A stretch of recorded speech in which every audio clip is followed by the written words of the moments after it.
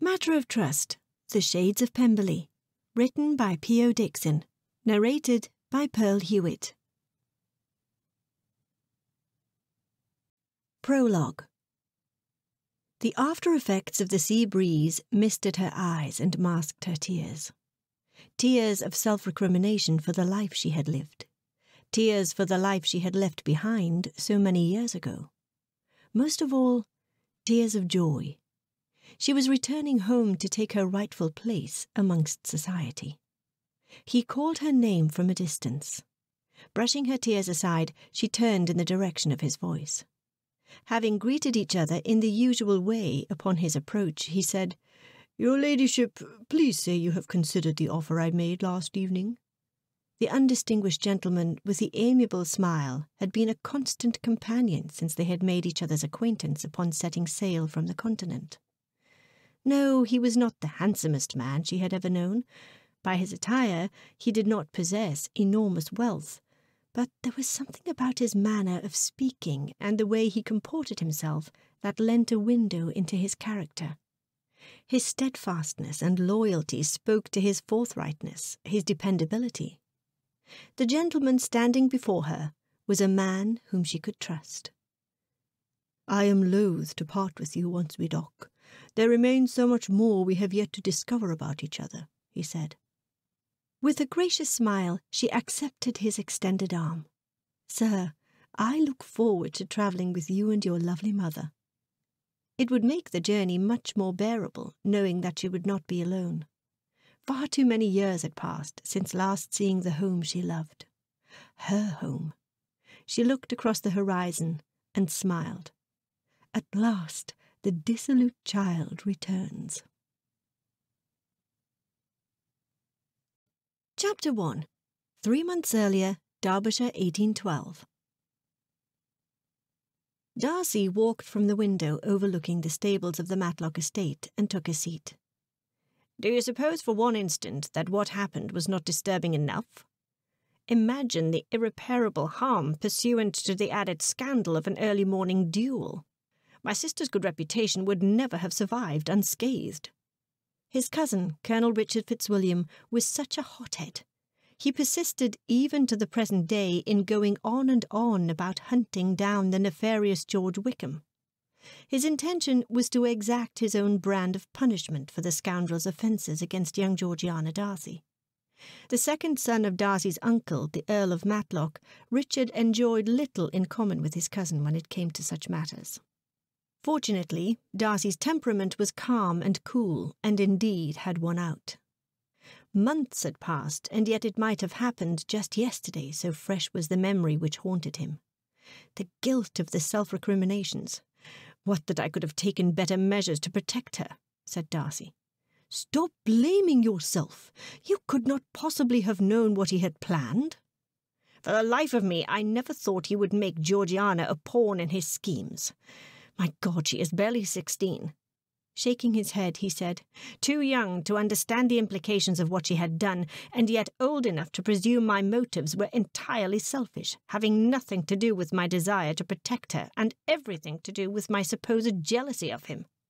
You must give her time to come around to your way of seeing things. Oh, I should have known better, kept him away from my sister.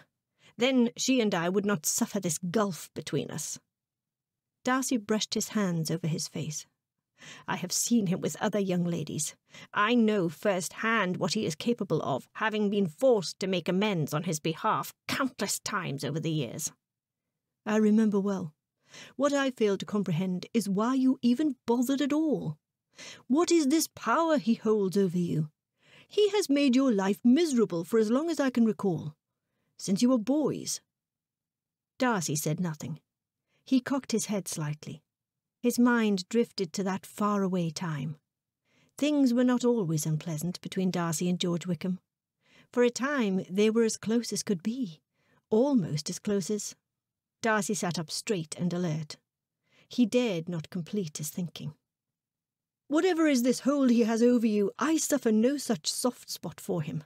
My deep regret is my not having done everyone a favour by calling him out and killing him, rather than allowing your lesser retribution of banishing him from Pemberley. Oh, I would much rather you banish this line of thought.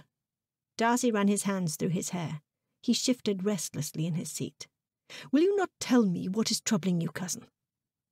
Darcy's chest muscles tightened, the same as always when he was forced to recall one of the lowest moments in his life his father's death.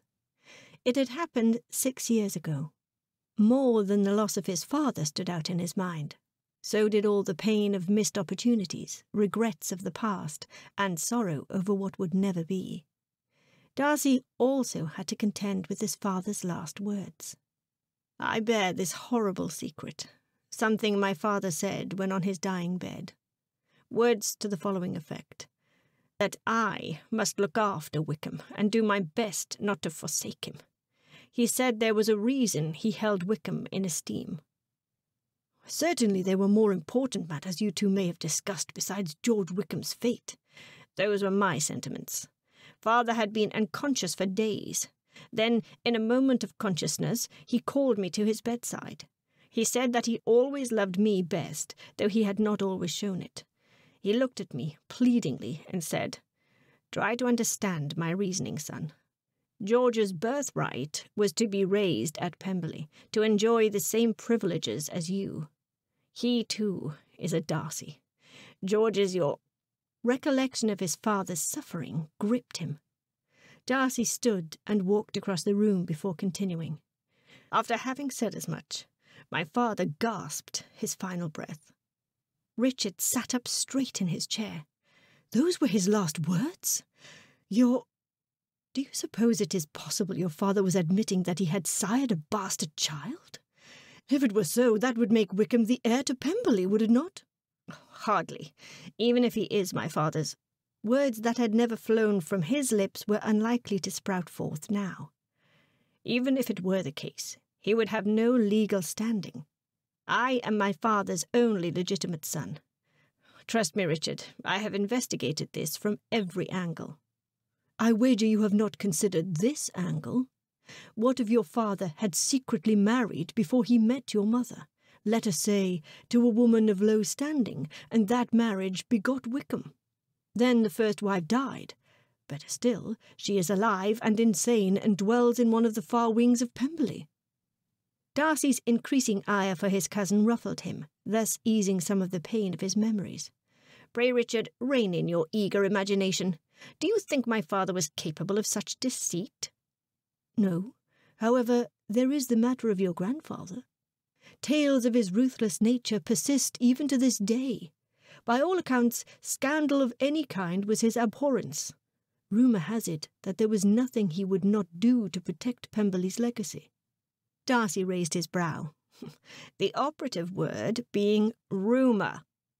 Indeed, but rumours do not originate without cause. Something instigated such speculations, and many have perpetuated them.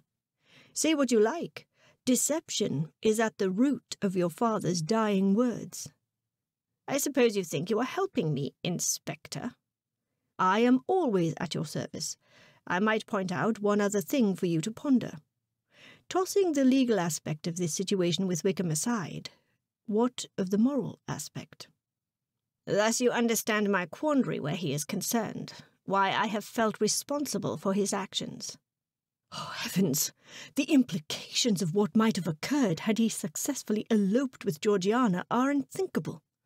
Are you certain he did not take advantage of her? I have Georgiana's word that nothing untoward occurred between the two of them. I have also lost her good favour in having exiled him from Pemberley. I pray some day she will understand. So you have not said a word to her of your father's deathbed confession, or rather, your suspicions? Of course I have not said anything. I have kept my suspicions to myself. What would I say? Should I confess my fear that Wickham may be our illegitimate half-brother? I would never saddle Georgiana with such a notion, especially since I lack proof. Your father said he was a Darcy. He did not say he was his son. What other explanations exist? Look, Richard, I know where this is leading. Should I find proof that he is a Darcy, my father's bastard son, I shall know how to act. Until such time as that, I prefer to give Wickham as little thought as possible. Even if he is a Darcy, he is a lowlife who is unacceptable for polite society. I pity the unfortunate people in whatever town he decides to pitch his tent next, as it were, said Richard. Certainly no more than I. Wherever he turns up, I fear it will mean certain trouble for some unsuspecting town. I count my blessings in being able to leave Georgiana in Lady Ellen's care while I visit my friend Charles Bingley in Hertfordshire. I dare not leave my sister at Pemberley even with her companion Mrs. Annesley for such an extended amount of time. Though it is doubtful he will ever show his face at Pemberley again, I know with certitude that Georgiana will be safe from Wickham's reach here in Matlock. I could not agree more, said Richard. With that said, it is best to say as little to your parents as possible about why I insisted upon having Georgiana stay with them. The less they know about Wickham's treachery and Georgiana's shame, the better. Moreover, say nothing about my suspicions of Wickham's lineage. Of, of course not. It goes without saying. So what do you suppose has become of him? I do not know, nor do I care. My greatest fear is that he will show up when least expected and pull me back into his drama once again. Your burden is heavy indeed, cousin. You have my heartfelt sympathies. I only wish there was something more I could do to ease your load where George Wickham is concerned. I have carried the burden of my father's dying words with me for far too long. I feel better just having talked about it. Thank you, cousin, for listening. Darcy walked to where Richard sat and laid a hand on his cousin's shoulder. Though I do not always say it, it is times like this when family means most. Chapter 2 Hertfordshire, November 1812 Cursing his luck, Darcy stormed off the ballroom floor. It was disturbing enough that George Wickham had shown up in Hertfordshire of all places. Somehow he had ingratiated himself with the inhabitants of the country town, most notably Bingley's closest neighbours, the Bennets of Longbourn. With one exception, each of them, from the mother to the youngest daughter, seemed enamoured of the scoundrel. The exception, the eldest daughter, Miss Jane Bennet. No, she has cast her net for bigger fish. At least she is sensible in that. He had thought the second eldest daughter, Miss Elizabeth, more sensible than her actions suggested. So much so he had requested her hand for a set. what a mistake. Darcy reached for a glass of sparkling champagne from a passing servant's tray. How dare she, defending George Wickham to me, insinuating that my implacable resentment is founded upon a lack of character and malicious intent? From the moment he had come across the wretched scoundrel on the streets of Meryton a few weeks earlier, the hint that something unsavoury was afoot had filled the air. He looked about the assemblage of locals gathered about his friend's ballroom. The villain was supposed to be at the ball. Bingley confirmed earlier that he had indeed extended an invitation, and Wickham had possessed the audacity to accept. Where is he? Darcy said, muttering aloud. Just at that moment, the two youngest Bennet girls skipped along arm in arm, headed straight towards him. One of them carried a cup of punch. Unable to think of them by any other appellation, Darcy had named them Sillier and Silliest. The third eldest, the one who fancied herself proficient on the pianoforte, he nicknamed Silly. He stepped aside, but not soon enough to avoid the girls altogether bright red punch splashed all over his finely tailored jacket. Sillier clasped her hand over her mouth, yet still failed to suppress her hysteria, whilst Silliest, the youngest and by far the flightiest, mindlessly dabbed at his lapel and did her best to contain the damage. Oh, Mr. Darcy, I'm dreadfully sorry. Those around them observed her antics, making the situation worse. Some did not even try to hide their mirth. How dare she subject him to such folly? He took out his crisp white handkerchief and patted it against his jacket. Young lady, I am quite capable of attending myself. Pardon me. Their subsequent fit of inane giggles earned them a scowl. After bowing and turning away, he heard one of them say, Whatever is wrong with Mr. Darcy? Oh, let us pay him no mind, the dour man. I'm sure he's still smarting because I asked Mr. Bingley to have a ball. we are most likely interrupting his bedtime. The giggling grew louder. The irony of their sentiments did not fall short on Darcy. How is it that girls of their age are even out in society? What easy prey for the likes of his, for the likes of George Wickham. Then again, they seemed safe enough. As best he could tell, Wickham had only one of the Bennet daughters in his sights, Miss Elizabeth. On his way upstairs to change his jacket, Darcy observed his friend Bingley attending Miss Bennet. History enjoyed repeating itself, for this was not the first time he had seen his friend so besotted. Beautiful, buxom blondes with angelic smiles tended to have that effect on his young friend. He distrusted Miss Bennet's motives almost from the start. Imagine her scruples or lack thereof in showing up at Netherfield on horseback in the midst of a storm. She was bound to fall ill. Of course, he could hardly credit such devious motives to Miss Elizabeth's arrival the next day. Her concern for her sister was genuine. She is devoted and selfless. What a formidable young woman she would be if she were not attached to such a family. By the time he returned downstairs, Darcy's head was full of the charming young woman. Just when I thought I had mastered my strange attraction to Miss Elizabeth Bennet, one dance leaves me as confounded as the day she left Netherfield.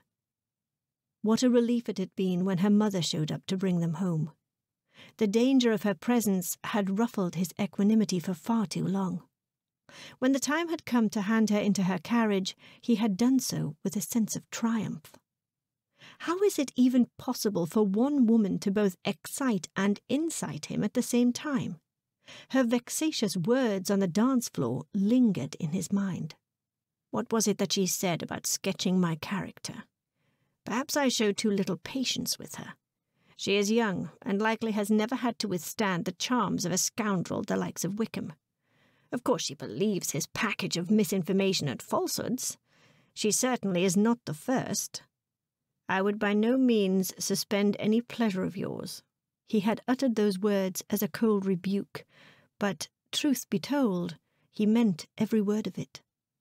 He feared that if the situation called for it, he would do nearly anything for her. In the span of a few weeks, she had captivated him like no other woman before. It would not do. He could not wait to leave Hertfordshire and in so doing escape the beguiling country miss forever. She would be nothing more than a disturbing, albeit pleasant, memory. First, he owed it to his own sense of integrity to make amends for his earlier conduct, and if she would allow, persuade her that Wickham was unworthy of her trust. My behaviour on the dance floor did not represent my finest moment, Darcy needed to look for her and apologize. They need not be at odds, not over her lack of understanding regarding his character, especially if Bingley was determined to fall into Mrs. Bennet's carefully laid trap and find himself married to her eldest daughter. The fresh, crisp air did wonders for Elizabeth's mortified nerves as she stood on the terrace and beheld the magnificence of the night starry sky. What a night it had been, and the ball had barely begun. Which had been worse, her sister's silly behaviour, her ridiculous cousin, Mr. Collins's insistence that he would be by her side throughout the evening, or Mr. Darcy's singling her out amongst all the women in the room for a set? She had sworn to loathe him throughout eternity, not stand across from him on the dance floor in front of all of Meryton. How it vexed her that they had spent much of the dance at odds. Their time together on the dance floor would have passed much quicker had their repartee been harmonious rather than contentious. She smirked in the face of such musings. As if such a thing were conceivable. He has never looked at me once except to find fault. Not handsome enough to tempt him, indeed. Elizabeth looked up at the night sky and watched as the clouds danced across the moon. The night had held such promise. Her thoughts in preparing for the evening had been centred on one particular gentleman. He should have arrived by now. An evening of gaiety with the dashing Mr. Wickham was just what she needed to take her mind off her troubles. Her mother had been none too subtle in putting Mr. Collins forth as a prospective son-in-law all week. One of five siblings, all daughters, Elizabeth had grown up with certain truths. Her family's estate was entailed away from the female line. At least one of the Bennet sisters needed to marry well. Mr. Collins, a distant relative, stood to inherit everything. Endeavouring to amend for the fortuitous circumstances of his birth, he aimed to make one of his fair cousins his bride. He had made his preference known almost as soon as he had arrived at Longbourn earlier that week. He had chosen Jane. However, Elizabeth's mother, whose mission in life was to get her daughters husbands, had made it clear that Jane was soon to be engaged, and thus offered Elizabeth, her next eldest offspring, instead. Hmm, that will be the day. I think my mother is correct as far as Jane is concerned. Bingley likes her. It is only a matter of time before he offers her his hand. He would be a fool to do otherwise, for Jane likes him just as much. That must certainly raise all our fortunes. Elizabeth smiled warily. One might think such aspirations are mercenary. However, one thing is certain. If a woman must fall in love and marry, she is just as likely to be happy with a rich man as a poor man. Good sense only dictates that she must choose the former. Once again, her favourite admirer, Mr. Wickham, graced her thoughts. So very pleased was she on the day of their initial introduction. His appearance was greatly in his favour. He had all the best part of beauty, a fine countenance, a good figure, and a very pleasing address. If he had but one fault, it would be his lack of fortune. Yes, he was handsome and amiable, but a woman would be imprudent to consider him a prospective husband. Had he been given the living he ought to have had, his prospects would be considerably more agreeable. Elizabeth exhaled. Oh, hopeless romantic. Thy name is. The gentleman of her musings suddenly stepped out from amongst the shadows at the farthest end of the terrace and walked towards her. Oh, sir, you should have made your presence known. Oh, forgive me, but I would have done nothing to disturb your beautiful countenance. Gaiety replaced what theretofore had been tedium. He always knew what to say to make her smile. Oh, you startled me. I welcome your company, sir. The few clouds that had dotted the sky gave way to the brilliance of the full moon. As the moon brightened, so did her spirits. He came. The evening promised to be a gay occasion after all. I thought I might not see you this evening, Oh, would you have been very disappointed had I not come? I think I would have been, sir. I could never stand to disappoint you, hence my presence. I pray you have saved room on your dance card for your favourite beau? My favourite, Mr. Wickham. Whatever gave you such a notion? a man knows these things. Out of nowhere, Mr. Darcy approached them. Mr. Wickham recoiled. What audacity, interrupting private conversation! His harsh, rebuking stare sent Mr. Wickham on his way. Next, the haughty man fixed his gaze upon Elizabeth. Dark, chauvinistic eyes pierced hers, cautioning, challenging, chastising her. Again. Pardon me, Miss Elizabeth. I require a word with you. Chapter 3 the unmitigated gall of the haughty, disdainful man. Only he would do such a thing. She clenched her fists at her sides. Miss Elizabeth, I encourage you to come back inside. I have a matter of grave importance I wish to discuss with you. If this matter concerns Mr. Wickham, then you need not bother. It troubles me when I see you speaking and behaving so intimately with George Wickham. If you knew his character, then you would understand he is no gentleman. I know from experience that the man is capable of all manners of vile misdeeds. You would be wise to keep your distance from him. Mr. Darcy, I am well aware you do not care for Mr. Wickham. You need not go out of your way to remind me on every possible occasion. I do not care for him with good reason. So you say. The truth is, I have only ever heard two people speak ill of Mr. Wickham's character. You are the first, and the second is your particular friend, Miss Bingley. Why, her worst allegation is that he is the son of a steward. Mr. Darcy flinched, giving Elizabeth such satisfaction. If she knew anything at all about the haughty gentleman standing before her, it was that Miss Bingley's excessive fawning over him vexed him exceedingly. Miss Bingley is as ignorant of Wickham's true character as the rest of the people in Hertfordshire. The fact is that I have been cleaning up for his misdeeds for as long as I can recall. I do not mean to stand by and allow your family, and most importantly, you, to become his next prey. His misdeeds? Oh, surely you jest, sir. Mr. Wickham has provided a vastly different account of your past. I have no doubt. He is an accomplished liar. That and the fact that he is blessed with such happy manners render him quite the charmer. Do you deny you went against your own father's wish that Mr. Wickham should have the living in Kympton? Darcy crossed his arms and regarded her pointedly. His charge is but a small facet in a complicated situation. If you hear me out, I think you will understand my motives. Oh, it is just as I suspected. Forgive me, Mr. Darcy, but I have heard all I care to on this matter. If you will excuse me, I have no further wish to continue this conversation, and I very much wish to remain out here a while longer. Alone. Miss Elizabeth, please. Here you are, Mr. Darcy. Bouncy orange feathers soon appeared out of nowhere. I have been looking all over for you.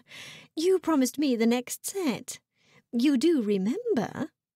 Elizabeth had never been more pleased to see Miss Bingley than at that moment.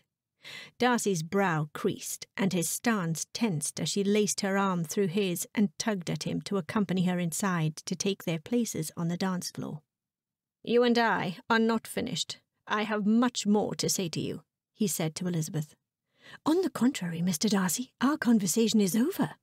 I thank you for your consideration, but I think I am a far better judge of character than you have allowed. He opened his mouth to protest. Leave, Mr. Darcy.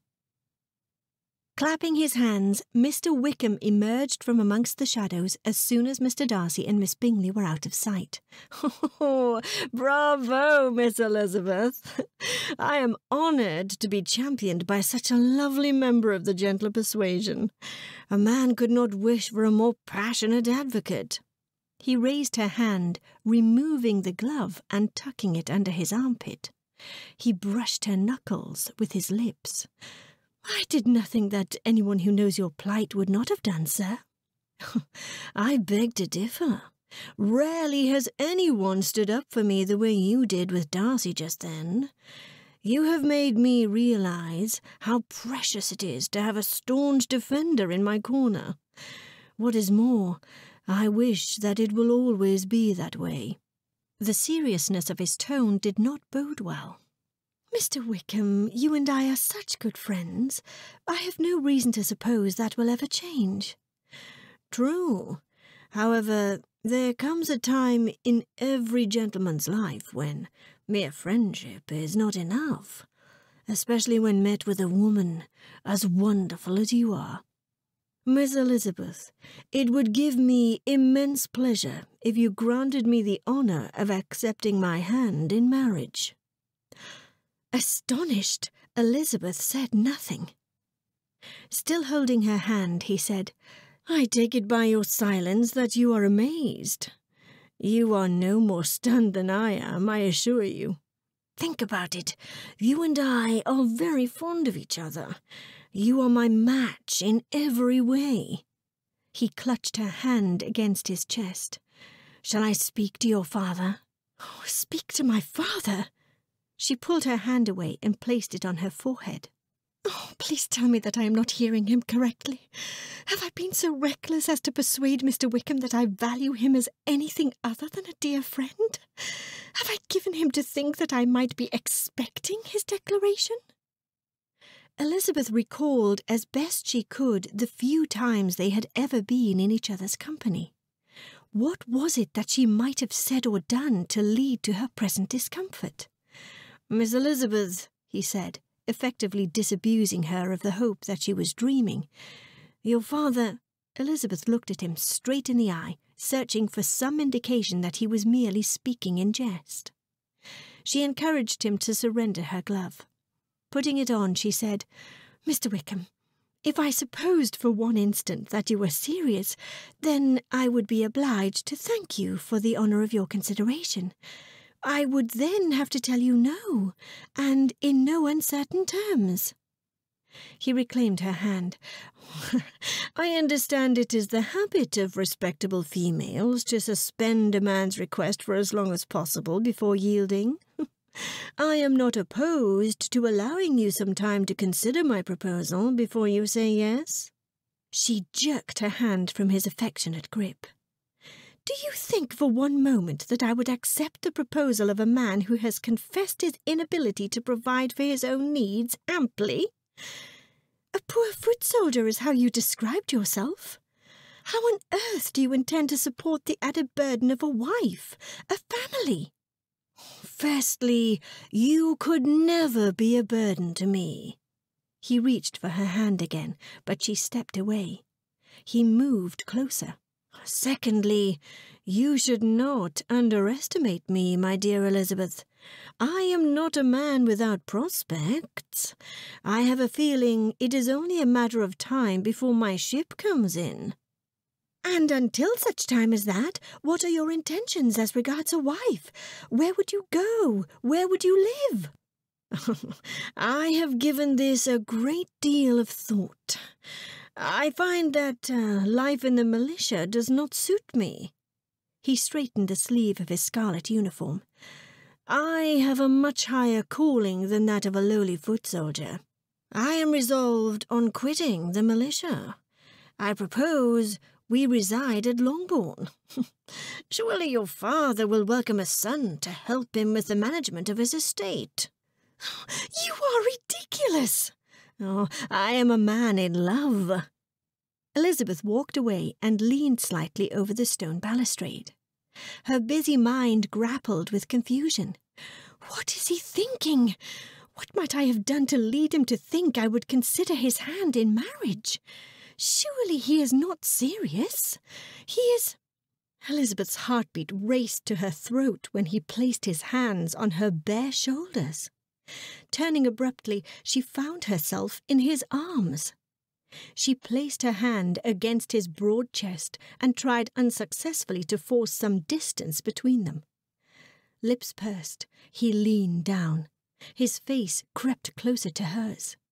It would not do to be discovered in such a compromising position with him. Elizabeth ducked her head in time to thwart his intentions. He grasped her arm, slowing her efforts to escape his presence.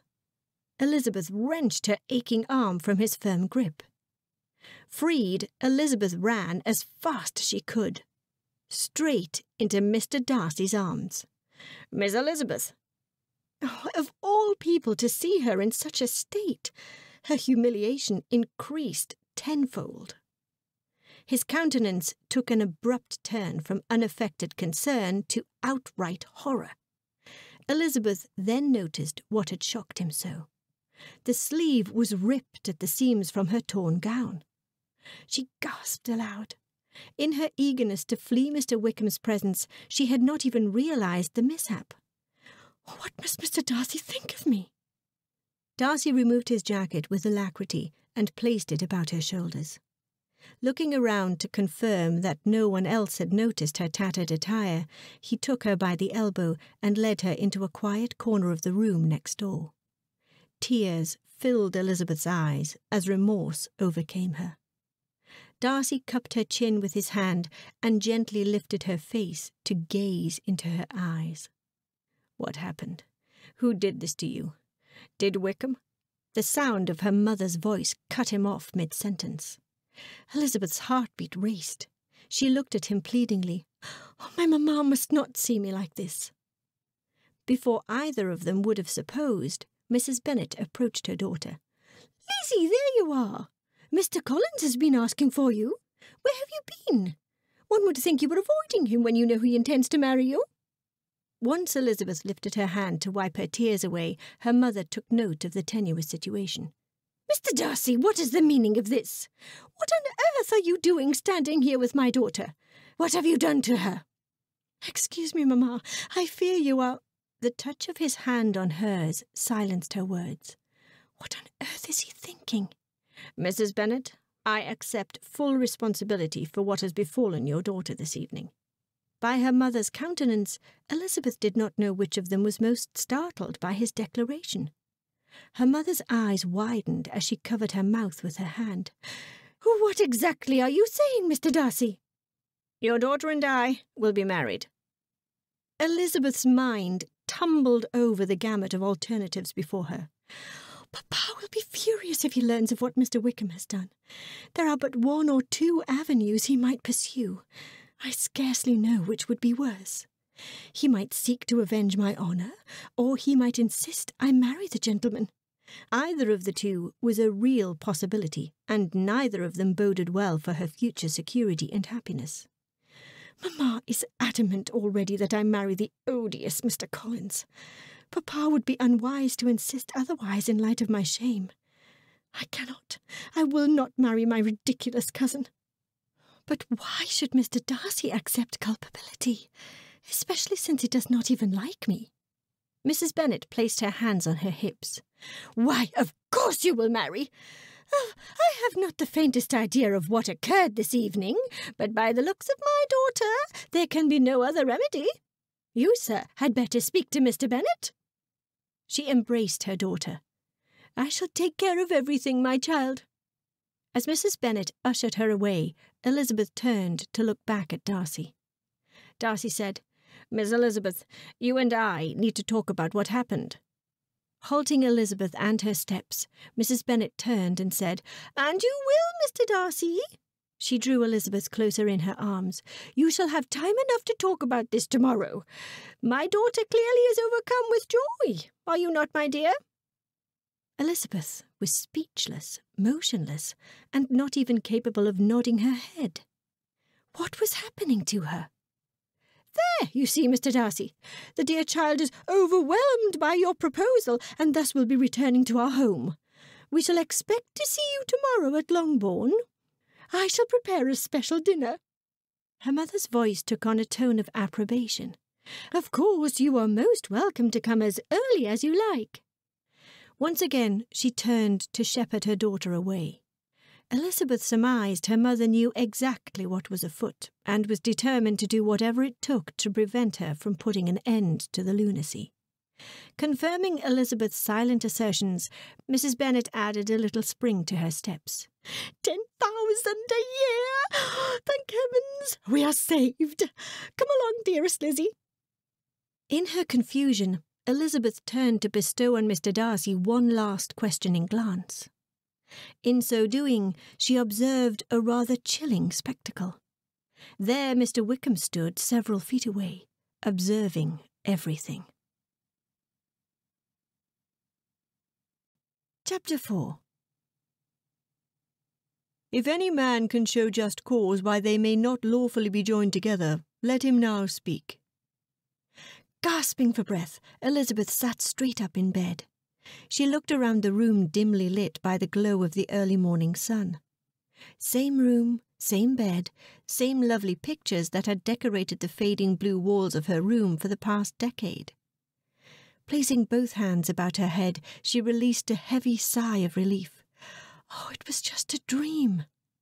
Contented, Elizabeth laid her head on the pillow and endeavoured to capture the last vestiges of sleep before starting her day. Mere moments later, a strong sensation of foreboding gripped her, ripping the lingering relics of sleep from her eyes and stirring panic in her mind. I am engaged to Mr. Darcy. Elizabeth threw the covers back and bolted from bed. I must speak with Mr. Darcy. I shall not hold him to this impetuous declaration that we are to be married. As she hurried across the room to dress, she spotted her torn gown. Beside it, Mr. Darcy's black jacket. She intended to mend the gown herself before anyone noticed the damage, but what on earth would she do with his jacket? She picked up the finely tailored garment and ran her fingers along the fabric. Nothing my father owns compares to this. Its masculine scent of musk and spice summoned bits and pieces of her dream. vivid images of sights unseen, rocky cliffs, streams that decorated the unaffected natural beauty of the landscape. Pemberley. If there was but one troubling aspect, it was her inability to conjure Mr. Darcy's face. Oh, he was a handsome man. The lucidness of daybreak proved that fact irrefutable. She could see him so clearly, tall, dark, with strong dimpled cheeks and cleft chin. However, in her dream, he was as faceless as the clouds. He is a complete stranger to me. Elizabeth resolved to speak with Mr. Darcy. Much like her, he too habitually arose early in the morning.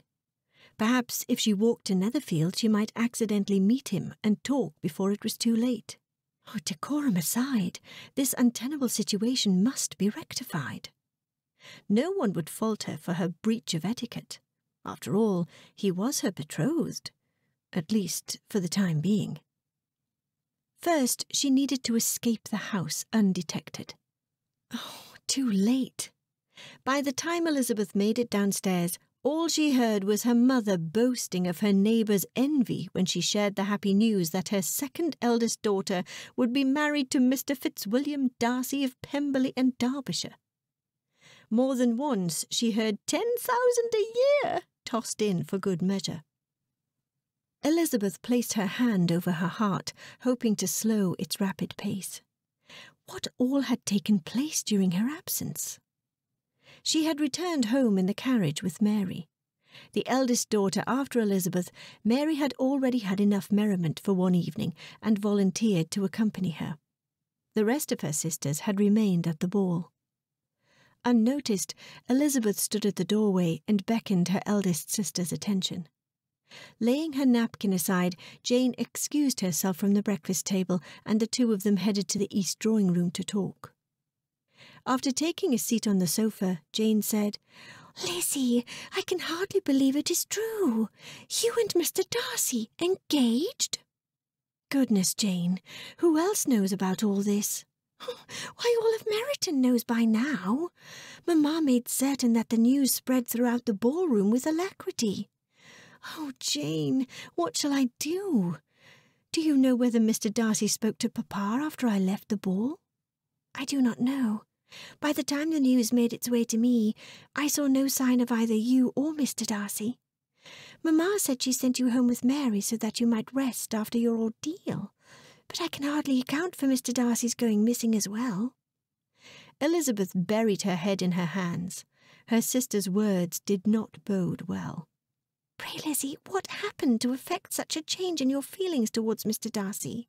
I thought you did not like him.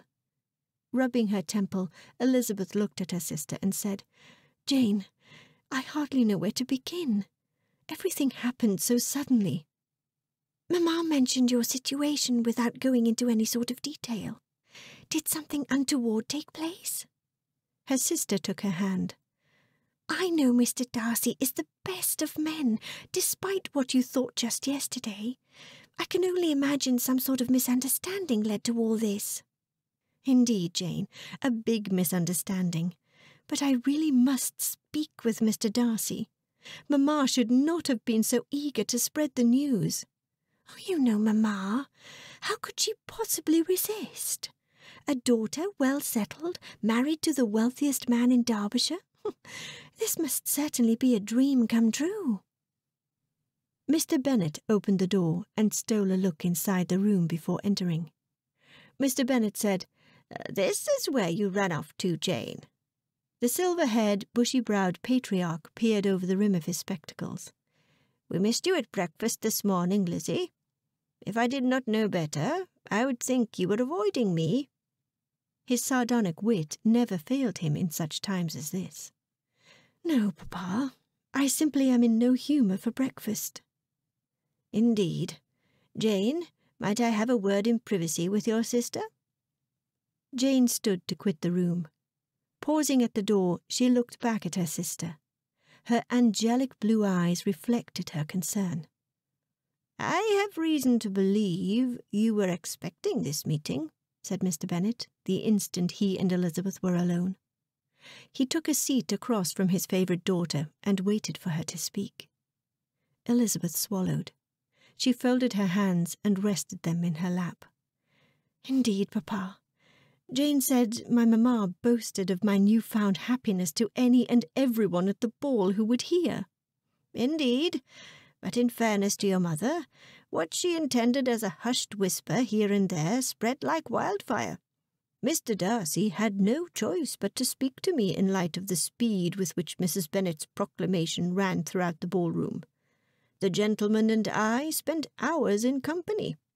However, my Lizzie, I must hear it from you. What is the meaning of this? Elizabeth said nothing. Lizzie, surely you are a sensible young woman, but did you not say mere days ago that you hated Mr. Darcy? In fact, you were rather fond of Mr. Wickham. I am persuaded were he able to provide for you, no doubt you would have welcomed his suit wholeheartedly. Instead, you accept the hand of the one man who has been responsible for Mr. Wickham's dire straits. Elizabeth bit her lower lip. I am not as enamoured of Mr. Darcy as I ought to be. However, I am certain that will change with time. I certainly hope so. I am relieved to hear you say so. It gives me a modicum of comfort knowing that you are approaching this of your own will and with an open mind. However, can you respect him, especially in light of all that we have heard of his character? All that we have heard is what Mr. Wickham has said. Frankly, papa, after what he has done, I begin to suspect his credibility. Why? What has he done? She had said too much, certainly more than she had intended. She was not about to tell her father what had happened the evening before, not after what he had just said about her fondness for Mr. Wickham. Oh, how she wished she had been more careful in her pronouncements. Suffice it to say, he is not the gentleman I thought he was. Well, it is just as I always knew it would be, my Lizzie, for you have not lacked your share of suitors. The proud, disagreeable Mr. Darcy, your affable cousin, Mr. Collins. Granted, neither of the two suitors compare with your Mr. Wickham. However, you are very clever. You chose wisely, for you could never expect Mr. Wickham to come around asking for anyone's hand in marriage. Rubbing his chin, Mr. Bennet said, It is far better he did not, for it would be only under the threat of scandal that I would even consider such a man for you, or any other of my daughters for that matter. This brings us back to your Mr. Darcy. I think he is honourable and respectable. Nevertheless, what of his attitude towards your family, your friends? I cannot bear to lose you, Lizzie. I fear that once he takes you away from Longbourn, we might never be allowed to see you again. Elizabeth had not even considered such a prospect. Not that she had time to consider much of anything in the limited hours of her engagement. Surely Mr. Darcy would never seek to change me, to force me to give up my family, my friends. Would he? Perhaps I worry needlessly, my child. For what it is worth, our discussion last evening gave me cause to think there is a great deal more of good in the man than he willingly shows. Your settlement is more generous than anything I might have conceived. Of course, with the suddenness of it all, he spoke largely in conjecture of what his intentions are and how he means to provide for you. Everything is yet to be put into writing, but rest assured that you will be well provided for, my dear Lizzie. Elizabeth remained quiet. She knew nothing at all about this man who already had commenced planning her future life. Mr. Bennet filled the silence with comforting words. I only hope you find happiness. My advice to you is to be cognizant of the fact that you both have a part to play in that regard. Yes, papa. If I am to marry Mr. Darcy, then I shall be a good wife. Mr. Darcy will not regret his decision. Perhaps it will not be so unbearable. I am spared the prospect of a life with Mr. Wickham or Mr. Collins, and Mr. Darcy will be married to a wife who is everything of kindness. In fact, I might well kill him with kindness. I see no point in both of us being miserable. Three miles away at Netherfield Park, the household was beginning to stir. Bingley had set off to attend his business in London at sunrise, leaving Darcy to contend with a very frustrated Caroline Bingley. He entered the breakfast room and spotted her sipping her coffee whilst pacing the floor, her burnt orange gown swishing from side to side. Save the footman standing at the breakfast buffet, no one other than Miss Bingley was present. Darcy moaned under his breath. Wonderful. When she saw him, she returned to the table and set her cup down. She then raced across the room to greet him. Lacing her arm through his, she led him to the table. Where did you run off to after our set last evening, Mr. Darcy? Oh, never mind all that. You will never believe what they are saying about you and that little chit, Eliza Bennet. Miss Elizabeth, Miss Bingley. She bestowed him a look of astonishment. Yes, yes, Miss Elizabeth, or whatever. That mother of hers has turned her sights from my brother and landed them squarely upon you, it seems. In light of the firestorm of gossip she ignited during the ball, it seems I am to congratulate you. Smirking, she sipped her coffee. That is quite generous of you, Miss Bingley. I accept your felicitations. Caroline nearly choked on her coffee. The sight of it gushing from her mouth was most unbecoming. You mean to say that loon spoke the truth? That you and her daughter are engaged to be married? Darcy reached for the paper. Glancing over it, he calmly said, I know not why this comes as a surprise to you of all people.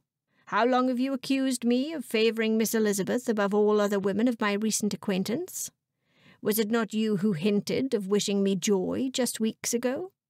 Yes, but was it not you who said the Bennet daughters' chances of marrying men of any consideration in the world were materially lessened owing to their low connections? That you would sooner proclaim her mother a wit than allow for any beauty in Eliza Bennet? Yes, I dare not argue with you, said Darcy, between sipping his steaming hot coffee and perusing the latest headlines. However, things change. I have since regarded Miss Elizabeth as one of the handsomest women of my acquaintance. I shall be honoured to call her my wife. She should not have lingered outside the door of the parlour, nor should she have been amused by her mother's attempts to placate her cousin, Mr. Collins, by explaining somewhat awkwardly the muddled affair. She simply could not help herself. Even in such times as this, Elizabeth retained her sense of humour containing her mirth proved difficult. I beg you to consider my daughter Mary, who is next in line after Lizzie. As I think of it, she is far more suited to the life of a parson's wife than Lizzie. Elizabeth was inclined to agree. However, she would not wish such a fate upon anyone, especially not one of her sisters. The put upon man tugged at his collar. Twisting his neck, he said, I beg your pardon, Mrs. Bennet, but I am not one to be passed around from one Bennet daughter to the next, supposing my luck will change. Elizabeth's dearest friend, Charlotte Lucas, walked up behind her and attempted to peer over her shoulder. My dearest Lizzie, what are you doing? Elizabeth laid a finger to her mouth. Oh, Charlotte, Mamma and Mr. Collins are at odds over just which of the Bennet daughters is left for him to choose. Both ladies trained their ears to the confusion inside the room. Mr. Collins, a tall, burly man of little sense but a great deal of self importance, stood to take his leave. It is a great honour that I have bestowed upon my fair cousins, first Miss Bennet and then Miss Elizabeth. Now I think I shall take my chances elsewhere. Elizabeth grabbed Charlotte's hand and they raced around the corner. Ever prudent and sensible, Charlotte did not rejoice in the situation's hilarity as did Elizabeth. Charlotte said, My dear Eliza, I am afraid I am unable to visit at all. I have urgent matters to attend. As quickly as she had come, Charlotte left, leaving Elizabeth to ponder the urgency. It was just as well, for she too had pressing matters to attend. I must speak with Mr. Darcy. Moments later, she supposed she must have conjured him up, for after she donned her bonnet and shawl and opened the door, he stood there with his hand poised to knock. Mr. Darcy! Good morning, Miss Elizabeth. I. I. We need to talk. Elizabeth glanced over her shoulder, then quickly stepped outside and closed the door behind her. I am inclined to agree. We need to talk, but not here. Shall we take a walk? Should we not go inside first? Perhaps visit with your family? Is that your wish, sir? No. However, after the events of last evening, I think it is only proper that we adhere to expectations. On the contrary, Mr. Darcy, after the events of last evening, it is imperative I speak with you alone. Darcy extended his arm. I am your servant. Lead me, and I shall follow. Elizabeth crumpled her brow. Was he attempting to make light of her predicament? Accepting his arm, she walked with him down the steps and along the lane leading to the large duck pond. Nobody would bother them there. Why did you do it, Mr. Darcy? I beg your pardon, Miss Elizabeth? Why did you tell my mamma that we are to be married? In light of the circumstances, I do not see that I had a choice. Your mother was on the brink of hysteria, and I cannot say that I blame her. What happened to you in the short time after I left you on the terrace? Did Wickham return? Did he assault you? Elizabeth looked away. Yes, Mr. Wickham returned after you left, and, well, yes. I mean, no, he did not. What I mean to say is, he and I, we, we had a huge difference of opinion, a misunderstanding, if you will. A misunderstanding? His raised voice held a measure of astonishment laced with contempt. Startled, Elizabeth took a tiny step back. Miss Elizabeth, you were frantic when you ran into me. Your gown was torn, ripped at the seams, and you dare to tell me that it was a misunderstanding? Elizabeth walked away and stared across the pond. How could she tell him the truth? How many times had he warned her about Mr. Wickham as late as mere moments before their misunderstanding? And that is exactly what it was a misunderstanding. Somehow she had led the gentleman to think that she would welcome his proposal, welcome his advances, when all she ever meant to do was to enjoy his company. That and rejoice in their mutual dislike of Mr. Darcy. Elizabeth would not share her shame with Mr. Darcy. He was just the sort of man who would take pride in having been correct in warning her against Mr. Wickham. Perhaps one day she would admit her mistake, one day when she had learned to trust him, but certainly not now. As I said, Mr. Wickham and I suffered a misunderstanding, is all. Darcy walked up behind her and placed his hand on her shoulder. Gone was the ire. He now spoke with genuine concern. Why are you protecting him? Elizabeth turned to face him, her demeanour prickled with defiance brought on by his earlier rebuke. The better question is, why did you say that we were to be married when you knew that whatever my dilemma, you were not to blame? I have been used to cleaning up for Wickham's misdeeds for as long as I have known him. He is a scoundrel, a reprobate, Seeing you in such a state, first amongst my thoughts was that your father would be compelled to avenge your honour, or even worse, attempt to persuade the man to marry you. Elizabeth schooled her expression. She did not intend for him to know that he had hit upon her exact fears. As much as the idea of marrying Wickham might not repulse you, I can assure you that it would never have happened. That is, unless you have a comfortable dowry of at least ten or better still twenty thousand pounds. I could not bear to watch you suffer a similar fate as so many other young ladies he has taken advantage of, with promises of love and felicity, and subsequently discarded. You know nothing about me, Mr. Darcy. You never once looked at me, except to find fault. Must I remind you that you thought me only tolerable and not handsome enough to tempt you? He shook his head. You are mistaken. I do not look at you to find fault. He closed what little distance there was between them. I look at you because I admire you, and because I am attracted to you like no other woman before you. Darcy took Elizabeth's hand. I ask you to forgive me for my careless remark at the assembly. You are the handsomest woman of my acquaintance. As regards your first accusation that I do not know you, I am guilty as charged. You and I do not know each other as well as we should. However, all that will change. Elizabeth withdrew her hand. I am afraid you have me at a disadvantage, sir, for I have never supposed myself to be particularly attracted to you, and I have certainly never done anything to garner your good opinion. And yet you have my good opinion, and I am fairly certain that it is only a matter of time before you admit that you are indeed attracted to me. Mr. Darcy, I think you are mistaking me for Miss Bingley. No, you are mistaken. Miss Bingley epitomizes all that I disdain in a woman with her constant fawning and simpering. Whereas you, Miss Elizabeth Bennet, amaze me and always leave me guessing what you will do or say next. Holding his hands loosely behind his back, Darcy said, Come, Miss Elizabeth, we are to be man and wife. Surely there must be something you like about me. You are not my cousin, Mr. Collins. In fact, you are nothing like him. That speaks highly in your favour.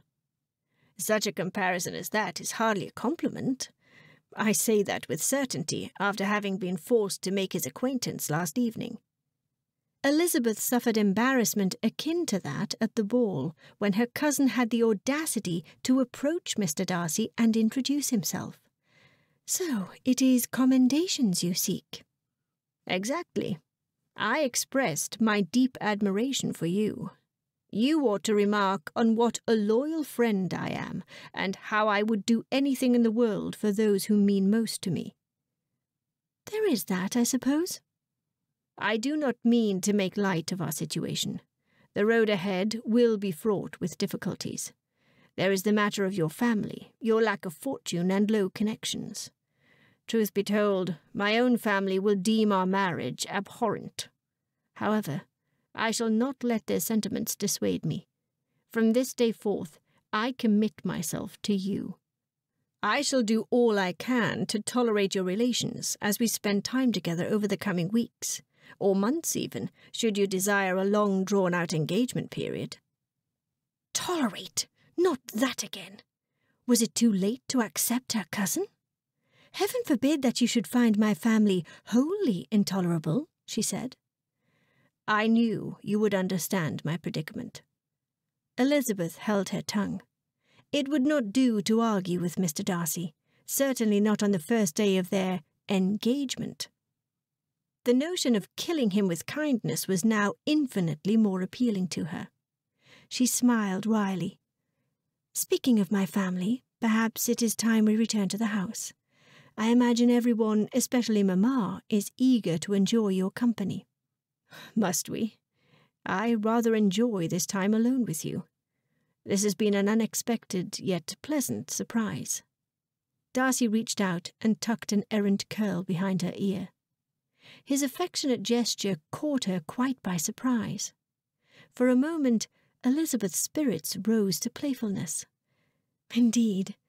However, Tolerance is often something that comes about with repetition, and I would not wish to deny you any opportunity to practice. That evening, a large party gathered at Longbourn, Mrs. Bennet's way of celebrating her good fortune with her closest friends and acquaintances. The Lucases, the Phillipses, the Longs, and the Greens were amongst the families in attendance. Mr. Collins, who had calmed since his earlier disagreement with the mistress of the establishment, was present as well. He was puffed up with pride. Soon enough, Elizabeth found out why. When they could, Elizabeth and her friend escaped to a quiet corner of the parlour. Dear Charlotte, you are engaged! This strikes me as being rather sudden, even a bit outrageous. Charlotte arched her brow. You are one to talk. No, I simply refuse to believe you. I find it too incredible. My news is no more shocking than yours. But Mr. Collins is ridiculous. Oh, Lizzie, We all cannot be as fortunate as you to have attracted the notice of Mr. Fitzwilliam Darcy of Pemberley and Derbyshire. Mr. Collins is a respectable man with a good living. I shall have a comfortable home, and I wager I shall be just as contented as you shall be. Elizabeth shrugged. I dare not argue your point, Charlotte. Suffice it to say, Mr. Darcy's proposal was as unexpected as the prospect of the moon falling from the night sky. I am not surprised, dear Eliza. Whilst it is true he did not show his feelings as openly as did Mr. Bingley for Jane, anyone who has ever paid attention to his obvious preference for you above all the other young ladies in Hertfordshire is not surprised at all. Elizabeth crossed her arms and glanced towards Mr. Darcy. In a lowered voice she said, It seems I am the last to have seen it. Perhaps you might have, had you not been so blinded with fondness for Mr. Wickham. Charlotte placed her hand on Elizabeth's arm and leaned closer. Speaking of which, how is it that you came to the ball with the express intention of dancing and basking in his adoration, and you left the ball engaged to Mr. Darcy? Oh, Charlotte, I fear there was a surfeit of misunderstanding that led to the events of last evening. I will only say that Mr. Wickham and I did not see eye to eye on a matter of grave significance as pertained to how each of us planned to live our lives. And now I would be perfectly content never to lay eyes on him again. Charlotte gasped. That is not like you to utter such a thing about your favourite. Oh, pray, what happened? Chapter 5 Some things remained best unspoken, even amongst the most intimate of friends. Surely Elizabeth would be obliged to marry Mr. Wickham should the knowledge of what he had said and done that evening on the terrace be generally discussed. Elizabeth trusted no one with that particular information. I dare not get into the details at the risk of besmirching anyone's character. Charlotte shrugged Keep the details to yourself if you must. I shall not pry. However, I am glad you took my advice not to be a simpleton and allow your fancy for Mr. Wickham to make you appear unpleasant in the eyes of a man ten times his consequence. Elizabeth smiled weakly. Indeed. At any rate, I congratulate you on your good fortune, as you must surely congratulate me on mine. Will yours be a long engagement? Her smile wavered. Mr. Darcy says that he is willing to wait as long as I would like, but I see no reason to delay it over long, and I would much rather get it over with. I am inclined to agree. As I told you before when discussing Jane's situation, there is time enough to get to know each other after the wedding. Oh, Charlotte, I was so sure it was Jane who would be engaged by now to Mr. Bingley. I know, Eliza. Perhaps there is still hope. He is expected to return from town shortly, is he not? I thought as much. However, in speaking with Mr. Darcy this afternoon about Bingley's intentions, he was particularly vague. One would think he does not want Mr. Bingley to return. Whatever gave you that idea? Exactly what did Mr. Darcy say? He hinted that he would soon be moving from Netherfield to the inn in Meryton. Hmm. I find it odd that a man of Mr. Darcy's stature would wish to trade the comforts of Netherfield for the inconveniences of the Goose and Crown. Those are my sentiments exactly. However, the Hursts and Miss Bingley are planning to return to town, and it is possible Mr. Darcy does not wish to remain at Netherfield in the Bingleys' absence. I suppose that makes sense. Both ladies looked at Jane, who sat in a corner. The smile that graced her lips proved a stark contrast to the forlorn look in her eyes. Charlotte leaned towards Elizabeth and spoke in a hushed tone. I cannot speak to Mr. Darcy's intentions, but I am sure Mr. Bingley knows his own mind, and especially his heart. If he is in love with our dear Jane, nothing will prevent his return. Oh, I pray you are correct, Charlotte. Darcy and Elizabeth walked arm in arm along the garden path. Spending time in her company was becoming more and more pleasing with each passing day. Were it not for that family of hers, he would have had no qualms whatsoever that his impetuous proposal was anything less than a blessing in disguise. Fortunately, the excuse of the late autumn weather afforded him time alone with his betrothed, as neither was opposed to the cooler outdoor air, whereas her sisters, save the youngest two, who were always content to walk to Meryton, wanted no part of it. My uncle and Aunt Phillips are planning a dinner party in our honour, said Elizabeth. Darcy grimaced. He would rather spend the evening doing hard labour. Not that he had any idea of what that was like. He said nothing. Stopping, Elizabeth released his arm and crossed both of hers over her chest.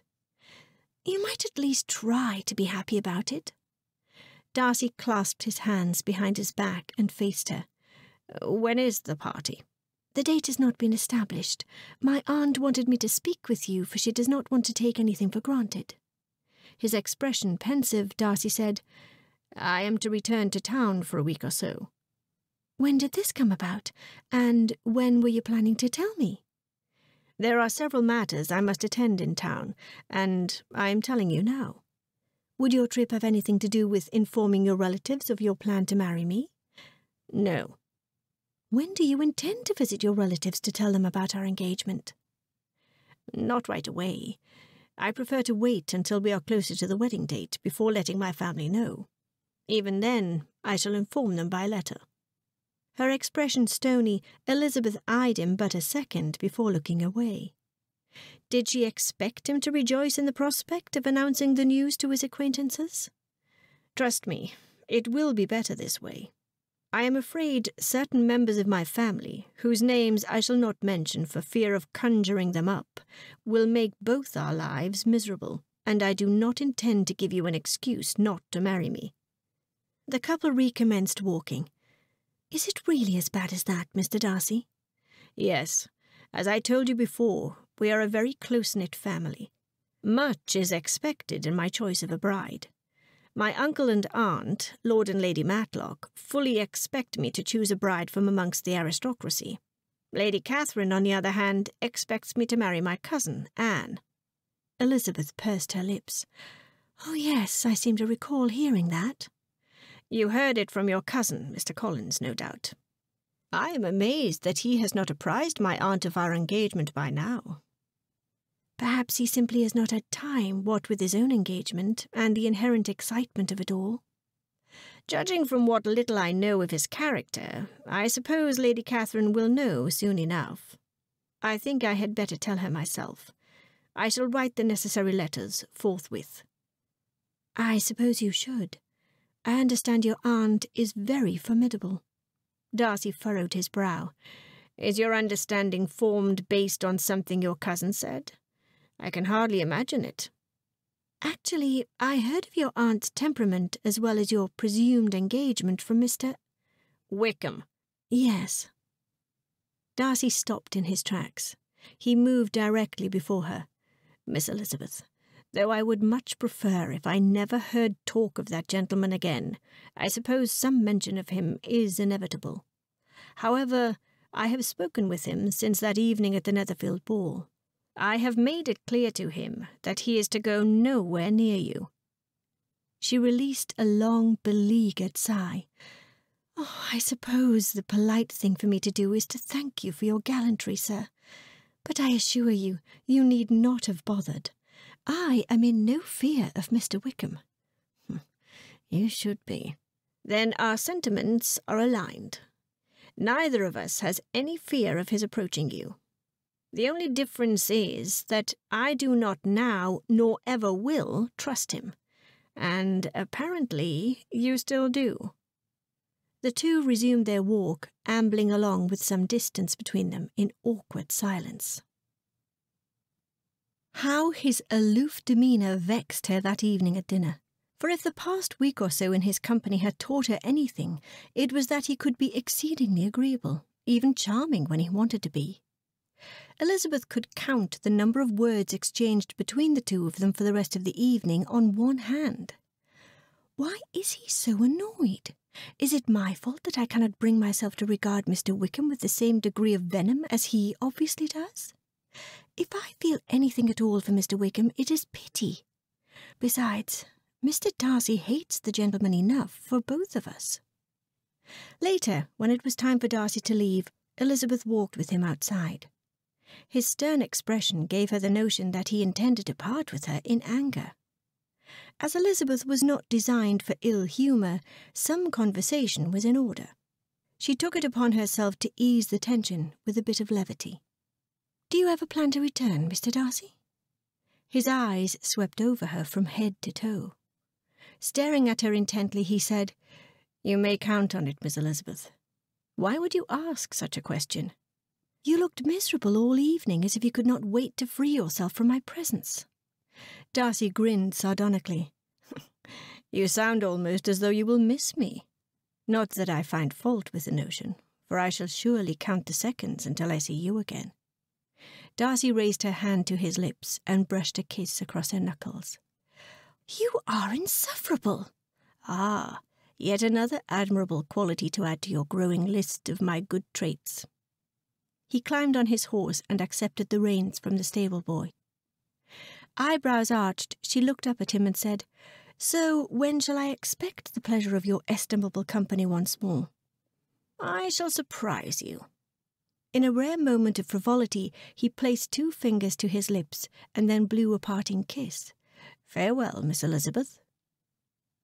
Lady Catherine de Bourgh blew into Darcy's study with the force of a fierce windstorm, catching Darcy and apparently his footman by his rattled expression completely by surprise. Darcy nodded to his befuddled servant to close the door. Before he could stand to greet her properly, Lady Catherine swooped down in one of the leather armchairs in front of his desk. Good afternoon, your ladyship. What brings you to town? Her aristocratic chin held high, Lady Catherine said, What an absurd question! You can be at no loss, nephew, to understand the reason for my journey hither. Your own heart, your own conscience must tell you why I came all this way to see you. Her ladyship perched her crossed hands atop her walking stick and glared at him intently. What is this nonsense about your planning to marry Miss Elizabeth Bennet of Longbourn and Hertfordshire, Darcy? And how dare you inform me by letter? Taken aback, Darcy said, Did you expect me to travel to Kent to inform you in person? I expect you to put an end to this foolishness. Are you not aware that the young woman is my parson's cousin? As soon as her father dies, Mr. Collins may turn her family out into the hedgerow, should he wish it.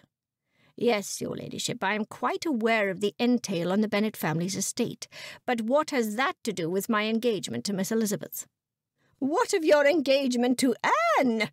The fondest wish of my dear sister was that you two should be married. Have you no regard whatsoever for your obligation to your family? My mother's wish in no way obligates me to marry Anne. The two of you did your part in wishing it. That is the extent of your power. Her ladyship's mouth gaped open. Why, I never! Forgive me my bluntness, your ladyship. The fact is that Miss Elizabeth Bennet and I are engaged to be married, and there is nothing to be done about it. Besides, it is not as though she asked me to marry her. I was the instigator, owing largely to a misunderstanding, if you will. You have no choice but to accept the marriage and give us your blessing. To do otherwise, to end the engagement, would cast dispersion on your own family and brand me as a scoundrel. Would you have others regard me as such? Then I shall travel to Hertfordshire and speak directly to Miss Elizabeth Bennet. I shall persuade her to change her mind. Darcy pursed his lips. Agitation stirred his ire. I would not advise that, Lady Catherine. You may not like it, but I have made my choice. I want to marry Miss Elizabeth. If you do or say anything to jeopardize my plans to marry her, you must then consider me a stranger, for I shall have nothing to do with you ever again. Her stern gaze withered. Then you are determined to do this foolish thing, to marry someone so beneath you in consequence that it is laughable, someone with such low connections, relatives in trade? Are the shades of Pemberley to be thus polluted? I dare say Pemberley has suffered worse fortunes, and yet it has survived. I have no doubt that Pemberley's legacy will survive my marriage to Miss Elizabeth. who, despite her lineage, is quite extraordinary. I may have to accept this, nephew, but I do not have to like it, and I certainly will not be giving you my blessing. I am most seriously displeased. Then shall I expect not to be welcomed at Rosings Park this spring? Oh, I shall expect you, nephew. Both you and this Miss Elizabeth Bennet. Mind you, she had better be all that you say she is, or I shall know how to act. Lady Catherine stood to take her leave. Whilst quitting the room, she and Colonel Fitzwilliam nearly collided. Richard bowed. Lady Catherine? Move out of my way, Fitzwilliam. I take no leave of you or your selfish cousin, for I am quite certain that you are in favour of this nonsense of his to marry beneath him, and in so doing, break your own cousin's heart. Richard did a poor job of hiding his lack of disappointment. Too often he complained how he would much rather remain in town during Easter. Does this mean we are released from our annual visit to Kent, your ladyship? Lady Catherine pointed her walking stick at her nephew.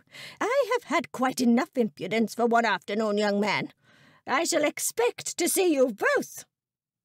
I need not to ask what that was about, said Richard once Lady Catherine was gone. I would appreciate it if you did not. However, I am most anxious to hear of your engagement. Specifically, what does your engagement to Miss Elizabeth Bennet have to do with your would-be half-brother? After sitting in the same fashion for some time, Darcy stood to stretch his long legs.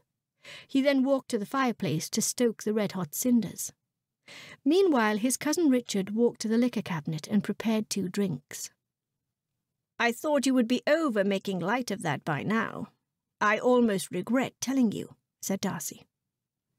Turning away from the fire, Darcy accepted his drink from Richard. Both gentlemen walked to their favourite chairs and made themselves comfortable. Oh, what would my life be if I did not have you to make sport of, cousin?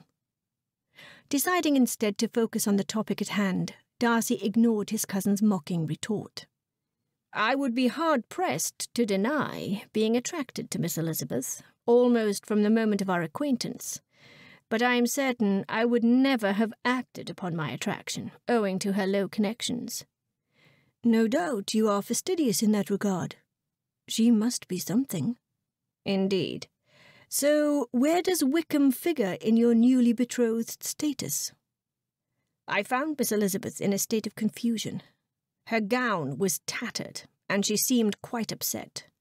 Whilst trying to learn what had happened to her, her mother came across us.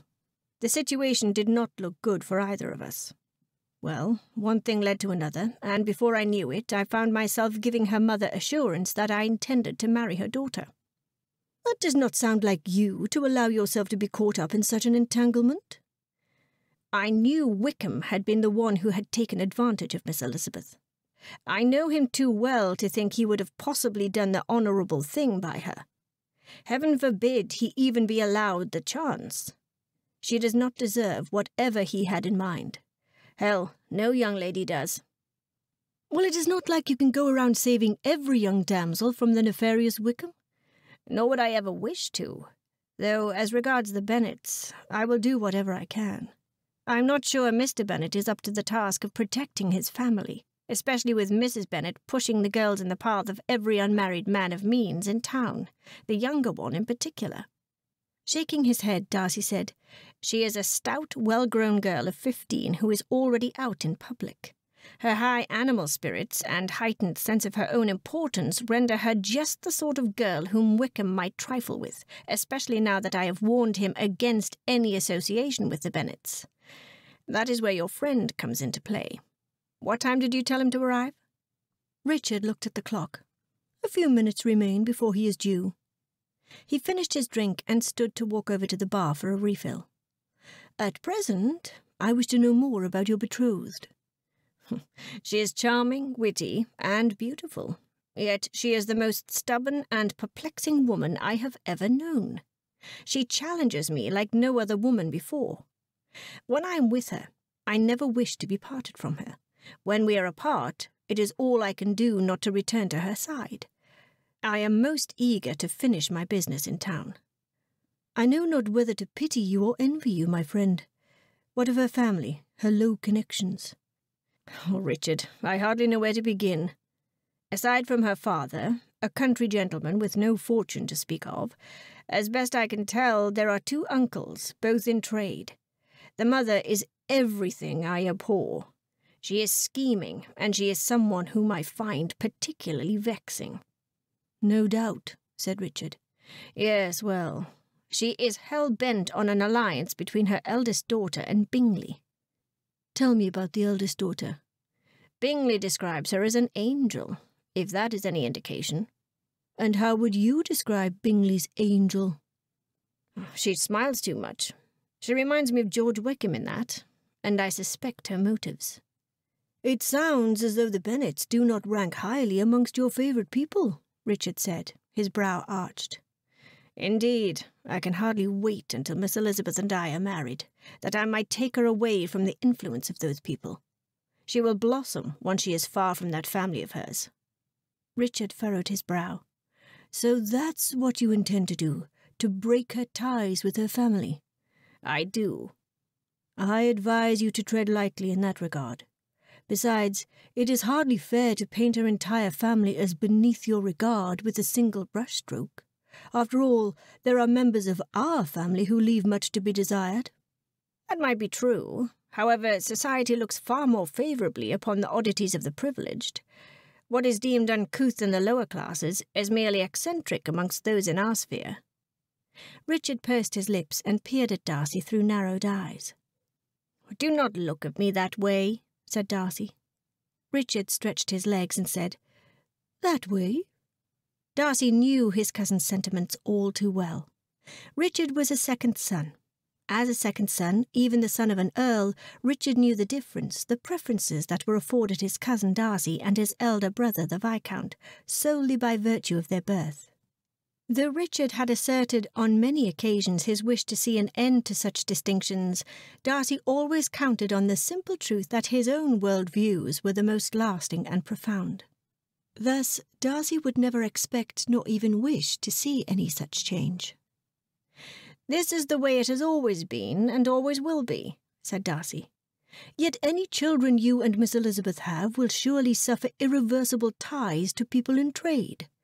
How exactly does that fit your rigid caste view of the world? Miss Elizabeth may have ties to people in trade, but I hardly view them as inseverable.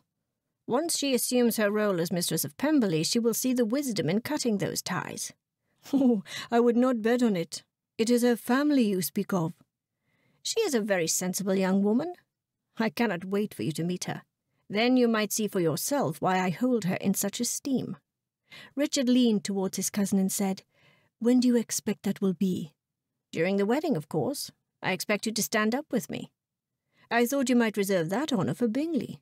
After all, in a rather roundabout way, he has been the means of bringing you two together. I have received word from Bingley that he has business in the north which might detain him for weeks, if not months. I have no idea when he might return. The footman opened the doors. A uh, Mr. Simon Bartley is here to see you, sir. Ah, show him in. We have been expecting him. If anyone had told her a month previously that she would be sitting in her window seat longing for Mr. Darcy's company, she would not have believed them.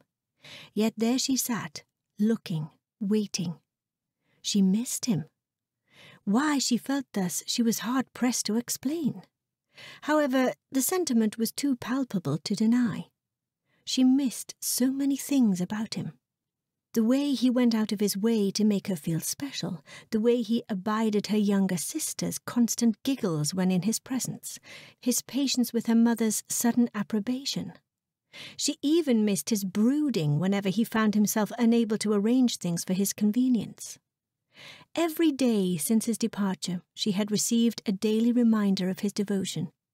She walked over to her bedside table and reached for one of the flowers that had arrived the day before. He had better return soon. Any more flowers, and she would find herself deep in a floral sea. After tapping lightly, Jane paused a second before poking her head inside the door. I suppose I do not have to tell you whom Kitty just spotted headed this way? Elizabeth ran back to the window. She walked over to the mirror and checked her hair, pinching her cheeks. She called out to her sister, Jane, how do I look? Fear not, Lizzie. I believe your Mr. Darcy will find you exceptionally tolerable. Elizabeth turned to face her sister and smiled. Jane, you know he has apologized for that remark time and again. I know, and I am merely teasing. One only needs to spend a few moments with him in your company to know he likes you very much. Do you really think so, Jane? Lizzie, is Longbourn not awash in blooms? At this time of the year, one can only imagine the expense he must have incurred. Mr. Darcy and I did not part on the best of terms. I suppose this is his way of atoning for his aloof behaviour that last evening at Longbourn. Or it might just be his way of expressing his affection. Jane, you are as determined as ever to see only the good in every one. Well, there is a great deal of good in Mr. Darcy, would you not say? I'm afraid I am obliged to agree with you. He insists. Lizzie, I beg you to be serious. Your Mr. Bingley thinks highly of Mr. Darcy. What better commendation do I need? Jane lowered her eyes. Elizabeth reached out and touched her face. Jane, I am sure that Mr. Bingley will conclude his business in town soon, and he too will return. Actually, I received a letter from his sister, Miss Bingley. She says her brother is not to return this winter. Oh, Jane, I am sorry. Why did you not say something to me earlier? I did not wish to dampen your enthusiasm with my unhappy news. Now hurry downstairs. By now Mr. Darcy will have arrived, and I am sure you do not want to leave Mamma, Lydia, and Kitty the task of entertaining him for too long.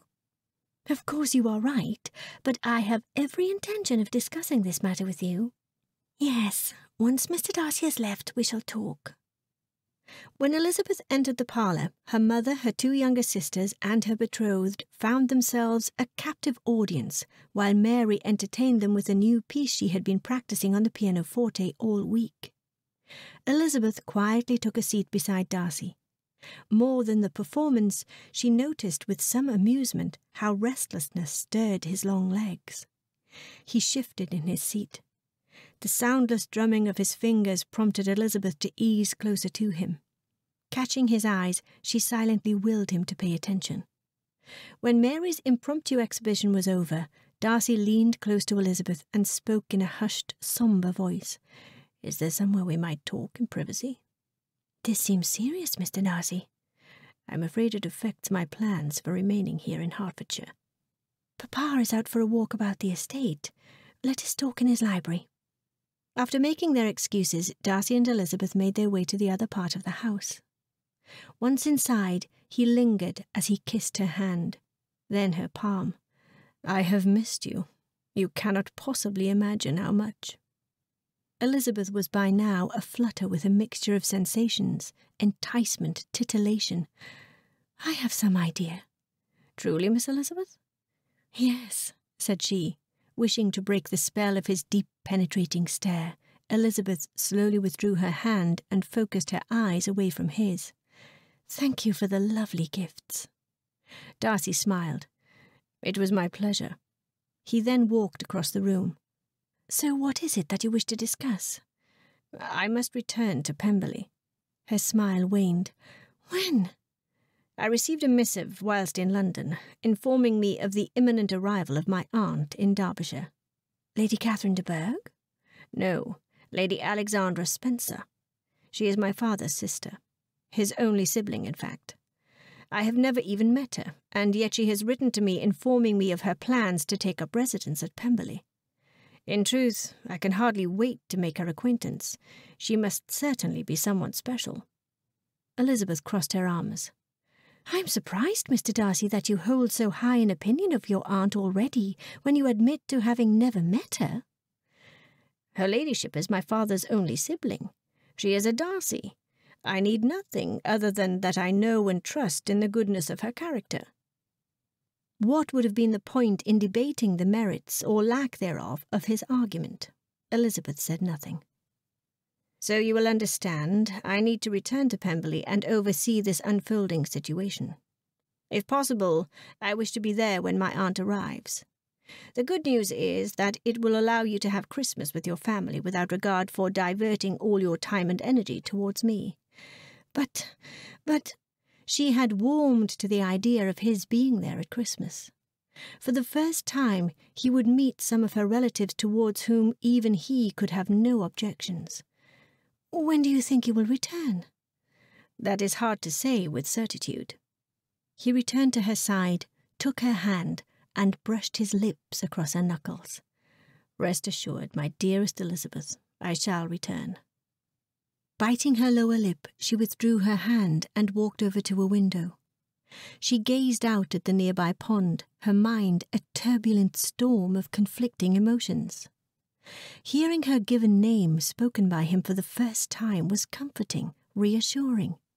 He had never before addressed her thusly. Yet it felt right. She had taken some solace in the notion that they would have ample time to get to know each other before meeting at the altar, but it had been with the knowledge that they would be always in proximity. What did this sudden lengthy separation portend? Darcy joined her and placed his fingers on the small of her back. She turned to face him, her eyes questioning, his imploring. They stood as close to each other as two young lovers could. He lifted her chin and brushed the pad of his thumb along her cheek, along her lower lip. A frisson of longing pierced her being. Her lips parted as he leaned nearer.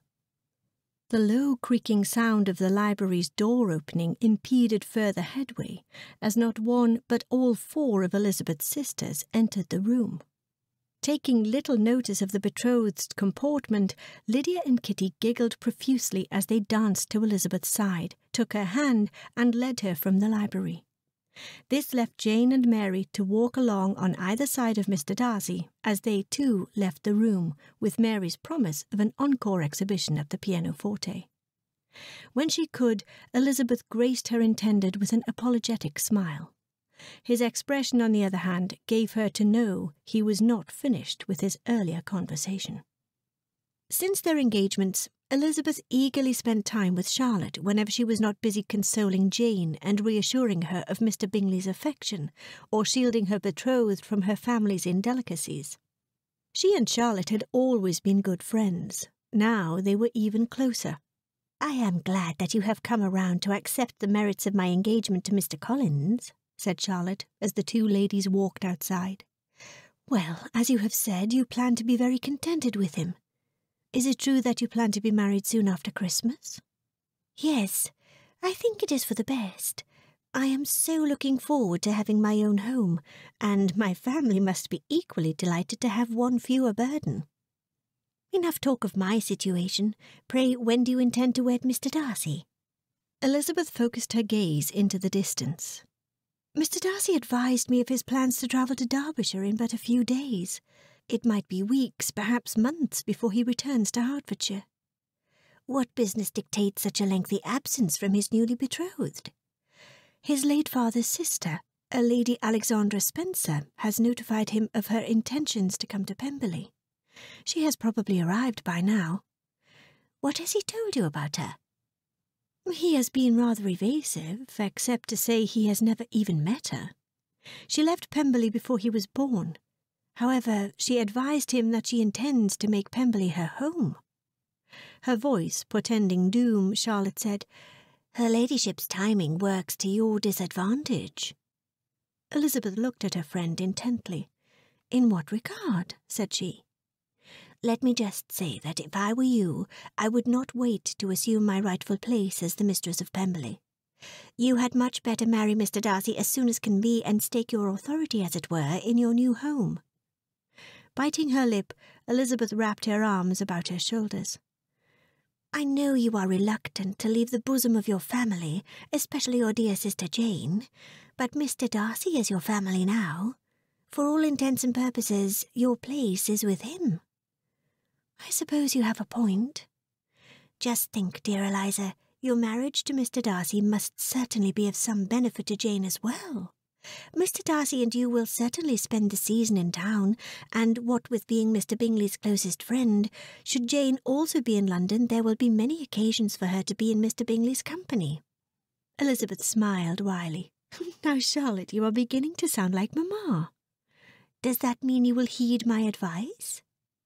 Your advice certainly warrants consideration. Ample reason existed in support of Charlotte's assertion.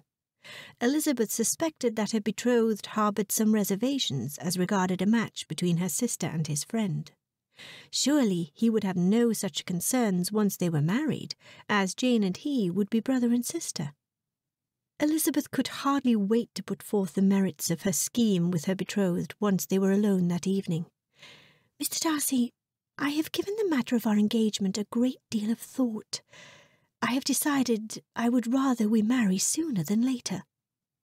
Her sentiments seemed to have caught him by surprise, judging by the rapid turn of his head. He looked at her curiously. Yes? I see no point in a lengthy engagement, especially if you plan to spend the bulk of your time in Derbyshire. Shall I presume to sketch your character by the frequent exchange of extensive letters? A measure of scepticism peppered with concern crept into his voice. I was under the impression you desired a long engagement. What of your mother's plans for a proper wedding, the wedding clothes, a lavish wedding breakfast? She even mentioned a new carriage. Then there is the weightier factor in our decision for a long engagement period, so we might get to know each other. I have since given it some thought. I find I am much inclined to agree with my friend Charlotte as regards the advantages of getting to know one's spouse after the marriage. Ah, yes, that would be your friend Miss Lucas, soon to be Mrs. Collins. The one and the same. She and Mr. Collins are to be married within the next few weeks. At least she practices what she preaches. Exactly, and since we are bound to learn the defects of the other eventually, we may as well begin as soon as possible, and at Pemberley. Miss Elizabeth, Elizabeth, are you quite certain you are ready to be my wife? In the truest sense of the word? Because if you are not, I am willing, nay, I insist, we wait. You sound like a man who is having second thoughts. Shaking his head, he said, On the contrary. In fact, one of the purposes of my going to town was to finalize your marriage settlement. That, and to obtain a special license. So you see, we can be married at any time as soon as tomorrow. Darcy reached into his pocket and retrieved a small velvet covered box.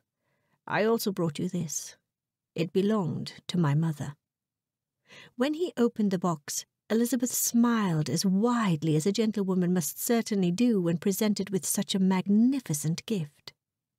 He removed the glove from her hand and slipped the ring on her finger. A perfect fit. I offer you this ring as a symbol of my ardent devotion. Elizabeth might have spoken had she not been so astounded by his declaration. He kissed her hand. I can hardly wait until the day when we begin our life together as man and wife. Man and wife? Sooner rather than later. Elizabeth's heartbeat intensified. Her chest constricted. As innocent as she was in such matters, the look in his eyes and the touch of his hand on her cheek told her that he meant to make her his wife in every way. Her mind raced through the gamut of depictions she had seen in London museums and in the books she had read, even in her father's library, the ones she suspected she should not have been perusing. Did she know what she was about? Was she ready to take that ever important step? She exhaled, and all that such a life entails. Chapter 6 Elizabeth braced herself. Teetering on the edge of their seats was the order of the day, at least for the past hour. Surely no one had that particular route in mind when speaking of good roads. Darcy had delayed his trip to Derbyshire to allow Mrs. Bennet those extra days she deemed essential if her daughter were to have a semblance of the wedding the next mistress of Pemberley ought to enjoy. Consequently, the weather had turned, rendering the roads less fit for travel than he would have wished. You must allow me to apologize for the uncomfortable ride, Mrs. Darcy. Surely you do not believe I fault you, Mr. Darcy? Elizabeth smiled and resumed her vigil of the passing countryside outside her window. Even a carriage as impressive as the large barouche provided little comfort for her that late afternoon, and her discomfort had nothing to do with the condition of the road.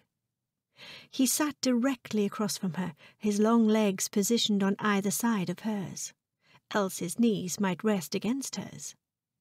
Elizabeth had much rather he sat beside her.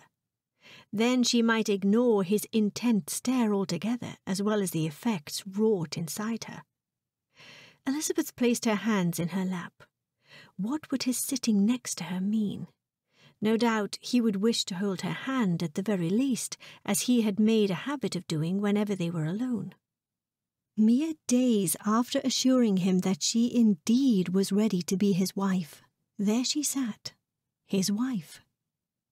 Her mother had thoroughly impressed the neighbours with the finest wedding breakfast one could imagine, what with such short notice. Netherfield Park's recently idled staff had been engaged to assist in the hastened preparations. Unfortunately, the suddenness of her plans had prevented her aunt and Uncle Gardiner from being there, but Mr. Darcy's cousin, Colonel Fitzwilliam, had arrived in time to take part in the festivities. He was older than Darcy and not nearly as handsome, but in person and address he was truly the gentleman. Amiable and considerate, he entered into conversation directly with everyone he met with the readiness and ease of a well bred man. Elizabeth liked him very much. She wished all her new Fitzwilliam relatives would be just as agreeable. Of course, her new Darcy relatives were the ones whom she worried most about his young sister Georgiana and his aunt Lady Alexandra Spencer. Even if they were twice as kind as the Colonel was, the possibility that they might be half as haughty as her husband gave her pause. How she would miss her family! Saying goodbye was more difficult than she had imagined. At least she would see Jane soon. Her most beloved sister was all packed, and she fully anticipated returning to town with the Gardiners after Christmas. Hours earlier, the two sisters had broken their clinging embrace with tear filled eyes and promised to see each other as often as possible once the Darcys ventured to town for the season. After a loud crackling noise and a violent jolt, the carriage came to a jarring halt. Darcy reached out to brace Elizabeth when she tumbled forth. Are you all right? The last time she had heard such a startling commotion, she and her sister Jane, along with their father's manservant, found themselves on a lonely country roadside, stranded for hours whilst awaiting a fresh carriage to transport them to the nearest posting station. They had been on their way to town to visit their uncle and aunt Gardiner. Elizabeth straightened her dishevelled attire and assured her husband that she suffered no harm. The driver stood outside the carriage and beckoned Darcy's attention. He whispered apologies to his wife, opened the door, and descended from the carriage. Elizabeth watched as the men walked around the vehicle studying the damage. Darcy returned. Without entering, he poked his head inside the vehicle and said, I apologize once again, Mrs. Darcy. We are unable to continue on in our carriage. We must journey on by horseback. Elizabeth tried and failed to hide her disappointment.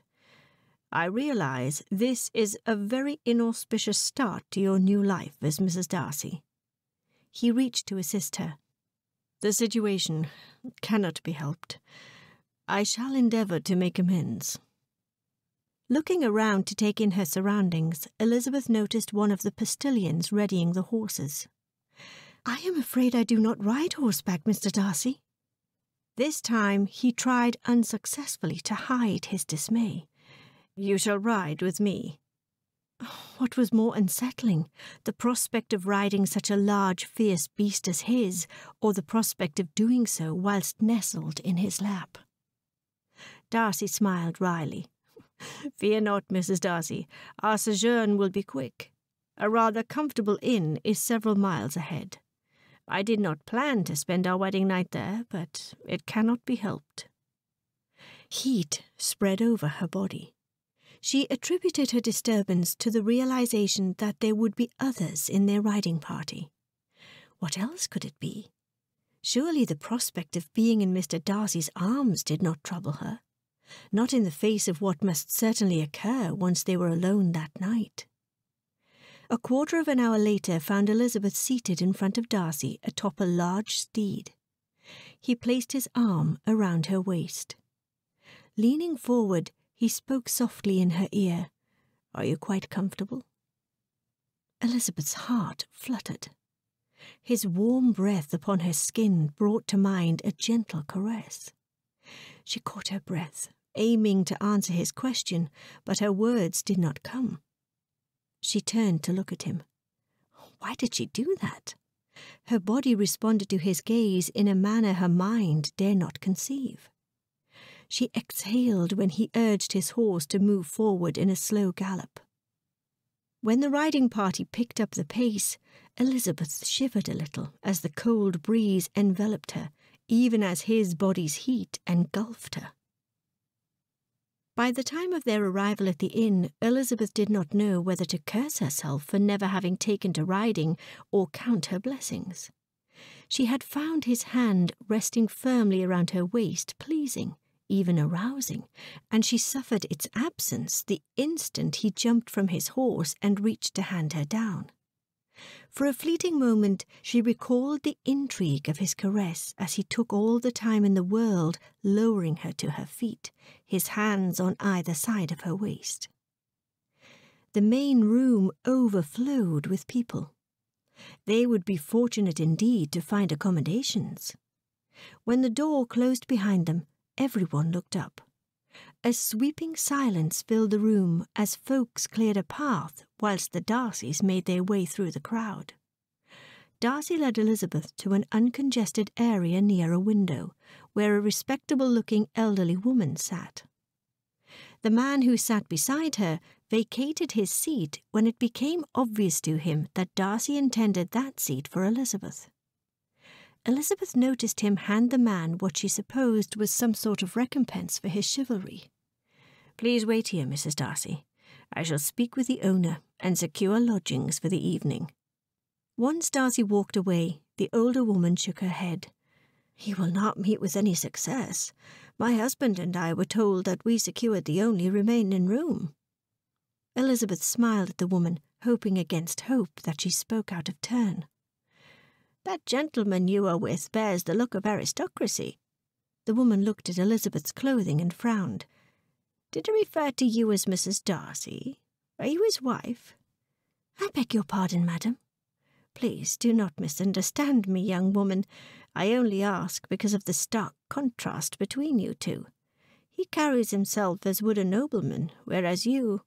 The pitch in Elizabeth's voice rose. Do you mean to give offence? Indeed, I do not. I mean only to help. If you must know, madam, the gentleman and I have been recently married. So you are newlyweds. When did the happy event occur? We married this morning. Ah, that explains it then. That explains what, madam? Well, your attire, of course. Mind you, young woman, Mrs. Darcy, I hardly find fault with you. You are a new bride who has married beyond your sphere. You want for nothing that your husband's obvious wealth will not provide. Elizabeth's pulse quickened. What she did not wish to say to her nosy seating companion. She bolted from her chair when she saw Darcy headed her way. Thank you for your unsolicited advice, she said before taking her leave. You need not thank me, my dear. I live to help others. Perhaps my husband and I shall have the opportunity to dine with you and your husband, said the woman. I am sorry. You and I have yet to make each other's acquaintance, and I am certain my noble husband does not dine with strangers. Good evening, madam. Elizabeth approached Darcy and laced her arm through his. She ignored the questioning look her actions evoked. Have you any success to convey, or are we to spend our first night as man and wife under the stars? Darcy placed his hand on hers. Our plight is not as bad as that. I persuaded the innkeeper to make at least one room available. Elizabeth showed greater enthusiasm than his news warranted, owing to the fact that her nosy companion had her eyes and ears trained firmly upon them. What do you wish to do whilst the room is being prepared for our stay, Mrs. Darcy? I find it much too crowded. Do you mind if we have a walk outside? I know I will enjoy the fresh air. Eh, we will have a short walk, and then I will accompany you to the room. My men and I have business to attend to make certain we are on our way as soon as possible. Hours later, Elizabeth sat on the sofa and stared into the fire. The evening had not turned out as she had expected. Their first night was meant to be perfect. So far, it had been anything but. Her frustration was not assignable to the state or even the size of the room. The small accommodations were clean and comfortable enough, quite cosy, in fact. She missed him. Without knocking, he entered the room and walked towards her. He sat beside her.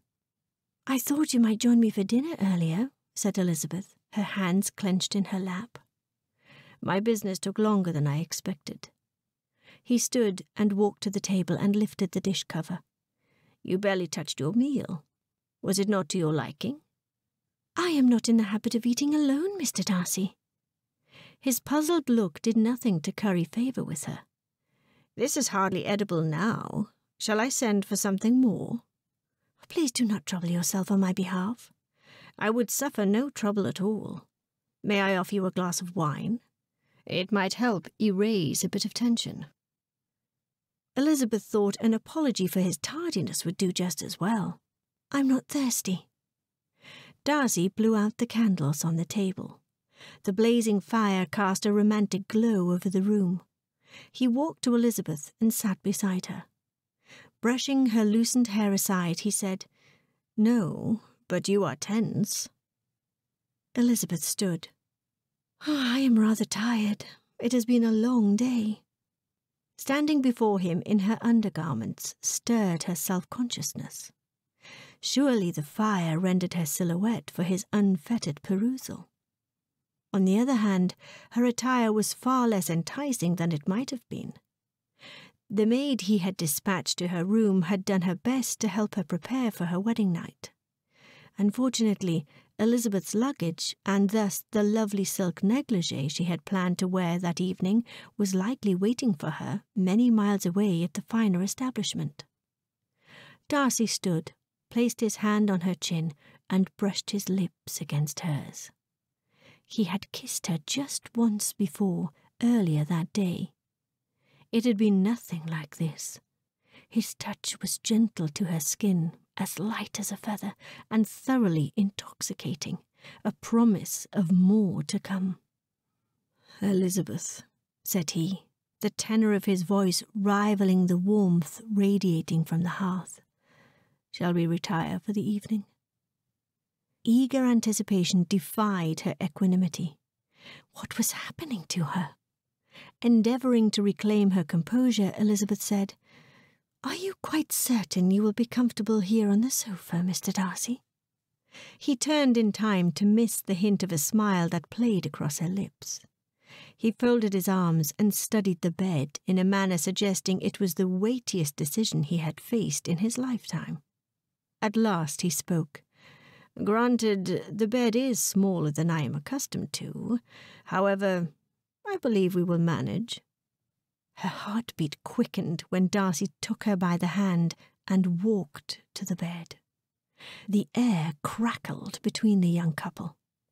My lady, he said as he pulled the covers back. He waited until she climbed in and then tucked the covers about her. He walked to the other side of the bed and began disrobing. Try as she might, Elizabeth did not look away. The entire night stretched before them, and Elizabeth's courage was slowly rising. If he meant to challenge her, she fully intended to meet him head to head. Stopping just before removing his trousers, he climbed into bed. He looked at her for an endless moment before turning to snuff the candles on the bedside table. Good night, Mrs. Darcy. Good night? He placed his hand on her face and brushed his thumb under her chin. As you said, it has been a long day. Let us rest. Tomorrow will be even longer. What seemed hours ticked by before Elizabeth closed her eyes that night. So much for feigning tiredness. Two bodies melded into one. Elizabeth was awakened by the sensation of his firm hardness pressed against the protection of her muslin petticoat and his trousers. Ensconced in his arms, with her small hand resting atop his in an innocent caress of her bosom, she smiled. The softness of his breath against her neck tickled. She turned to face him. Why not? He was her husband the man with whom she would spend the rest of her life. His long eyelashes rested against his face. His countenance bore the innocence of a child. Enough staring and wondering. She reached out to touch his face and traced her fingers under his cleft chin, just as she imagined doing so many times before. He opened his eyes. Her heart fluttered Oh, he was beautiful. Darcy raised himself in bed. Good morning, Mrs. Darcy. Did you sleep well? Elizabeth, suddenly shy, smiled. Yes. Darcy took that as an encouraging sign. He reached out and brushed her bangs aside. He simply stared longingly. What time is it? Combing his fingers through his hair, Darcy checked. The hour is early still. Why do you ask? What time shall we depart? Not for a while. We have plenty of time to. She wetted her lower lip. To. I realize we hardly know each other. However, we are man and wife. I want to know you as a man should know his wife. But last night. Last night we arrived late. We were both tired from our journey. Darcy gently massaged her back. The fact is that uh, I am in a terrible state, and I dare not leave this room as such, else it will be a most uncomfortable journey. I fail to understand, sir. Darcy said, I dreamed of you this morning, long before dawn. I dreamed you were here with me. You and I were lovers, in love exploring and cherishing each other's bodies. I dreamed I was making love with you, every part of you, everywhere, inside you and out. As much as I longed for you, you encouraged my ardent desire to make you my wife. He skimmed his fingers along her jawline. We can have that, you know. He bestowed a lingering kiss upon her cheek. We need not wait until we know everything there is to know about each other. We need not wait another minute for such pleasures afforded to married couples and ardent young lovers. We can have that now. Her heartbeat quickened. His soft voice was mesmerizing. Stirring her emotions into an intoxicating frenzy, his eyes never veered from hers. Her voice cracked. We can. He traced undemanding, tiny circles on the back of her hand with his thumb, in that same manner as he had done since their engagement began. Familiar, comforting, reassuring. Indeed. May I show you? He smiled at the soft intake of her breath. Any reservations she might have held wavered in the wake of his passionate assault on her senses. Her silence, her soft expression, her parted lips, all whispered acquiescence. What started as curiosity about his touches soon went from wanting his touch to needing his touch. Pausing, he asked if she wished to stop. She could not have stopped if she wanted to. Stopping was the last thing on her mind. Light knocks intruded upon Darcy's bliss-filled dream. He awakened to find his wife in his arms. Soft flesh spooned next to hard flesh. His impetuous declaration of their engagement had not been a mistake. Hers was the sweetest wine he had ever tasted. There would never be another woman for him. The healthy young man he was, he wanted her, needed her. He wished he could spend all day this way. All he wanted was to ignore the knocking and arouse his wife from her slumber with promising caresses and teasing kisses. Another knock insisted otherwise. Darcy reluctantly seated his warm spot in bed with his wife, located his discarded breeches, and pulled them on. Having ignored the call of the house servants to enter the room earlier, Darcy danced across the cold floor whilst pulling his shirt over his head. He opened the door and saw his valet standing there. Waters, this had better be good. The short, meticulously attired man who had served him faithfully for the past seven years bowed. Indeed, sir. I beg you to pardon my intrusion. I would not have interrupted you otherwise. However, I wish to inform you that the carriage is repaired and is ready for departure. In addition, another room is now available. I have overseen preparations for your bath. Your room is just across the hall, sir. Good man, Darcy said before closing the door. He returned to the bedside to awaken Elizabeth. Her lush eyelashes, her slightly swollen lips, her contented smile were more than enough to tempt him to climb back in beside her. He leaned over and kissed her forehead. Better she should rest a bit longer until a maid arrived to attend her. Elizabeth stretched her arms above her head. The room was bright with the morning sun and warmed by the fire. She likened her euphoria to that of one who possessed not a single care. The contented smile on her face disappeared upon her discovery of being alone in bed the intoxicating fragrance of the consummation of her marriage, the commencement of her new life, lingered, giving an explanation to her bliss. The familiar sound of morning chores gave her to know she was not alone. Elizabeth sat up in bed and watched as the kind young woman who had assisted her the evening before tended the fire. Good morning, Mom, said she. Good morning, Betsy, Elizabeth said. Would you like anything before I help you prepare for the day? No, I do not want to trouble you. No trouble, Mom. It is my job. She brushed her hands on her apron. I'm on my way to the kitchen. Will you be having breakfast in your room? I cannot help noticing you barely touched your meal last evening. Not knowing where her husband went or when he might return, Elizabeth was a bit disconcerted. Did he mean for her to take this meal alone as well? I suppose I might have a light fare. Very well. I shall return shortly, and then I will prepare your bath.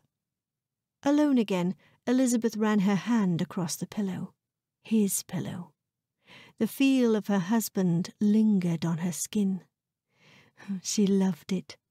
The theretofore unexplained aching she had suffered in the days leading up to her wedding, she now understood. The trace of disappointment she suffered in having awakened to find him gone gave way to wonderment. Already she looked forward to her second night as Mrs. Darcy, and her day had not fully begun. Chapter 7 The tall beauty with eyes as radiant as his sister's, and whose countenance reflected the fine lines of his proud lineage, reached out her hand to him. Fitzwilliam, allow me to have a good look at you. Moments later she said, My, you are every bit as handsome as my brother once was. She looked at Elizabeth. This must be your lovely bride. Welcome to Pemberley, my dear. Darcy bowed. Lady Alexandra, it is indeed a great honour to meet you. He placed his hand upon his wife's back. You have surmised correctly. Allow me to introduce you to Mrs. Elizabeth Darcy. Please accept our apologies for not having been here to welcome you to our home upon your arrival. Nephew, do not be absurd. Pemberley is my home too. I do not require a formal welcome. Please join me in the drawing room. We have guests who look forward to making your acquaintance. His eyebrow raised. Darcy silently questioned Mr. Carter and Mrs. Reynolds, the butler and the housekeeper. Both had served in their respective positions at Pemberley for as long as he could recall. The two cast their eyes down. He hardly faulted them for the awkwardness. His aunt did not strike him as one who took no for an answer. A gentleman and an elderly woman arose from their seats when Lady Alexandra entered the room, followed by Darcy and Elizabeth. The two seemed far too comfortable for guests awaiting the introduction to the master of Pemberley. Sir John Thorpe, I introduce you to my nephew, Mr. Fitzwilliam Darcy. Indeed, it is a pleasure to meet you, sir. Allow me to introduce you to my mother, Mrs. Thorpe. Uh, we were both ever so fortunate to make your aunt's acquaintance during our journey. Darcy bowed and introduced them to Elizabeth. After they greeted each other in the usual way, Lady Alexandra seized control of the conversation. Mrs. Thorpe, my nephew is a very handsome man, do you not agree? Yes, he is indeed. He is every bit as handsome as his likeness in the gallery. She peered over the rim of her spectacles. Mrs. Darcy, I do not need to tell you how fortunate you are to have landed such a fine husband. A hint of amusement now replaced the hint of annoyance he had detected in his wife's eyes earlier in the grand foyer. Darcy cleared his throat. it has been some time since you accompanied my aunt to Pemberley. Are you planning to visit family in the area? Oh, yes. Our family lives in the north. Seeing your aunt to Pemberley has brooked no hardship on us whatsoever. In fact, we have enjoyed this time with her. Your home is magnificent. Indeed. Without uh, knowing anything of the particulars of your situation, I venture to say your family in the north must long to see you. We have uh, written letters explaining our delay. We were not at all anxious to take our leave of Lady Alexandra whilst she awaited your arrival, even though this is her childhood home. Heaven forbid, he said, in a manner suggesting his reservations. And what a lovely home it is, sir, said Sir Thorpe, echoing his mother's earlier sentiments with a bit more pretence. Surely you will understand and will not be offended as Mrs. Darcy and I take our leave of you. It has been a tiring journey, and we had no expectation of receiving guests on the day of our arrival. Lady Alexandra said, Of course you did not, nephew. Besides, Sir Thorpe and his mother are my guests. You and your lovely bride are free to run along and rest, or whatever it is that young lovers do at such an hour as this. She looked at her guests unabashedly. Shall we see you at dinner? Darcy turned and faced his aunt. Your ladyship, you should expect to see me long before dinner. I shall see you in my study in two hours. The dark panelled walls, the large mahogany desk, even the rich burgundy leather armchairs were the same as she remembered them. Her father's study. Lost in thought, her nephew's entrance startled her. He had everything that was pleasing in his favour strong, chiselled face, dark hair, piercing blue eyes, definitely his father's son. I'm sorry to have kept you waiting. Oh, never mind the delay, nephew.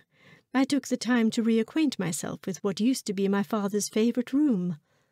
I spent many hours here, some of them not always pleasant. This room is very much as I remember it but for a few changes. She beckoned Darcy to her side as she paused at the mantel to study the miniatures. Who are these handsome young men? I surmise this one is you, though this one also bears a strong family resemblance. Darcy rolled his eyes. That is George Wickham. George Wickham? Hmm. He must be important to have earned such a prominent placement right beside your own likeness. There is no significance to that placement, other than he is, he was, my father's godson. I take no credit for its being here. It is exactly as my father left it. That is interesting indeed. Your father's godson, you say? Did your father have any other godchildren? Not that I am aware of. Just that one. I would love to know more about this young man. I am afraid I'm not the one to enlighten you. I do not care for the gentleman, and I prefer to speak of him as little as possible. Her ladyship spread her fingers over her bosom. My, my, said she, before looking away. However, Lady Alexandra, I am open to knowing more about you. Why did you leave Pemberley so many years ago? Why did you stay away as long as you did? And why have you chosen this time to return? She glared at her nephew. You speak as though I am not welcome. Pemberley is my home. Actually, Lady Alexandra, Pemberley is my home, and you are my guest. Oh, is that how it is? I do not mean to say you are unwelcome. Mrs. Darcy and I welcome you here at Pemberley as our guest for as long as you wish. what a relief to be welcomed wholeheartedly as a guest in my family's ancestral home. With a hand on her hip, she said, I will have you know I was effectively mistress of Pemberley in my beloved mother's stead long before you were a glint in your father's eye, and for far more years than you have served as its current master. His voice raised, Darcy said, I do not need to tell you that Pemberley now has a new mistress. Of course you need not tell me that. Then you will understand that it is not for you to invite guests to Pemberley. Is that what this little lecture is about? Has your little wife complained about my position in this household already? He ignored the question. He encouraged her to take a seat at his desk while he did likewise. Those people are nothing more than upstarts. What do you know about them? Oh, what a judgmental young man you are. Sir Thorpe and his mother are decent people. No, they are not very rich, However, Sir John Thorpe and his mother arranged for my transportation to Pemberley, going out of their way, in fact, to assure my safe arrival. In turn, I invited them to stay at Pemberley and rest for a while before resuming their travels to the north. In other words, you accepted the generosity of complete strangers, even invited them into my home. When we met, they claimed an acquaintance by way of the elder Mr. Bingley, whose son, they said, is a great friend of the heir of Pemberley. What proof do you have of their claims? Oh, for heaven's sake, nephew, do not be such a prude. Surely Pemberley's household staff is up to the task of making certain that the Thorpes do not escape in the middle of the night with the silver? He held up his hand. Oh, enough, Lady Alexandra. They are welcome to stay a while longer. She pursed her lips. I now have no doubt why Mrs. Reynolds spoke so highly of you. Like your father and his father, you are a most generous master. I know nothing of the reason you left Pemberley, but by the derisive tone in your speech, you harbour resentment against my father and my grandfather as well. Is that why I was told very little about you as I was growing up, and why you managed but a few lines of condolences upon my father's death? Your own brother's death? I do not intend to dredge up old family history. Needless to say, I have my reasons for leaving Pemberley and staying away as long as I did. do I ever? I am happy to be here now. Yes, you have returned. I, for one, could not be more delighted to have you here at Pemberley. Georgiana will be pleased as well. Yes, I am anxious to meet my niece. Nevertheless, I have to wonder how you suppose your bride will feel. Mrs. Darcy will surely miss the large family she has left behind. I think she will embrace your presence in our home as well. She stood to take her leave. Darcy stood as well, his towering posture beckoning her to return to her seat. I have a few more unanswered questions. What have you been doing all this time? More important, why did you stay away? I cannot help feeling ill at ease over this situation. That you would rely upon strangers and now feel beholden to them when you might have reached out to me to arrange your safe travel is unconscionable. Ignoring his bullying tactic, she maintained her stance. Perhaps I might shed more light on my plight over the past several decades with you, but not now. Pardon me, nephew, I must speak with Mrs. Reynolds about this evening's meal. Perhaps you might defer that task to Mrs. Darcy. I will do no such thing, nephew. Mrs. Darcy arrived mere hours ago. Surely you will allow her time to settle into her role as Pemberley's mistress. Are you two not recently married? Trust me, your wife will appreciate my sacrifice. Lady Alexandra walked away from the study with as much grace as she could muster. Upon arriving at her apartment and closing the door, she threw herself down on her bed.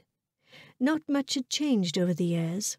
Not her apartment, not the elegance and stateliness of her childhood home, and not the haughty attitude exhibited by its master. My nephew had the audacity to speak to me as he did, as though I am a child, when I am nearly two decades his senior. Rebellious at heart, she had never kowtowed to anyone. She had stood her ground against fiercer Darcy men than the young buck who now called himself master, even to her own detriment. How ironic that I should require a complete stranger's blessing as a welcoming in my own childhood home. Moreover, what shall I make of that bride of his? She is attractive enough, I suppose. However, she is hardly a great beauty. Furthermore, there is the puzzle of her manner of dress. Her gown was a modest brown, her chestnut hair was completely unadorned, not even a feather or two. Her bright eyes are far too large, her face far too thin, to say nothing of her figure, which is rather too slender. a country mouse if ever I have seen one. My nephew dared to accuse the Thorpes of being mere upstarts. Lady Alexandra had spent the past decades living abroad with her late husband, Lord Charles Spencer, the Earl of Ravendale, the scoundrel. He had managed to squander his own inheritance years before meeting her, a circumstance that made him more than willing to marry a fallen woman, especially one of great wealth. Her father had given him a small fortune in addition to her dowry of forty thousand pounds. Thanks to Lord Spencer, she had wound up nearly destitute with no other recourse than living in his family's villa on the continent for more than two years after his passing, until its rightful heir came around and staked his claim. She thanked goodness she had had the foresight to hide her jewels from the clutches of her late husband's creditors. She managed to pawn some of them to get enough funds to pay for her passage to England. Not that he was wholly to blame for her dire straits. In the two years since Lord Spencer passed away, she had managed to accumulate her own share of debts, what with her lavish lifestyle. Indeed, I mean to have such a lifestyle again, and by all that is sacred, I shall. Chapter 8 An actual slap in the face might have had less of a sting than her ladyship's latest slight, in front of Lord and Lady Matlock no less. A week after the Darcys' return to Pemberley, the Matlocks brought Georgiana home. More than anything, Elizabeth desired to make a favourable impression on her new sister all of Miss Caroline Bingley's acclaim and even her husband's description of the young lady hardly did her credit. As pretty as could be, the young woman bore all the elegance of an angel with her long golden ringlets and large blue eyes. Elizabeth greeted her with a smile when Darcy introduced the two to each other. She had barely acknowledged her introduction to Elizabeth with a meek smile and slight curtsy before Lady Alexandra took her by both hands. Oh, so you are Georgiana. Oh, I have waited so long for this moment. Lady Alexandra, Georgiana said, what an honour it is to meet you. You are every bit as beautiful as I always imagined by your portrait. Oh, I have been studying your portrait as well, young lady, but it hardly does you justice. My, how much you have grown since that sitting. Yes, it has been years since I sat for that rendering. We shall see that a master is commissioned to take your likeness when we are in town. Darcy cleared his throat. I applaud your generosity, my lady. However, I have decided otherwise as regards the timing of my sister's next sitting. Georgiana's eager enthusiasm faded. Darcy acted as if he did not notice, directing his attention instead to the other guests, Lord and Lady Matlock. He led Elizabeth to them and made the introductions. Mrs. Darcy, we have long anticipated meeting you. Our nephew wrote only to tell us that you were to be married, and very little else. Come, my dear, sit by me. There is much that needs discussing if you are to be truly welcomed into our family, said Lady Matlock. Elizabeth hid her dismay. Did Pemberley now have three mistresses? I will gladly answer any questions you might have, your ladyship. Lady Alexandra seized the moment to escape the Matlocks, who had all but slighted her. Come, Georgiana, let us leave Elizabeth to get acquainted with your Fitzwilliam relatives, whilst you and I have a tour of the grounds. After a rather lacklustre dinner party, owing to its being Mrs. Darcy's first occasion to flaunt her skills as mistress of such an esteemed estate, everyone gathered in the drawing room. Lady Alexandra sat beside her niece on an elegant sofa, contented to be a silent observer. Lord Matlock had been staring at her all evening. She had never liked him. She disdained his evident regard for himself. The years had done nothing to encourage her good opinion of the aristocrat. His menacing stare was just as disquieting now as it had been several decades past. Having garnered everyone's attention, he spoke to her ladyship, I must say what a delight it is for us all, Lady Alexandra, now that you have returned to our society after so many years. You are very kind, my lord. You cannot imagine how disappointed our family was when you left Pemberley, especially my sister, Lady Anne, may she rest in peace. She often expressed her regret in not having the opportunity to know her new sister. With such a sister as Lady Catherine, is it any wonder? Lady Alexandra smiled. The Earl prattled on. Of course, sir. You left Pemberley months before the announcement of my late sister's betrothal to your late brother. Perhaps had you known what an auspicious occasion was afoot, you might have been persuaded to stay. One never knows, my lord. I see no point in dwelling on what might have been, especially since the principal parties of whom you fondly speak are no longer with us. Indeed. However, you have returned. This must mean a great deal to my niece to have you here at Pemberley, especially during such a trying time in her life. Lady Alexandra did not miss the glances exchanged between Georgiana and her brother, a sort of unspoken communication between siblings. She once had shared a similar bond with her own brother, at least during their earliest years. Indeed, it is a joy to be home, Lady Alexandra said with a smile directed towards the Earl. I have missed Pemberley. I recall my role as mistress in my beloved mother's stead. May she rest in peace. It has been such a pleasure to resume that position since my return. Standing before the fireplace with his arms behind his back, Darcy shifted his weight and placed one arm on his hip. I remind you, Lady Alexandra, your role was rather short-lived. Mrs. Darcy owns that privilege. Lady Alexandra placed her hand on her chest. Oh, I beg your forgiveness, nephew, if I appear to overstep. It is a sign of old age, nothing more. Lady Matlock, too, had eyed Lady Alexandra throughout the evening. She said, Surely you are not more than forty-five, why, fifty at the most, as you are the late Mr. Darcy's younger sister. Forty-five, fifty? I would never own either, and neither would you, I am sure. Both of you are the epitome of perfection, Sir Thorpe said. Hear, hear, said Lord Matlock. The following evening, the Darcys and their guests assembled in the drawing room. Darcy turned to his sister and said, Georgiana, perhaps you would play something for us this evening. Georgiana eagerly took her place at the instrument and exhibited, earning applause from everyone, especially Lady Alexandra, whose praise was effusive. When Georgiana returned to her place on the sofa, Lady Alexandra said, Oh, Georgiana, you cannot imagine what a delight you are. Thank you, Lady Alexandra. I confess I practice hours each day. Lady Alexandra looked at Elizabeth and said, Every family should have at least one great proficient. The Darcys are very fortunate indeed to be able to boast of Georgiana in that regard. Though you will never play as well as my niece, you would do well to follow your sister's example and practice. Clasping her hands, she peered at Darcy. My dear nephew might argue otherwise. However, I say it is good that I returned when I did.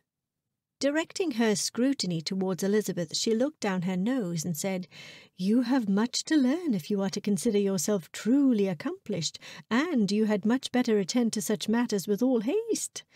I shall begin to ease your transition as mistress of Pemberley by explaining the organisation of the household accounts. Elizabeth's back stiffened a bit. Uh, you need not bother, Lady Alexandra. I'm already learning such things from Mrs. Reynolds. Pooh poohing the very notion, Lady Alexandra said, Why on earth should you be under the housekeeper's tutelage when I fulfilled the role of mistress admirably? Better Mrs. Reynolds tends to running the house and supervising the cooking and cleaning. I shall teach you all you need to know. Might I remind you, Lady Alexandra, you have been abroad. Much has changed in the thirty years since your absence, said Elizabeth. Judging by the look of things, any changes that occurred have not been for the good. In time, I will have Pemberley restored to the splendour of my youth. Of course, by your own account, you were very young when you left. Surely the eyes of one's youth would recall magical charm that is nearly impossible to recapture. Better you leave the undertaking of refurbishing Pemberley to its current mistress. By now, all else faded into the background during their verbal volley. All heads turned in unison to see who would say what next. All heads except Darcy's. Elizabeth kept her husband's face in view. He kept his well practised mask of indifference intact. If he dared to contradict her, there would be hell to pay. He said nothing. You need not twist your emotions in a knot, Mrs. Darcy. I offered to help. You may or may not choose to avail yourself of my years of experience and my selfless generosity. But I do ask that you accept my words in the benevolent spirit in which they are intended. Yes, your ladyship is both selfless and generous to a fault. I simply cannot imagine how my first weeks as mistress of Pemberley might have been had I not enjoyed the convenience of your curiosity. Later that night, after everyone had parted and the household was settling, Lord Matlock cornered Lady Alexandra in the hallway on her way to her apartment. My lady, I was hoping for such an opportunity to speak with you alone. I would invite you into my suite, just to talk, mind you, but I am rather certain you would object. Then why on earth even waste your energy with such foolish musings? Lord Matlock twisted his long moustache and said, On the off chance that I am mistaken. You are entirely mistaken, my lord, if you presume I shall accompany you to your apartment. Hmm. Pity. I was so looking forward to a few moments in your private company. Lady Alexandra walked past him a few steps. By the way, he said, whatever happened to that young man whom you were so fond of just prior to your moving to Scotland to live with relatives? The wily old fool had another thought coming if he supposed he could catch her off guard. She turned to look back at him. I am sure I do not know of whom you speak. Oh, I am sure you do. However, fear not. Your secrets are safe with me. Your family is ridiculous. Stretched out on his wife's bed, Darcy raised a quizzical brow, yet remained silent. Do you have nothing to say in their defence? What would you like most for me to say? I shall do my best to oblige. Elizabeth silently counted her brushstrokes as she regarded his nonchalant demeanour. He barely tolerates my family, yet he is perfectly contented with these insufferable sanctimonious lunatics. Of course, I must exclude your sister and your cousin the Colonel. She is young and impressionable, and he is quite amiable. I am sorry that he is not a guest. He did send his apologies, and we shall see him soon enough in town. He and his father are as different as night and day. Indeed. I detected a bit of tension between your uncle and Lady Alexandra. Did you? No. I observed her going out of her way to avoid him on several occasions. What do you suppose that was about? If not for the fact that she was studying him for signs that he paid attention, she would have missed his slight shrug. Elizabeth crumpled her forehead. She laid her hairbrush aside and then walked over and stood beside the bed. Of course, the tension between your uncle and Lady Alexandra was nothing in comparison to that between your aunts. I believe Lady Ellen cares very little for Lady Alexandra, which I find very strange. Elizabeth put both hands on her hips in response to his silence. Well, are you not going to ask how I reached my conclusion? Darcy reached out his hand. Pulling her to lie down beside him, he placed his finger upon her lips, followed by a sweet, tender kiss. No more talking. Lady Alexandra wiped the tears from her eyes.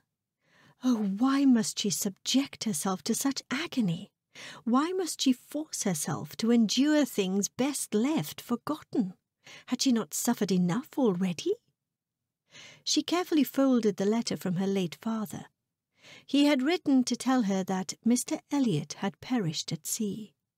One would think her father's news had been devastating, as it surely had been, but there was more. Her father had gone on to say that nothing had changed as far as her banishment from Pemberley. The course she had set was the one she must live with for the rest of her life. The last time she had ever looked into her father's eyes, she thought him to be the coldest man in the world. His last letter had sealed her sentiments. Yet she had kept it all these years. How ironic!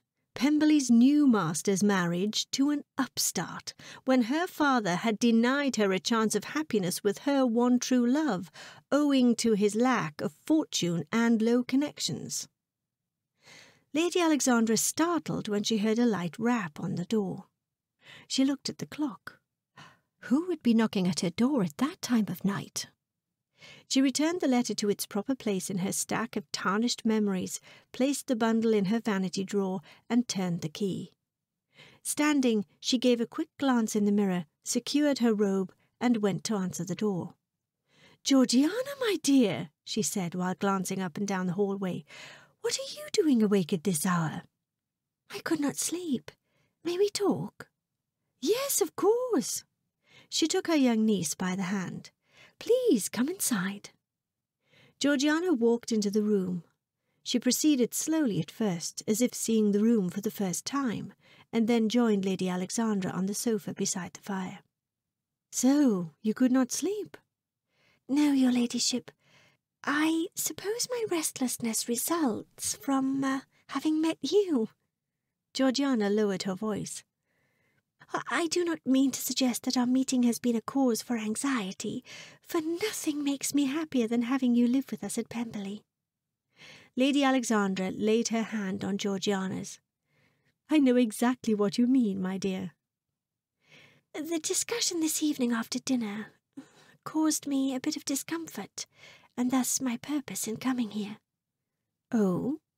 Indeed, I started thinking, rather wishing, that I had some memories of my mother. My uncle said that my mother and you never had a chance to get to know each other as sisters should. My mother and I never had a chance to know each other either.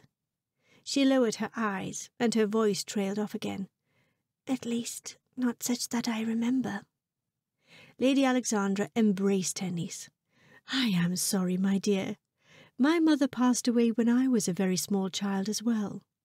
My brother, your father, did his best to keep my memories of our beloved mother alive, at least for a time. What of your own brother? Do the two of you often speak of your mother? Georgiana broke the embrace. Rarely. She sat back against the sofa. However, I often have heard stories about my mother from her sister, Lady Catherine, she is, rather, she was, especially fond of the notion that my brother and her daughter, my cousin Anne, were to marry. Oh dear, I imagine she does not take kindly to the fact that he has gone off and chosen his own bride. Oh no, the entire Fitzwilliam family is quite distressed by the affair. You mean to say they all believed he was to marry his cousin? It is not that as much as they are generally disturbed that my brother chose a wife with no connections and no wealth to speak of. This sounds like the proud aristocrats. Her association of her banishment from Pemberley and the Fitzwilliam family dynasty were inextricably linked. Your brother must love his dear wife a great deal to have gone against the wishes of the entire family. My uncle attributes my brother's motives to lust more than love. Your brother would be astounded to hear you speak that way, I am sure. Again she placed her hand on her niece's. Fear not, I shall not utter a word. I am interested in how your uncle came to such a conclusion. Is this not his first time making Mrs. Darcy's acquaintance? Indeed. However, he feels this way because of the hastiness of the nuptials. My brother has known his wife but a few months. Oh, that explains a few things, Lady Alexandra said. Whatever do you mean? Oh, never mind, dear niece. This certainly explains the awkwardness I sometimes notice when in the company of the two lovebirds. My nephew has settled himself with someone who possibly does not share his affections in equal measure. But why, when he might have had any woman whom he wished? Georgiana, am I correct in supposing there is a bit of tension between you and your brother? He treats me like a child. Georgiana stood and walked over to the mantelpiece. She picked up one of the miniatures. Her face paled. Is this not the likeness of George from my brother's study? Why do you have this in here? Lady Alexandra walked to her niece and touched her arm. My dear, whatever is wrong? It is just a picture. You look as if you have seen a ghost. It is just the shock of seeing this here, of all places. I know it sounds foolish, what with its rightful place being in my brother's study. However, I have learned to avoid that particular part of the room so as not to be reminded. Reminded of what, my dear? The younger woman diverted her eyes again, but Lady Alexandra persisted. Her niece held inside a story that needed to see the light of day. I shall not ask you to divulge that which you would rather not discuss. However, you must know that your life is different now that I am here. You need never suffer in silence. I am your aunt. You are my blood, and you need not dread telling me anything for fear I might judge you harshly. Georgiana released a heavy sigh. Seeing this reminds me of my painful past with George. You see, he professed his love for me. We were to be married, However, when my brother learned of our plans, the two of them had a terrible argument. My brother accused George of falsely declaring himself to me in an attempt to control my dowry. He banished George from Pemberley before he and I could talk. Tears welled up in her young niece's eyes. My brother says my love for George is unrequited, but he is mistaken. I just know it. My dear, I'm terribly sorry that you have suffered such heartbreak. My own father separated me from the man I loved when I was not much older than you are now. I appreciate how painful it had to have been for you. Lady Alexandra lifted Georgiana's chin and looked into her eyes. I am doubly sorry that your heartbreak involves Mr. Wickham.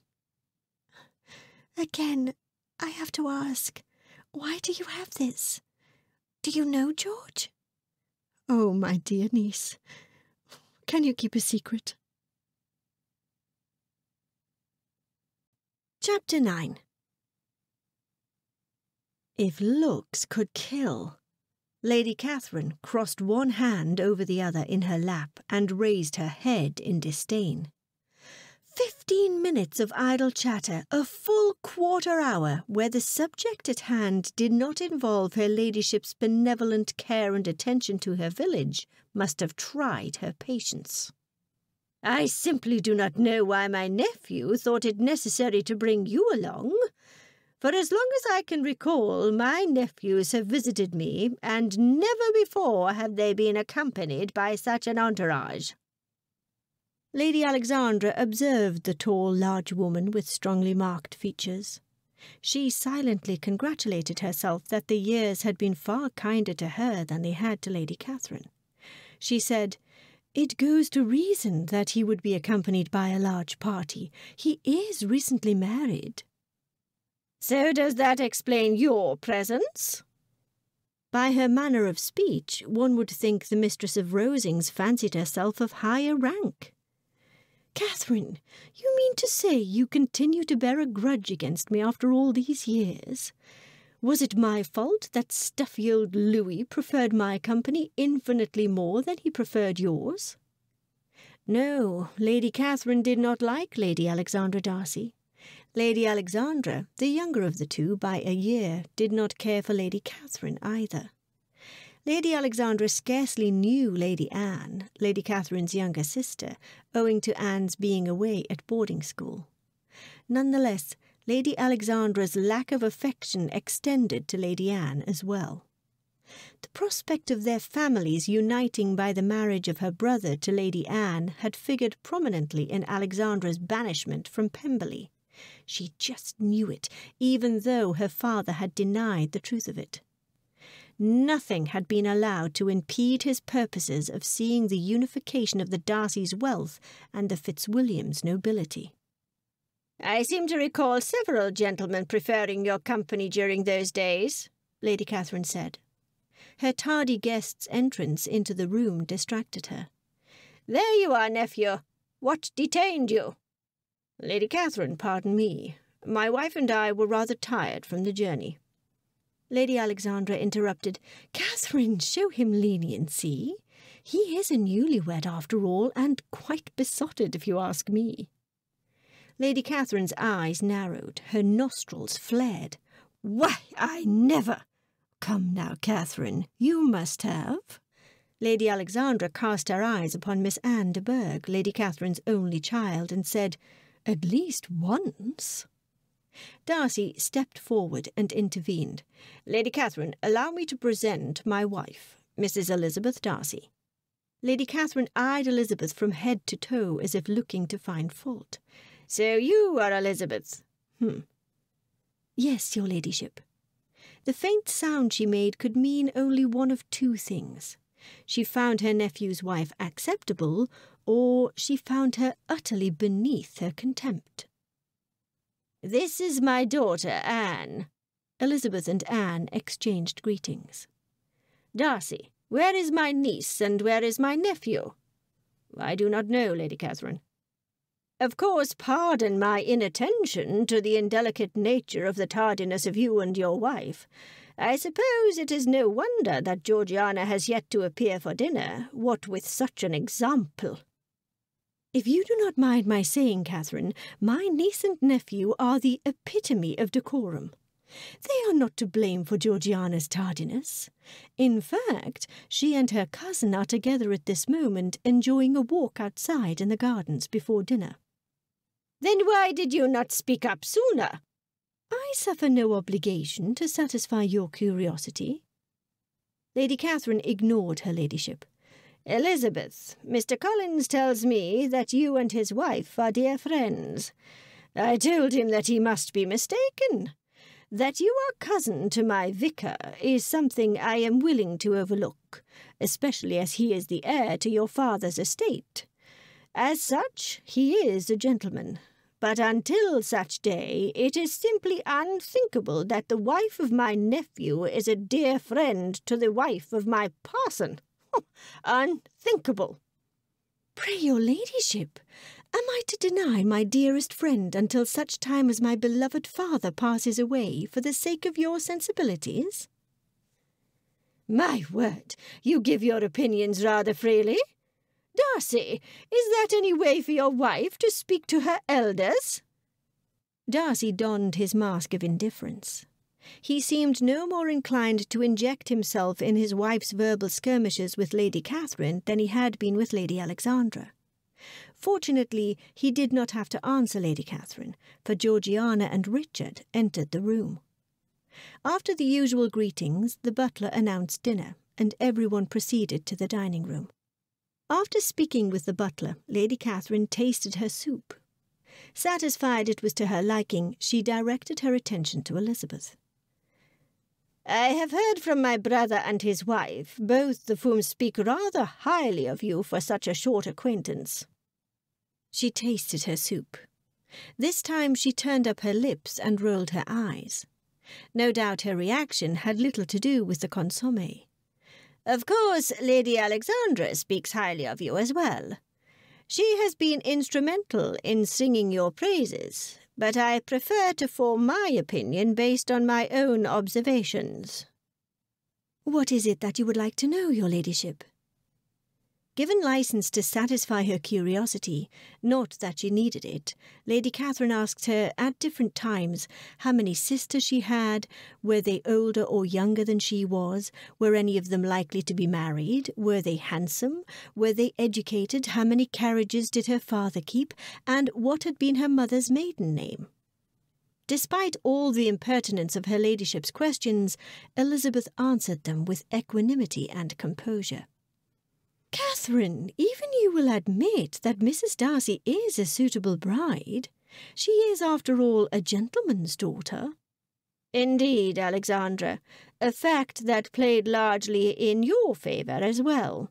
No doubt such luck of birth figured prominently in your securing the hand of a lord. You have a point. Moreover, imagine the irony of the daughter of an earl securing merely the hand of a baron. Not that I refer to anyone in particular, mind you. She glanced around the opulent room, especially since Sir Louis de Bourgh turned out to be quite a catch. When the ladies returned to the drawing room after dinner, Elizabeth paused to speak with Lady Alexandra. I wish to express my appreciation of your intervening with Lady Catherine on my behalf, Lady Alexandra. I assure you, Elizabeth, this evening had nothing at all to do with my regard for you. I continue to wonder at my nephew's marrying you. In fact, after Lady Catherine's testimony, I am appalled to know your connections are even lower than I had thought. Elizabeth was aghast. With nothing more to add to the discourse, she walked away. Little did it matter to Lady Alexandra that her nephew would have been most displeased were he privy to her sentiments towards his little wife. She resented the fact that Elizabeth was no more than an upstart. She could not marry where she chose because of the proud Darcy legacy, yet Fitzwilliam had brought this social climber into their midst, installed her as the mistress of Pemberley, and all this with nary a raised eyebrow by virtue of his sex. Elizabeth had much to confide in her dear friend Charlotte, and thus sat in Charlotte's parlour soon after breakfast a few days later. Much of the talk centred on Elizabeth's first weeks at Pemberley and the subsequent weeks in town. Yes, she had visited Jane and the Gardiners. No, her husband did not accompany her to Cheapside. The Darcys had made no social calls and had not received callers, not even the Bingleys. Yet Elizabeth hardly had time to catch her breath. She had tired easily when in town, a consequence of spending the bulk of her time visiting the modiste and being fitted for her new wardrobe and the like. She spent much of her time with no one other than Lady Alexandra, who was just as intent upon bringing her own wardrobe up to the latest fashions as she was in seeing that Elizabeth made the proper choices in outfitting herself in a manner worthy of the mistress of Pemberley. Lady Alexandra has exquisite taste, as do you, my dear Eliza, said Charlotte. The compliments on this particular gown are all due to her ladyship. As much as she dislikes me, and I scarcely confess to a greater regard for her, her taste is impeccable. An accomplished woman, if ever I saw one. I no longer wonder at Mr. Darcy's strong opinion on the subject, for his aunt certainly embodies all that and more. And let us not neglect to remark upon the manner of her speech, that certain air in her walk. In a moment of hilarity reminiscent of their days in Hertfordshire, the two ladies burst into a peal of laughter. The same as they always did when recalling the pretentious Miss Caroline Bingley and her ridiculous behaviour when they first had met. Pray, dear Eliza, how is Jane? I have thought of her a great deal.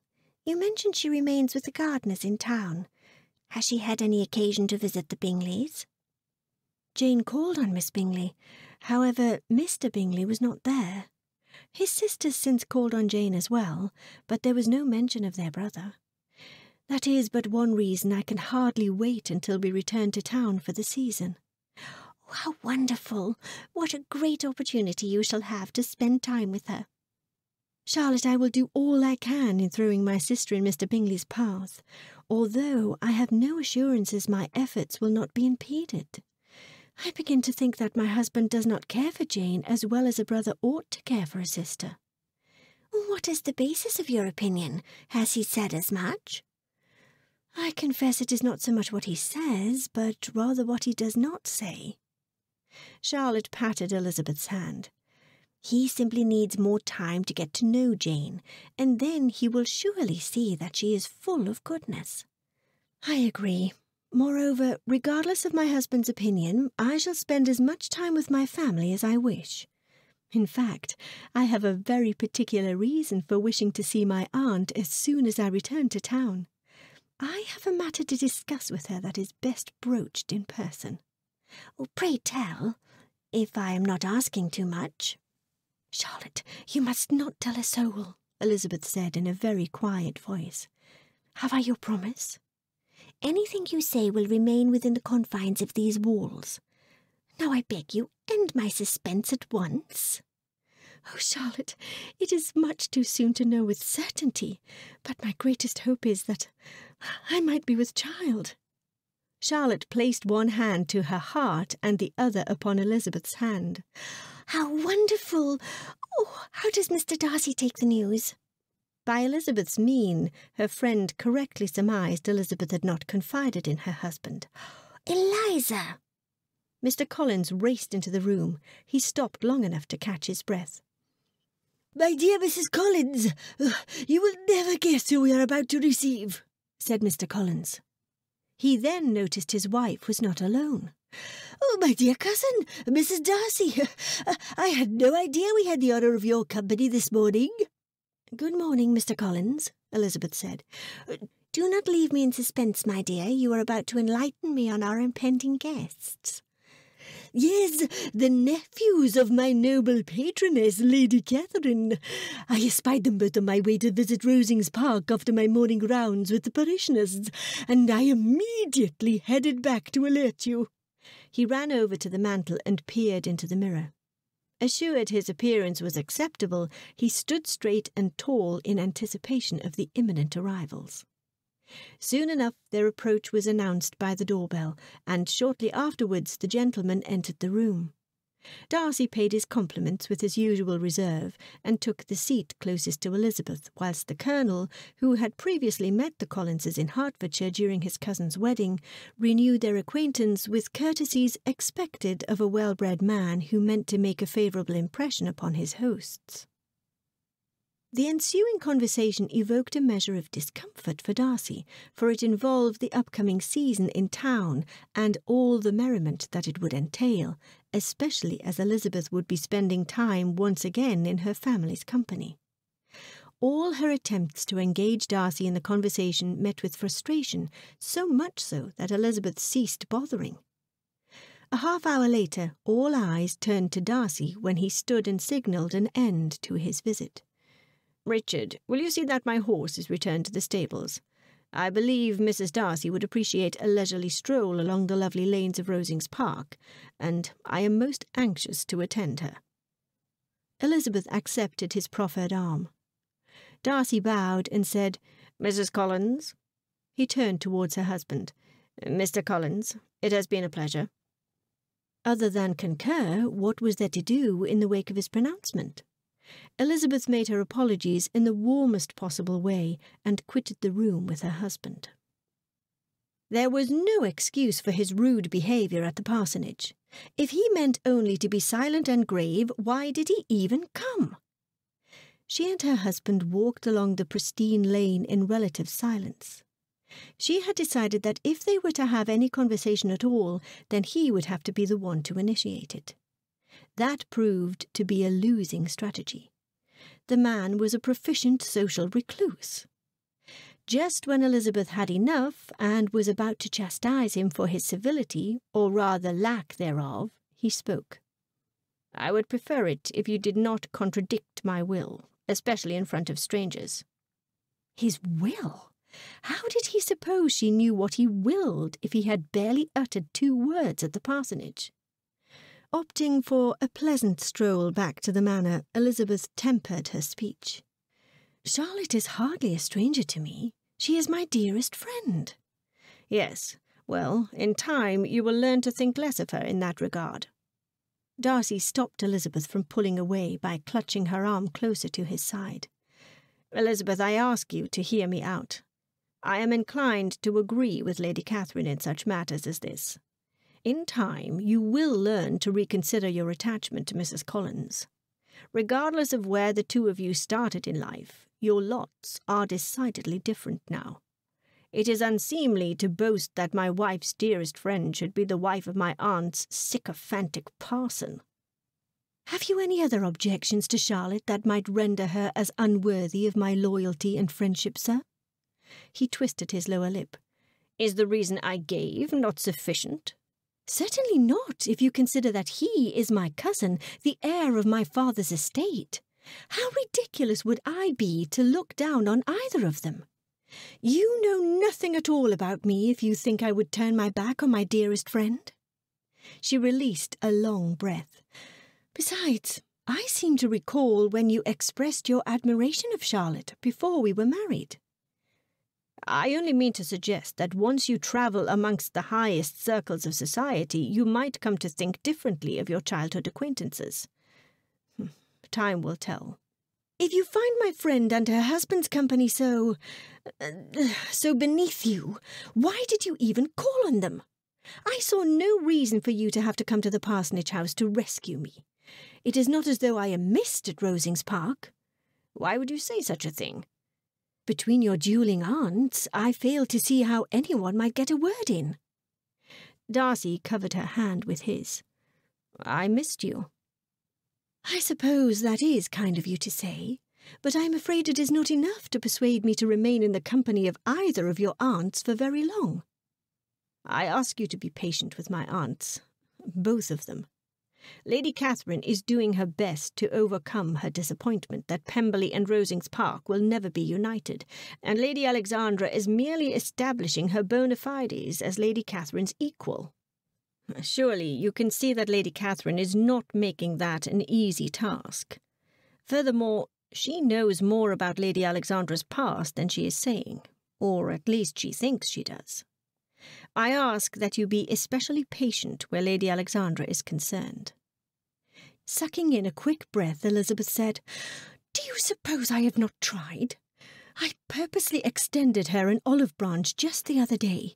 She practically snatched it from my hand, broke it in two, and pummeled me over the head with both pieces. I am sure you are exaggerating, Elizabeth. She said she had no intention of accepting my friendship. She is determined to make my life miserable. Are you miserable? Have you any regrets? Are you fishing for compliments, dear husband? Hardly. I simply wish to know. Your happiness is of utmost importance to me. Besides, I worry about you. You are not as lively as you once were. Is, uh, is something amiss?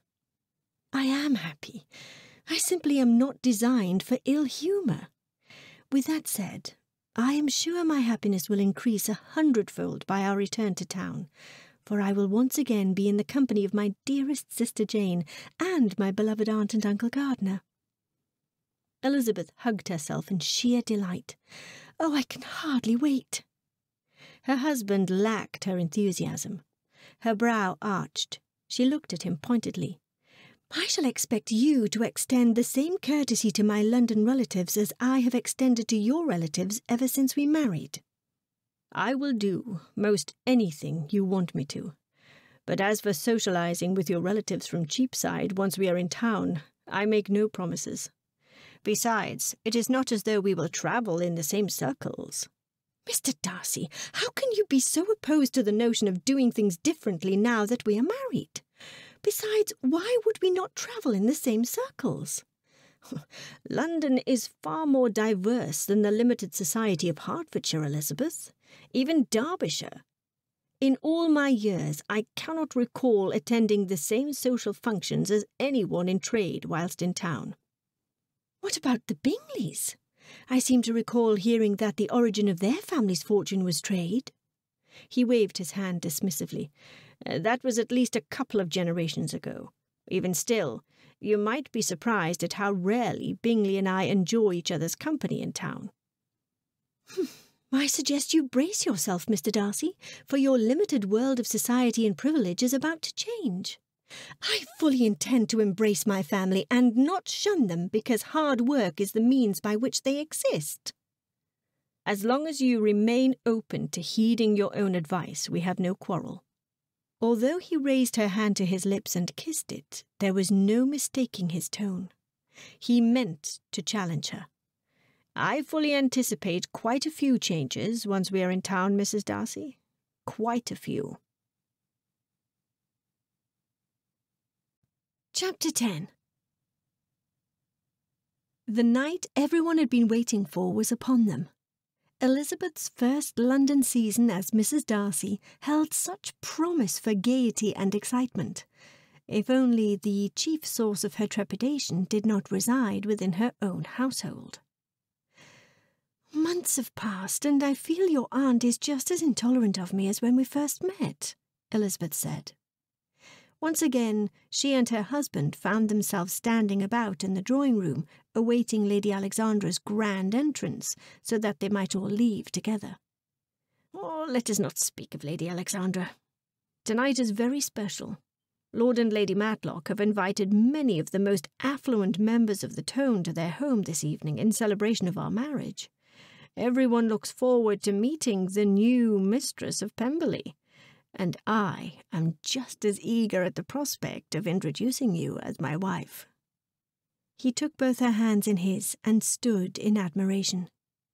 After kissing her cheek, he released her hands and walked over to a table. Opening the drawer, he retrieved a velvet box.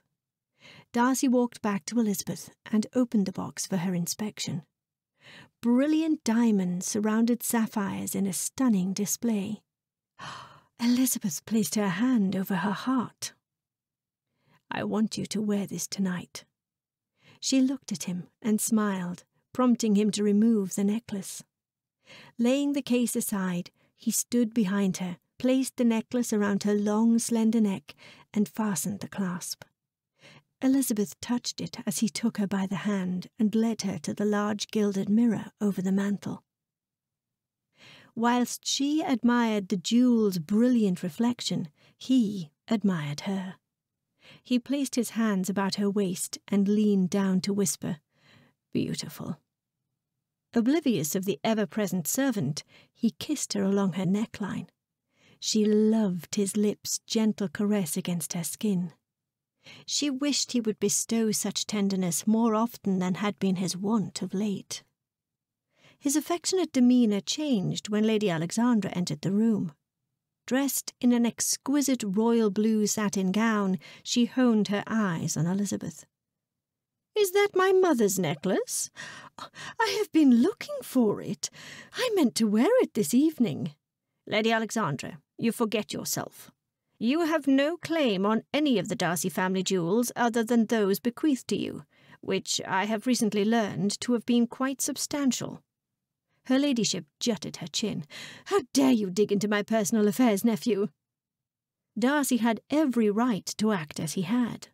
His aunt's draw on his purse was not inconsequential. You and I shall discuss this matter in private, your ladyship. Suffice it to say, you have no right to avail yourself of anything in my home other than that which Mrs. Darcy and I allow. I do not expect to hear any speeches from you to the contrary. Immediately after dinner that evening, Darcy excused himself from the rest of the gentlemen in attendance to make arrangements to bring his sister and her companion back to Darcy House. He was speaking with the butler of Matlock House when Lady Alexandra joined him. Nephew, I see no reason Georgiana cannot remain here and enjoy the party a little longer. Darcy turned to the butler and dismissed him with a nod, assured that his instructions would be followed. I thank you not to interfere with my rearing of Georgiana, Lady Alexandra. Darcy was not impressed with his aunt's behaviour, and especially the fact that she had such sway over his impressionable young sister. He was appalled that she did not even return to Darcy House some evenings, and that she had a habit of returning at such unseemly hours. He had no wish to know what she was about, but he would be damned if his sister would take her cues from Lady Alexandra. Georgiana is not a child. She is nearly as old as I was when I left Pemberley. and that is supposed to reassure me? Pardon me, Lady Alexandra. Darcy turned to walk away, but was waylaid when she took hold of his arm. I am not done speaking with you, nephew. We need to discuss the timing of my niece's coming out. Now? Lady Ellen suffers a belief that she will be instrumental in guiding Georgiana through her first season. you may rest assured that you will not have that honour. Now walking away, Darcy heard his aunt say, you will pay for your officiousness towards me, nephew. For all outward intents and purposes, he chose to ignore her, yet he steamed inside. Must I suffer blame for these unknown sins of my father and my father's father? Whatever Lady Alexandra's grievances, Darcy had heard enough of her idle threats. Lady Alexandra walked up to Elizabeth in the drawing room and requested a private interview. Elizabeth smiled at the young woman by her side, a silent apology. When they were alone, Lady Alexandra said, Pray tell your dear husband that I shall not be returning to Darcy House. Elizabeth bit her lower lip to subdue her delight before her ladyship completed the sentence. Did she dare hope? You need not be so pleased, young lady. I only meant to say I shall not return with the two of you. Old friends of mine have requested my attendance at another soiree. I see no reason to remain here at Matlock House amidst such boorish people, especially in light of your husband's outrageous behaviour towards me all evening. Her ladyship had the audacity to criticise Mr. Darcy to Elizabeth, of all people, when she was just as likely to criticise Elizabeth to Darcy in another circumstance. Elizabeth said, Lady Alexandra, I am astounded you took the time to apprise me of your plans for the evening. You have a habit of doing whatever you please, whenever you please, with little regard for the feelings of others. A benefit of my age and superior wisdom, I assure you. Whatever the reason, I shall do as you ask. I am rather certain Mr. Darcy will be delighted to hear that you are not without means of arranging your own diversions. Standing behind his wife as she sat at her vanity some hours later, Darcy leaned forward and traced a gentle pattern from her hands to her shoulders, whilst trailing light and pleasing kisses along her neckline. Did you enjoy the evening, Mrs. Darcy? The soft touch of his breath in her ear caused her to smile and wrinkle her tiny nose in delight. Their eyes met in the mirror's reflection. Ah, the evening was just as one would expect with such lofty attendees. Darcy reached for her hand, assisted her to her feet, and led her to her bed. Elizabeth said, Though it would have been nice to have known someone other than your family.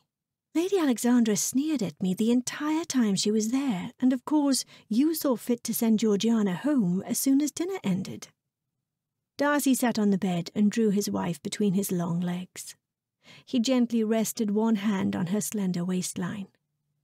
The other he combed through her long chestnut tresses. My sister is not yet out in society. It was insupportable that she should remain any longer. Elizabeth started undoing his cravat. She was enjoying a dinner in our honour in her own aunt and uncle's home, for heaven's sake. Please do not start this with me, it is unfortunate enough that Lady Alexandra and I are at odds over my guardianship of Georgiana. It will help to know that you and I are of one mind on the subject. Perhaps if you were not such a stodgy old prude when it came to such matters, you would find more cooperation. Darcy pressed his lips together. This was not exactly the way he wished the rest of their evening to proceed. The sooner he changed the subject, the better. He leaned forward and nibbled at his wife's earlobe until she trembled with anticipation. Not such a stodgy old prude, would you agree? Only if you will tell me how delighted you are by the prospect of our own dinner party. A familiar tension that ruffled his demeanour whenever Elizabeth broached the subject of having the Gardiners and her sister Jane to dinner manifested itself. Telling his wife how he genuinely felt must surely hinder his purposes. He obliged her with a lingering kiss instead, one to which she eagerly responded. Moments later, his wife's body trembling with anticipation, he broke away from the kiss with a smile. He said, When you put it like that, Mrs. Darcy, how can I possibly object? Chapter 11 On the whole, the dinner party turned out to Elizabeth's liking. Having invited Mr. Bingley, Elizabeth's inclusion of his unmarried sister, Miss Caroline Bingley, proved unavoidable. Other guests included the Hursts, the Gardiners, Elizabeth's beloved sister Jane, the Thorpes, and Georgiana. Not to be forgotten, of course, was Lady Alexandra. After observing Lady Alexandra's vitriolic acquaintance with the Matlocks, Lady Catherine de Bourgh, and Mr. Darcy, Elizabeth did not know what to expect. Elizabeth especially did not escape her ladyship's rancour. To Elizabeth's surprise, her ladyship was considerably kind and accepting of her relatives from Cheapside. Moreover, her attitude towards Elizabeth, leastwise that evening, did not disappoint. Mystery, thy name is Lady Alexandra Spencer.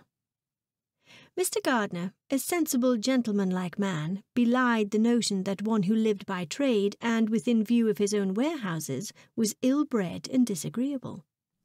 Even Louisa Hurst, Bingley's older married sister, could not object, as evidenced by her behaviour. She spent far more time in Mr. Gardiner's company than Elizabeth had ever seen her with her own husband. In the same manner as Elizabeth had regarded him whilst at Netherfield, Mr. Hurst spoke very little and indulged himself in food and drink very much. She had to admit that the evening would have been rather less entertaining if not for the antics of Lady Alexandra and Miss Bingley. The two were at odds from the start, in obvious competition to prove which one of the two of them was the most accomplished. Elizabeth and her beloved Aunt Gardiner silently amused themselves over the two ladies' antics. More than once they fought to contain their mirth. Jane and Bingley did not notice any of the goings on around them. The moment he saw her that evening, his countenance brightened with hope and anticipation. He sat with her at dinner, and when he was not speaking to her, he was staring at her. Jane was as she ever was in his presence, answering his many questions demurely and bestowing unto him ardent devotion with her smiles. Miss Bingley's ridiculousness and Lady Alexandra's grandstanding aside, the evening was a success. Darcy lay on her bed and watched while she sat at her vanity brushing her hair. Everything turned out just as I hoped for Jane and Mr. Bingley. Whatever do you mean? They're as much in love with each other as ever. Frankly, I perceive your sister to be as unaffected by Bingley as when we were all in Hertfordshire. Elizabeth narrowed her eyes. I beg your pardon. I observed her most carefully, and detected no particular regard for Bingley. Jane is shy. She rarely shows her true feelings to anyone. Trust me, she is very much in love. He shrugged. If you say so. It is not my word alone. Give it time, a few more occasions such as tonight, and you will see for yourself. Minutely shaking his head, Darcy said, I would not count on that. What are you saying, Mr. Darcy?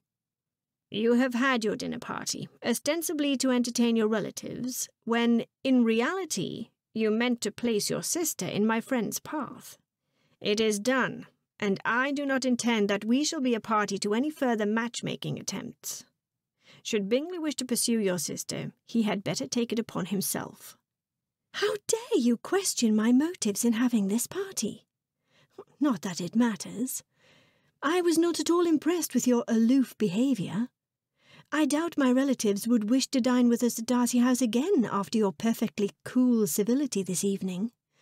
My goodness, you barely spoke to anyone without first being spoken to. Darcy arched his brow. Was I rude? Oh, no. You are much too much a gentleman to say or do anything overtly offensive. Well, I can think of far worse fates than the prospect of your family wishing to avoid socializing with us. It would be the worst possible outcome for me. As important as family is to you, why do you insist on trying to separate me from mine? Elizabeth, this separation, as you suggest, is a natural consequence of your marrying into the Fitzwilliam family. It is bad enough that you continue to wander over to Cheapside every chance you find. I am considering putting an end to that. It is quite unseemly behaviour for the mistress of Pemberley. Speaking through clenched teeth, Elizabeth said, Stop trying to change me, Mr. Darcy. Their marriage was destined for misery of the acutest kind if he persisted in keeping her from her family. If he cared anything at all for their future felicity, he needed to open his heart to the woman she was now, whom she was in the past, and whom she would always be. His ridiculous stance brought to mind her aunt's advice from earlier that week. She had said it was not uncommon for one spouse to try to change the other. It had been going on since the beginning of time. Her Aunt Gardiner also had said the woman usually tried to change her husband. That most certainly made Elizabeth feel better about her situation. At least she was not at fault. Her aunt also had cautioned Elizabeth to be patient with him. He loves you, her aunt had said. Besides, said Elizabeth, these people whom you would rather I spend time with want nothing to do with me, which is just as well, for I want nothing to do with any of them. You are mistaken. Our social calendar is full. It is Lady Alexandra with whom they wish to spend time. Or are you completely oblivious to that fact? You are very well received as well. How can you suggest otherwise? Just as you only tolerate my family and friends, I am sure your heralded acquaintances only tolerate me. I posit you will do well to spend less time in Cheapside and more time cultivating your position as Mrs. Darcy. The making of friends is a two-way endeavour. you are one to talk, Mr. Darcy. He ran his hands through his hair. My position is established by birthright, by wealth, by... by...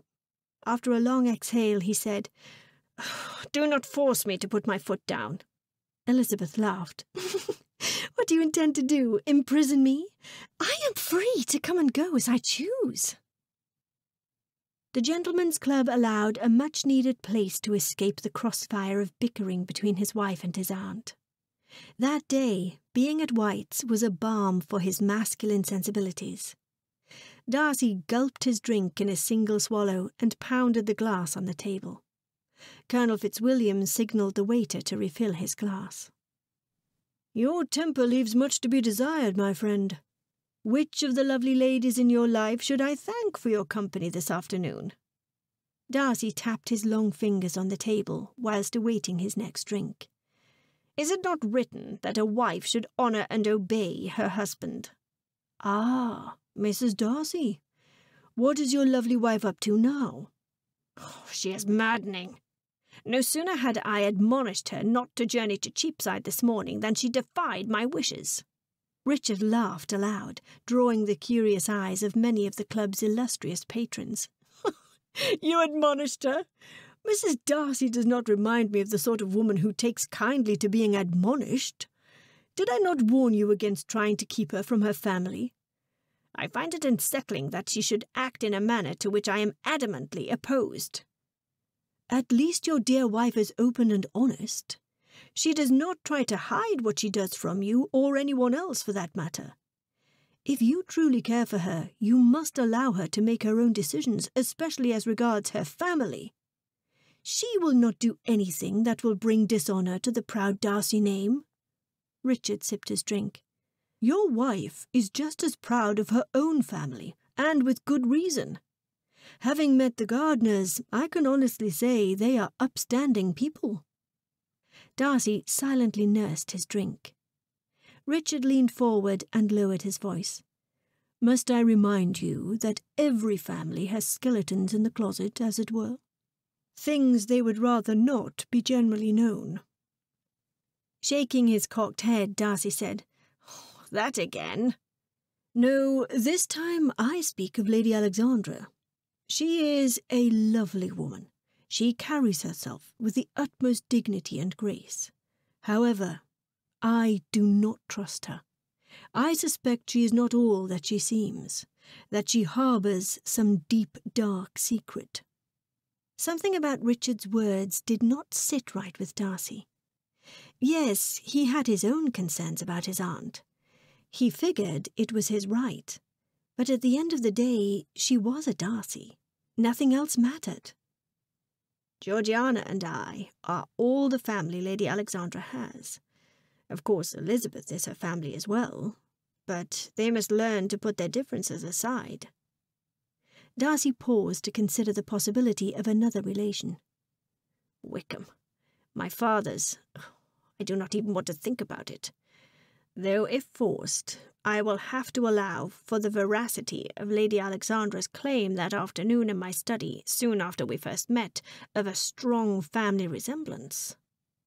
Try as he might, he could not put his finger on it, but suffice it to say, the resemblance was there. Darcy dismissed his cousin's concern with a wave of his hand. I am beginning to see what uh, Lady Alexandra means when she speaks of the Fitzwilliam family's general disdain towards her. The high and mighty Fitzwilliams. I might expect such an attitude from Lady Catherine, even Lord Matlock, but certainly not you. High and mighty, you say? You are one to talk, when you generally disregard all things you deem beneath you. I suggest you have more than your fair share of Fitzwilliam blood coursing through your veins. Darcy leaned back in his chair and crossed his long legs. Brushing invisible lint from his finely tailored tan breeches, he said, I can see that you and I are not of the same mind, cousin. It seems we are not, However, I will not object to another round of drinks. At your expense, Richard said, before signalling the waiter to their table. I shall propose a toast. Darcy obligingly raised his glass. To what are we drinking? Why, to family. Is there anything more important? Fate was on his side. The following week, Word from his steward of a disturbance at Pemberley requiring his attention afforded just the excuse Darcy needed to escape the unpleasantness of town. Elizabeth took the news rather well, if he did not count the fact that she immediately thereafter took a carriage to Cheapside.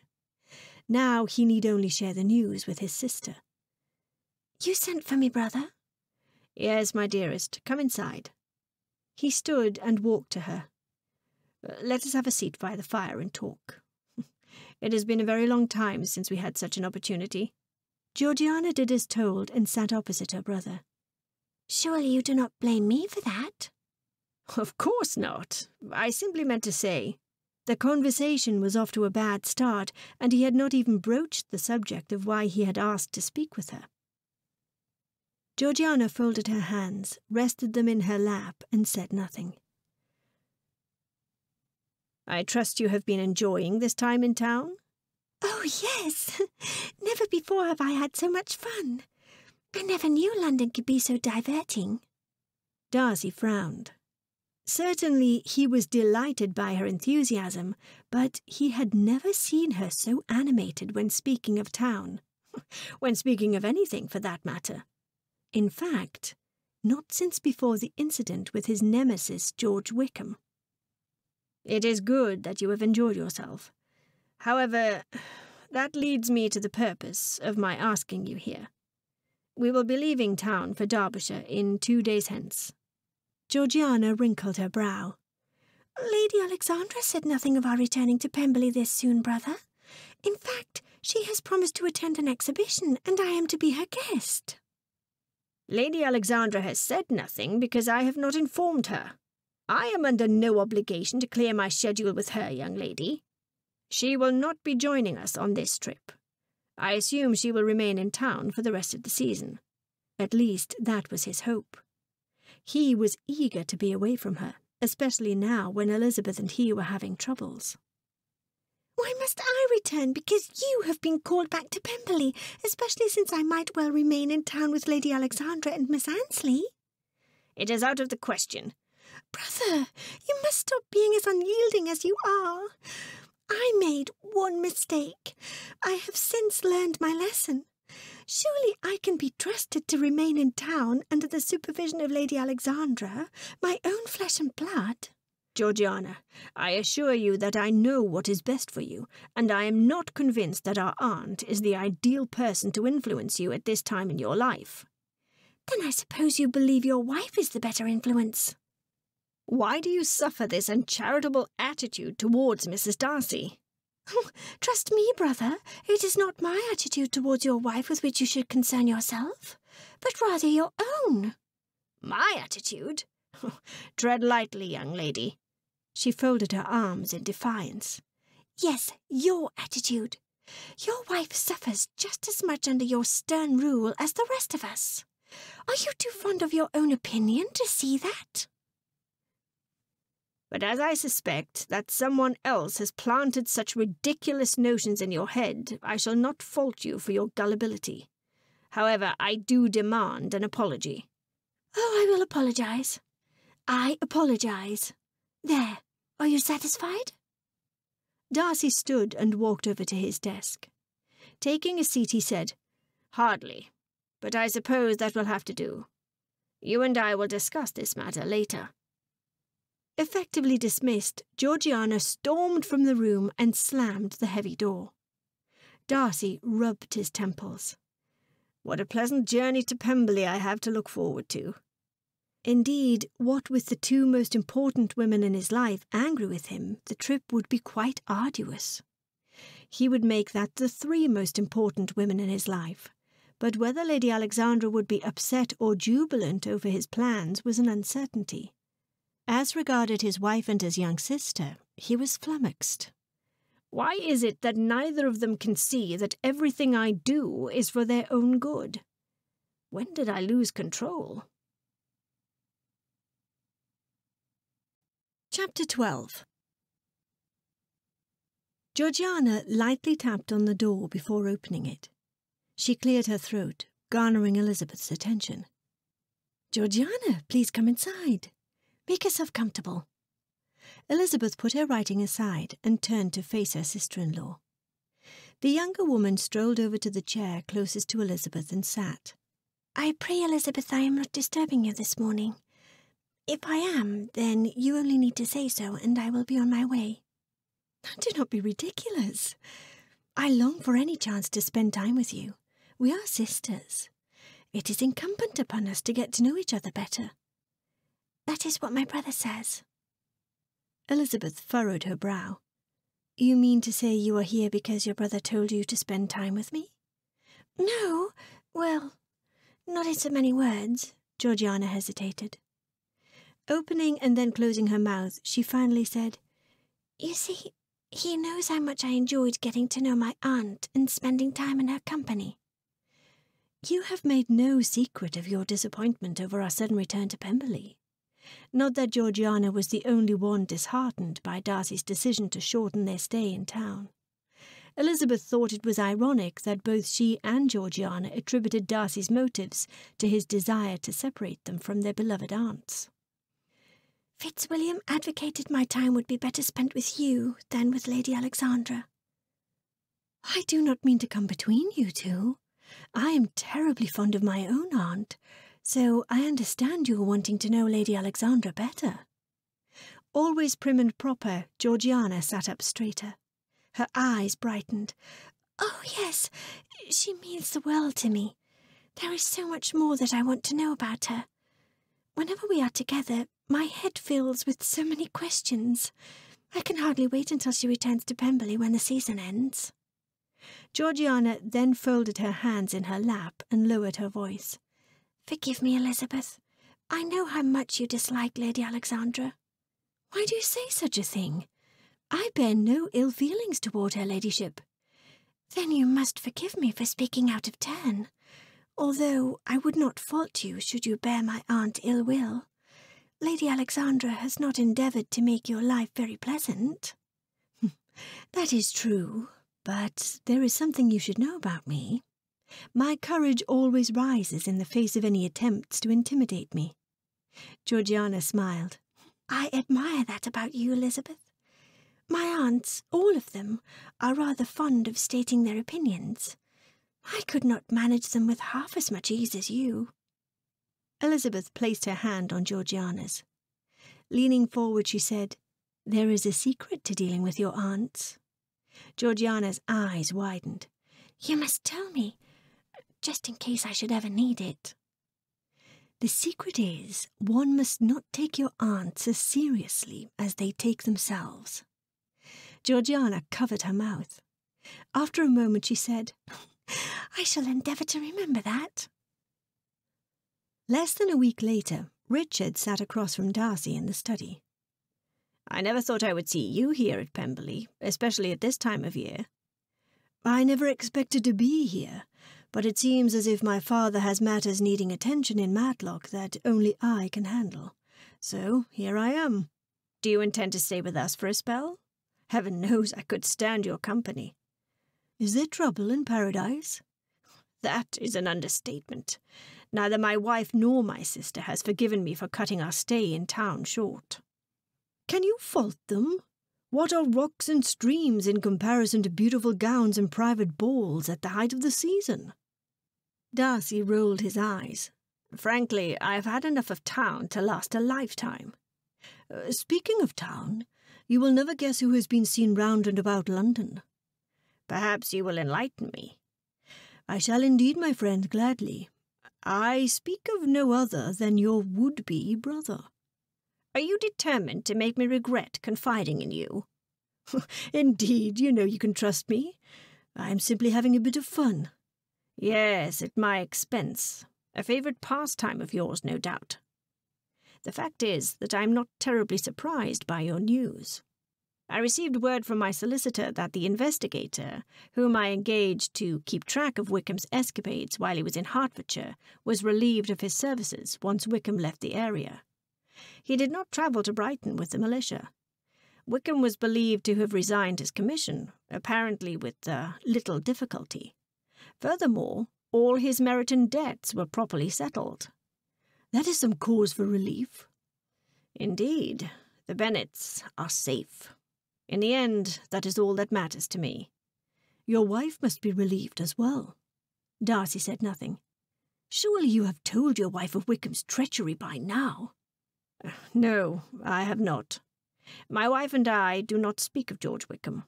Why in high heaven would we? She knows that I detest the man.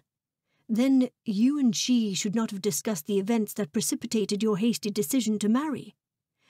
Mrs. Darcy insists that she and Wickham suffered a misunderstanding.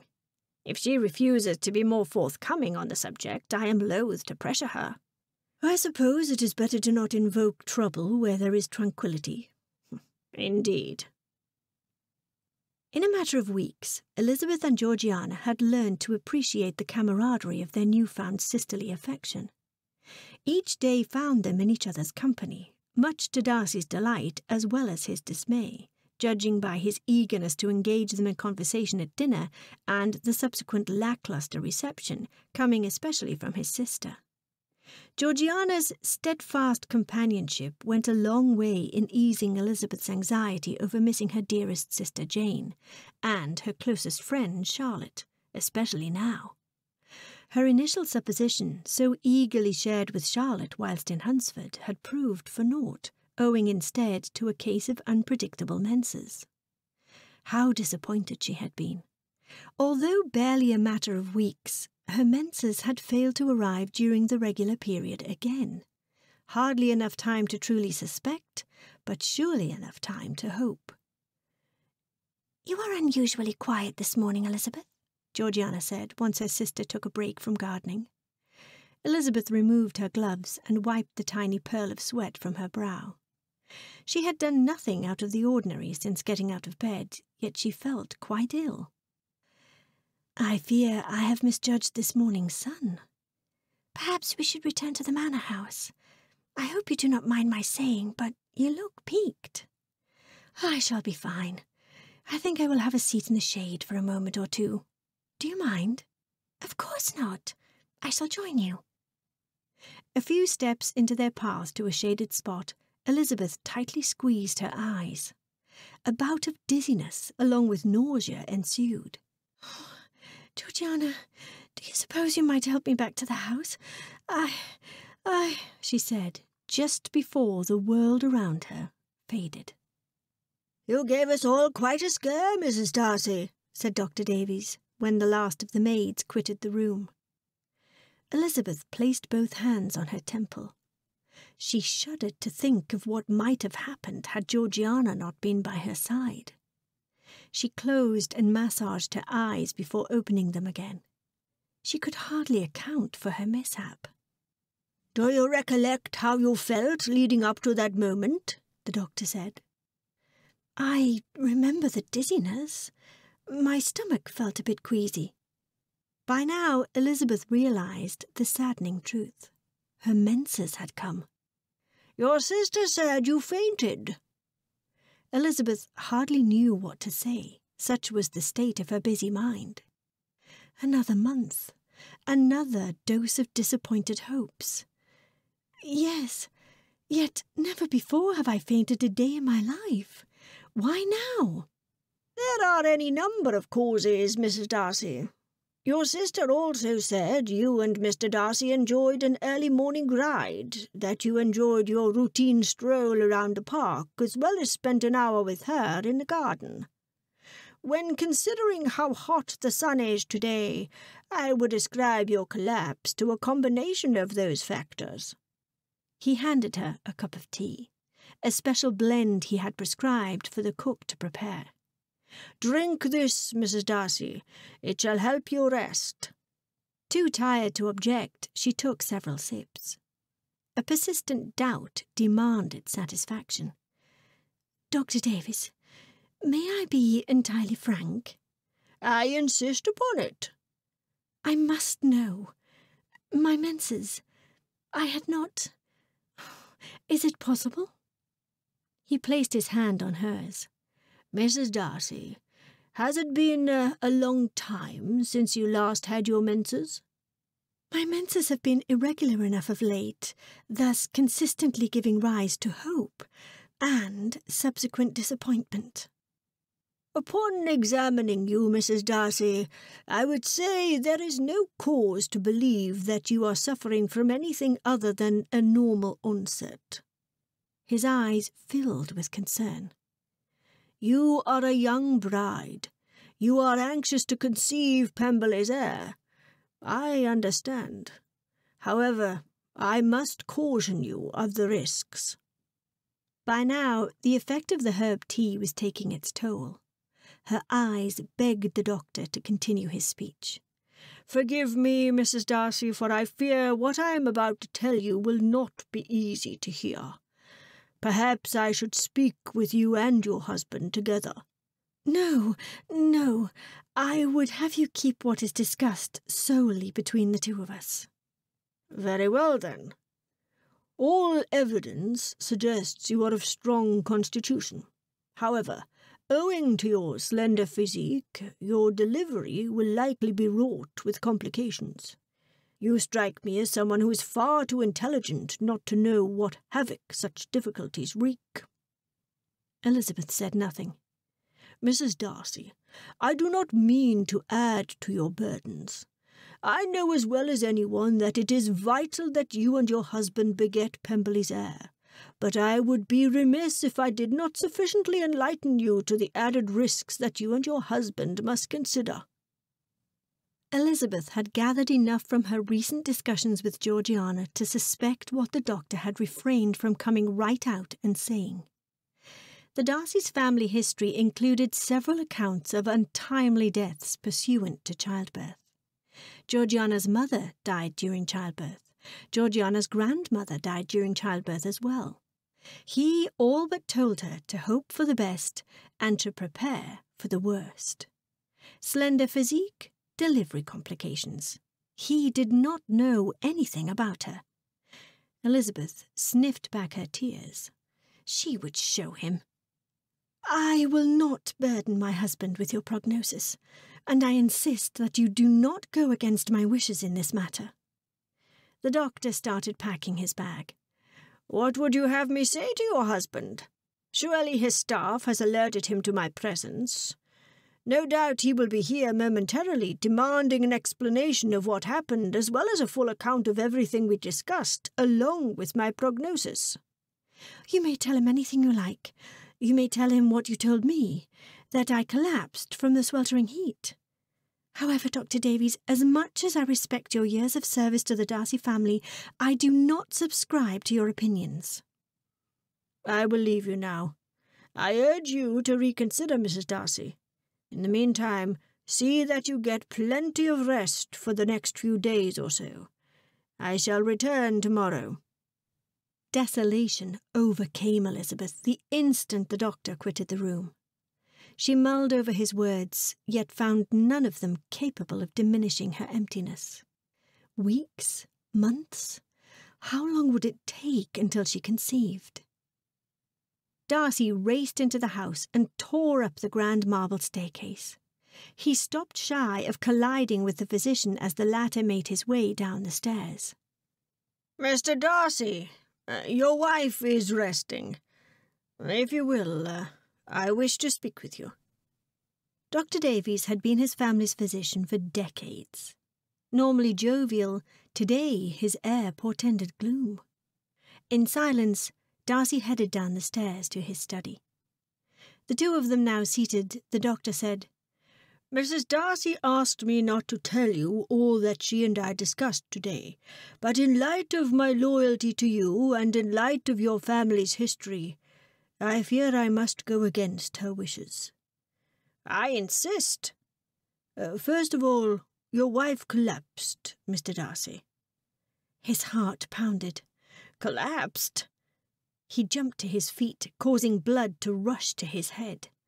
Darcy swallowed. My wife, is she. Will she. There is nothing wrong with your wife per se, at least nothing that a bit of rest will not cure. You need not worry. However, she asked that I not tell you the nature of our subsequent discussion. Those words evoked a chilling effect. He ran his fingers through his hair and then massaged his temple. Did she give a reason? She said she does not want you to bear the burden of the implications of what we discussed. Darcy pursed his lips. What is Elizabeth thinking?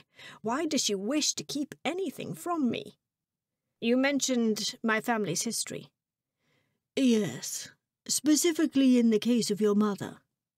Although you and your sister are evidence enough that not all deliveries, no matter how difficult, are life threatening, the fact is there are no guarantees. Your mother and your wife have more in common than not. Pray tell there is no cause for concern with my wife in that regard. I could not bear it. There are no guarantees in such matters as this, Mr. Darcy. You will excuse me. I must go to my wife. I shall see myself out.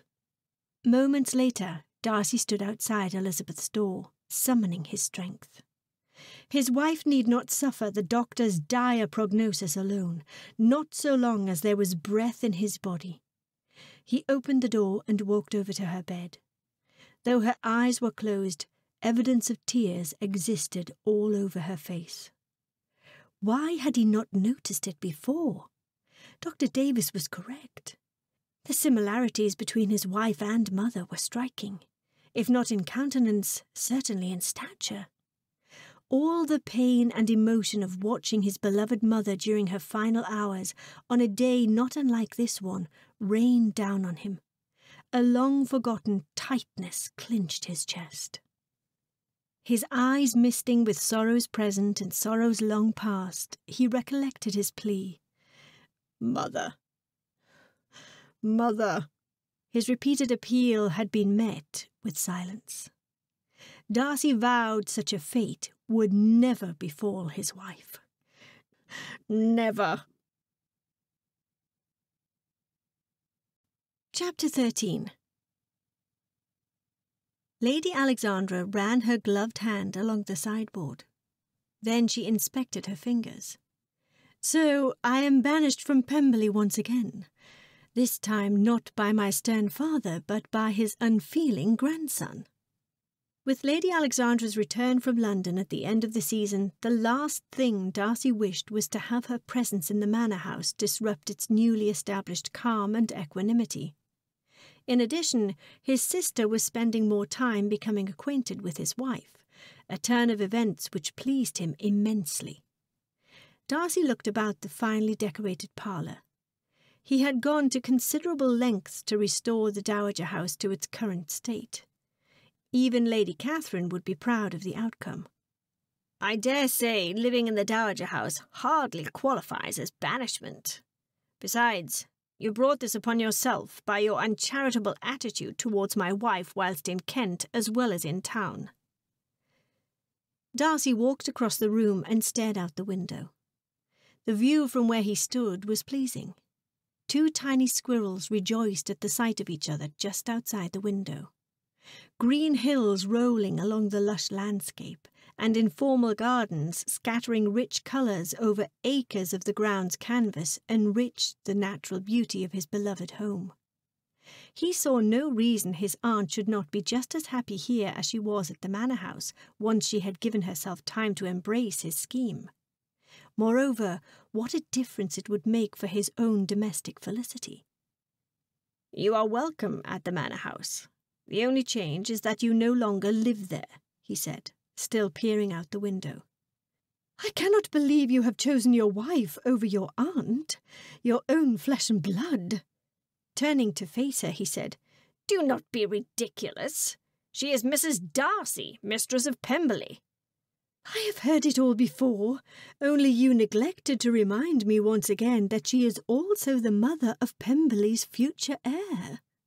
Considering what a dismal failure she has been on all fronts, I would think it a great stretch of the imagination to credit her with any such lofty title. With a quick intake of breath, Darcy said, Enough! You are relegated to the Dowager House. Please try your best to deserve it. Shoulders back, arms crossed, he said, A word of caution. Hold your tongue if you expect to receive ready access to the hospitality of the manor house. I am amazed the mistress of Pemberley is not here to gloat. she won. You speak of winning when there was never a contest. I have told you this. Pemberley has but one mistress. Her ladyship tilted her head and raised her eyebrow. Then where is she? My wife is resting at the moment. That is strange. She is resting at this hour of day. Is there something you are not telling me? I have told you all that I intend to tell you. If I may return to the situation at hand, you will be comfortable here. I have arranged for all your belongings to be moved. Furthermore, you will have your own household staff. And how shall I pay for all that? Or will the mistress of Pemberley oversee the affairs of the Dowager House? Is that not her prerogative? I will not stand for it, nephew. If this is to be my home, then I will have the final say over the management of the household. Darcy swept both hands over his face. As you wish, Lady Alexandra. I have no desire to quarrel. Then you agree that I have final say over the staff, over who comes and goes, over everything? As regards the Dowager House, yes, you have my word. She placed one hand on her hip. I will require a monthly stipend. Naturally, Lady Alexandra, you may have whatever you need to assure your comfort. Speak with Mrs. Darcy to work out the details. Lady Alexandra's expression cut through him like a dagger. I will do no such thing. His aunt's audacity knew no limits. Then speak with my steward. Now, I will leave you to settle into your new home. Darcy bowed. Good day, your ladyship. Lady Alexandra threw her parasol across the room the moment her nephew quitted the house. The nerve of that young man! His audacity knows no limits! She paced back and forth whilst she contemplated her next step.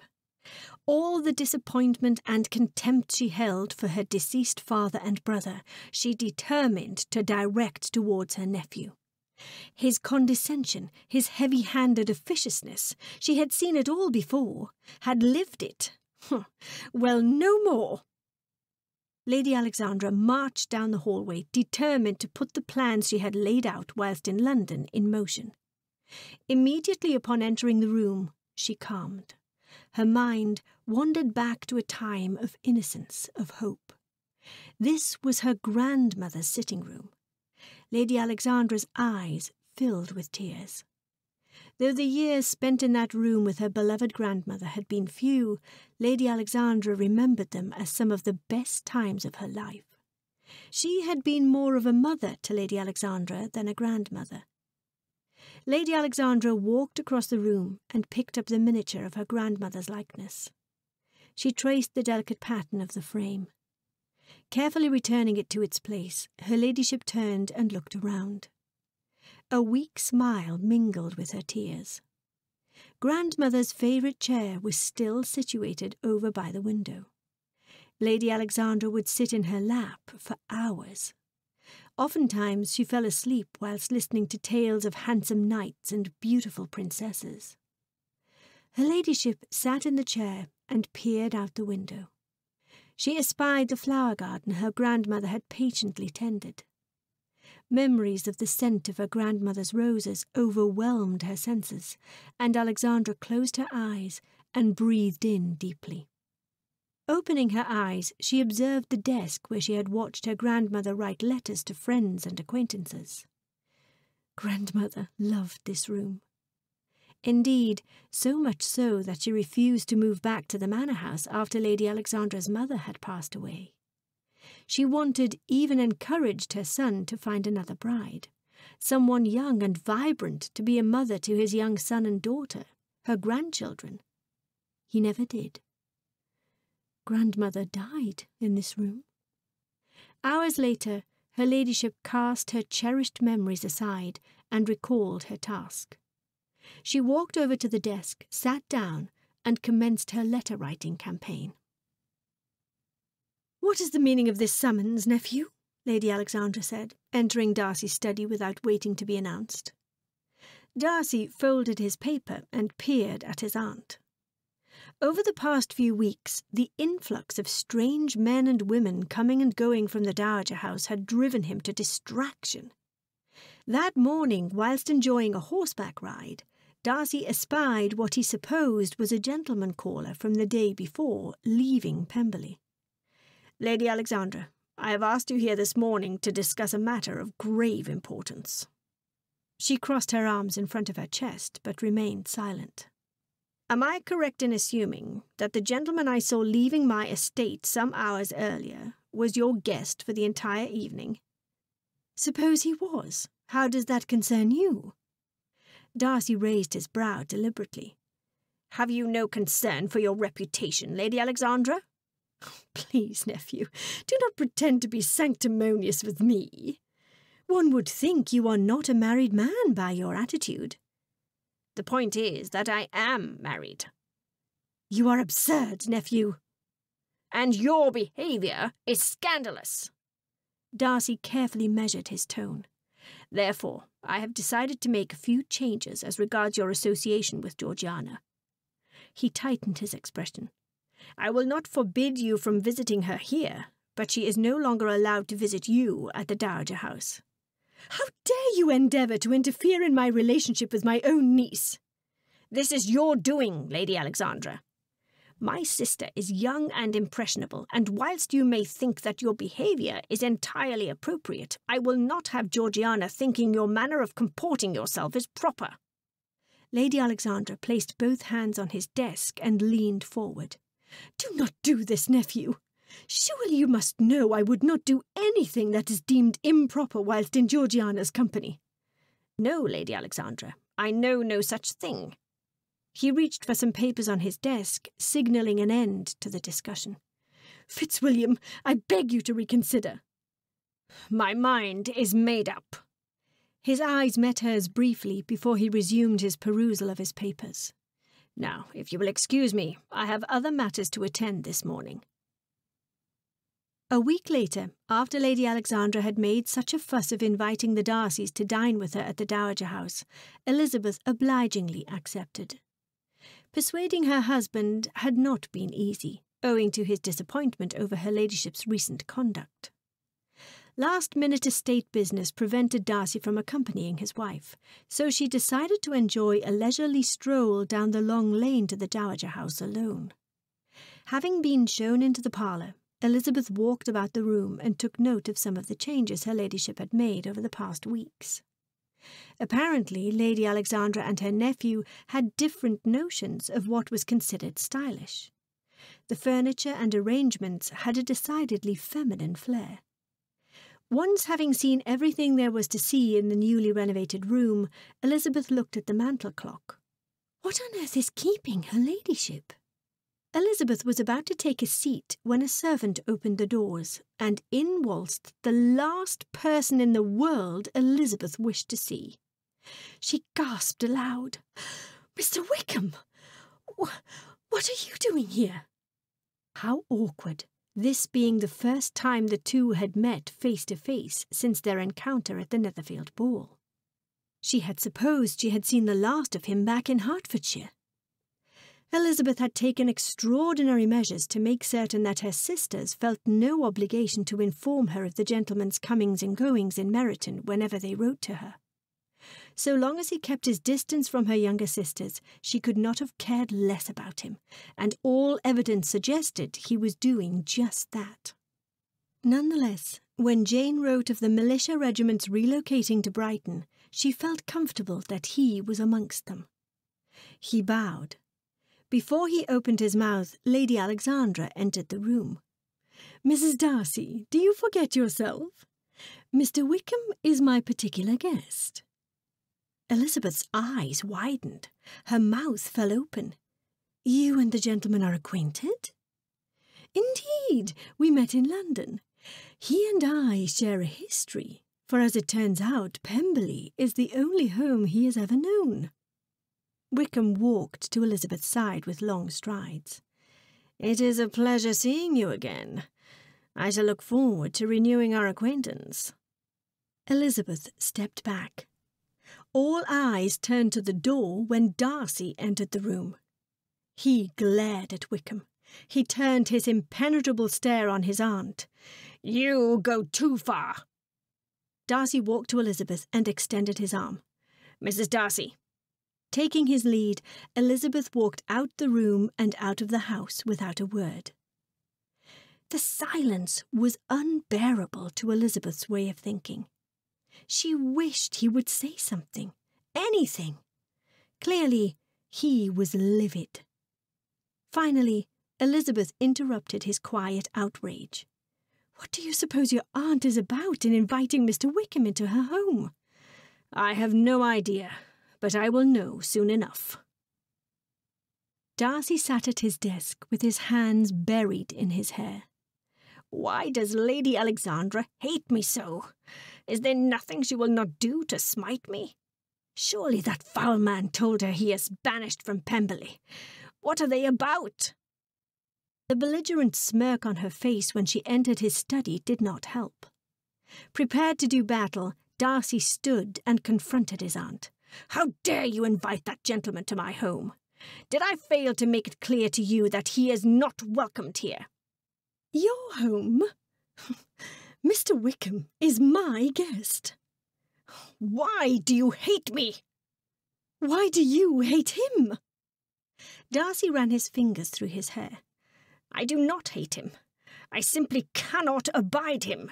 He is an immoral man. Oh, for heaven's sake, nephew, who are you to judge? Why invite him of all people? Then, with the suddenness of a crashing lightning strike, it all came together. You know, my father's dying confession. He said Wickham is a Darcy.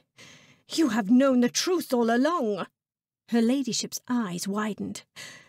Your father confessed to you? Darcy's heart raced. Then it is true?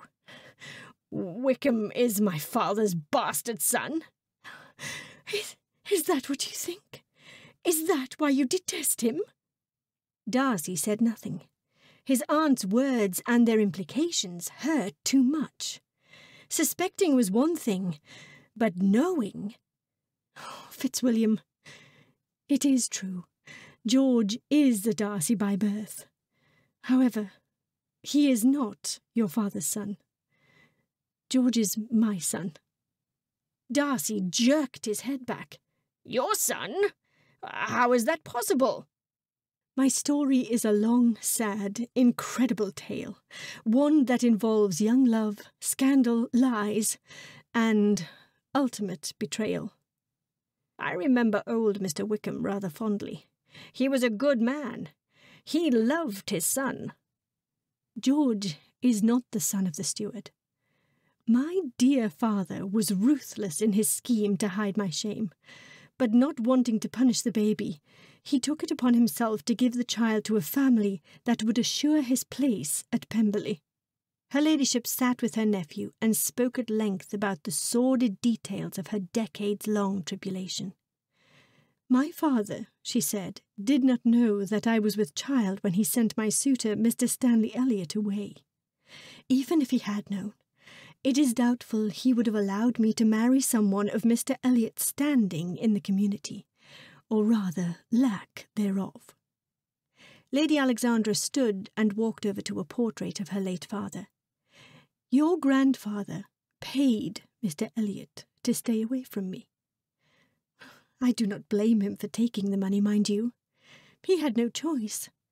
He took the money for his family's salvation, for my father forced the Elliots to leave Derbyshire. Mr. Elliot went away to serve in the Navy. He died at sea within weeks of setting sail, never having learnt of my condition. Months later, after having learnt of my situation, your grandfather deemed me a disgrace to the Darcy name. He arranged for the baby's welfare upon its birth, and he arranged my marriage to a titled, if not very wealthy, gentleman. Her voice cracking with anguish, she paused to rein in her emotions before continuing her speech. Mrs. Wickham, the steward's wife, travelled with me to Scotland, where she remained with me throughout my confinement. Thereafter, she returned to Pemberley with the infant, with my child, intent to raise him as her own. I subsequently travelled to the continent to marry my aristocrat, according to my father's scheme. My noble husband was to have a substantial fortune, and me to boot, yet not be burdened with the task of claiming another man's bastard child as his own. You see, nephew, my marriage was not one of love, but rather one of convenience. I have to believe I was banished from Pemberley, not because my father did not love me, but so as not to threaten the Darcy reputation, the reputation of Pemberley and its heirs, and not to interfere with the prospective courtship between my brother and the beautiful young Lady Anne Fitzwilliam. Her ladyship dabbed at her eyes with her handkerchief. In my brother's defence, he supposed I had left England in anger over my father's denial of my true love and his role in sending Mr. Elliot away. Your father, my own brother, did not even know of my actual scandal. Lady Alexandra told Darcy that his father had written to her years ago, saying he only had learned of Wickham's true parentage when his steward was dying. Old Mr. Wickham had not wished to take the secret to his grave. To the extent possible, her brother had wanted her son raised in a manner as befitting a Darcy. Darcy said, this is a sad and sorry tale. However, it changes nothing as regards my sentiments towards Wickham.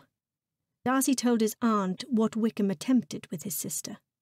However, her ladyship expressed no surprise by the revelation. That is unfortunate indeed, although my news renders George's actions towards your sister rather less debauched. Georgiana will forgive him, I am certain of it. Perhaps she will be open to an alliance once again. My son's benefiting from the Darcy fortune is apt. I dare say my sister will want to have nothing to do with that scoundrel. Perhaps, You do not know Georgiana as well as you think you do. His eyes widened. What are you suggesting? Have you spoken with Georgiana about this? I confided the truth to her. She is not a child, and it is about time you recognize that. How dare you? She would have found out anyway. Besides, Georgiana had already told me what happened between her and my son before I confided in her.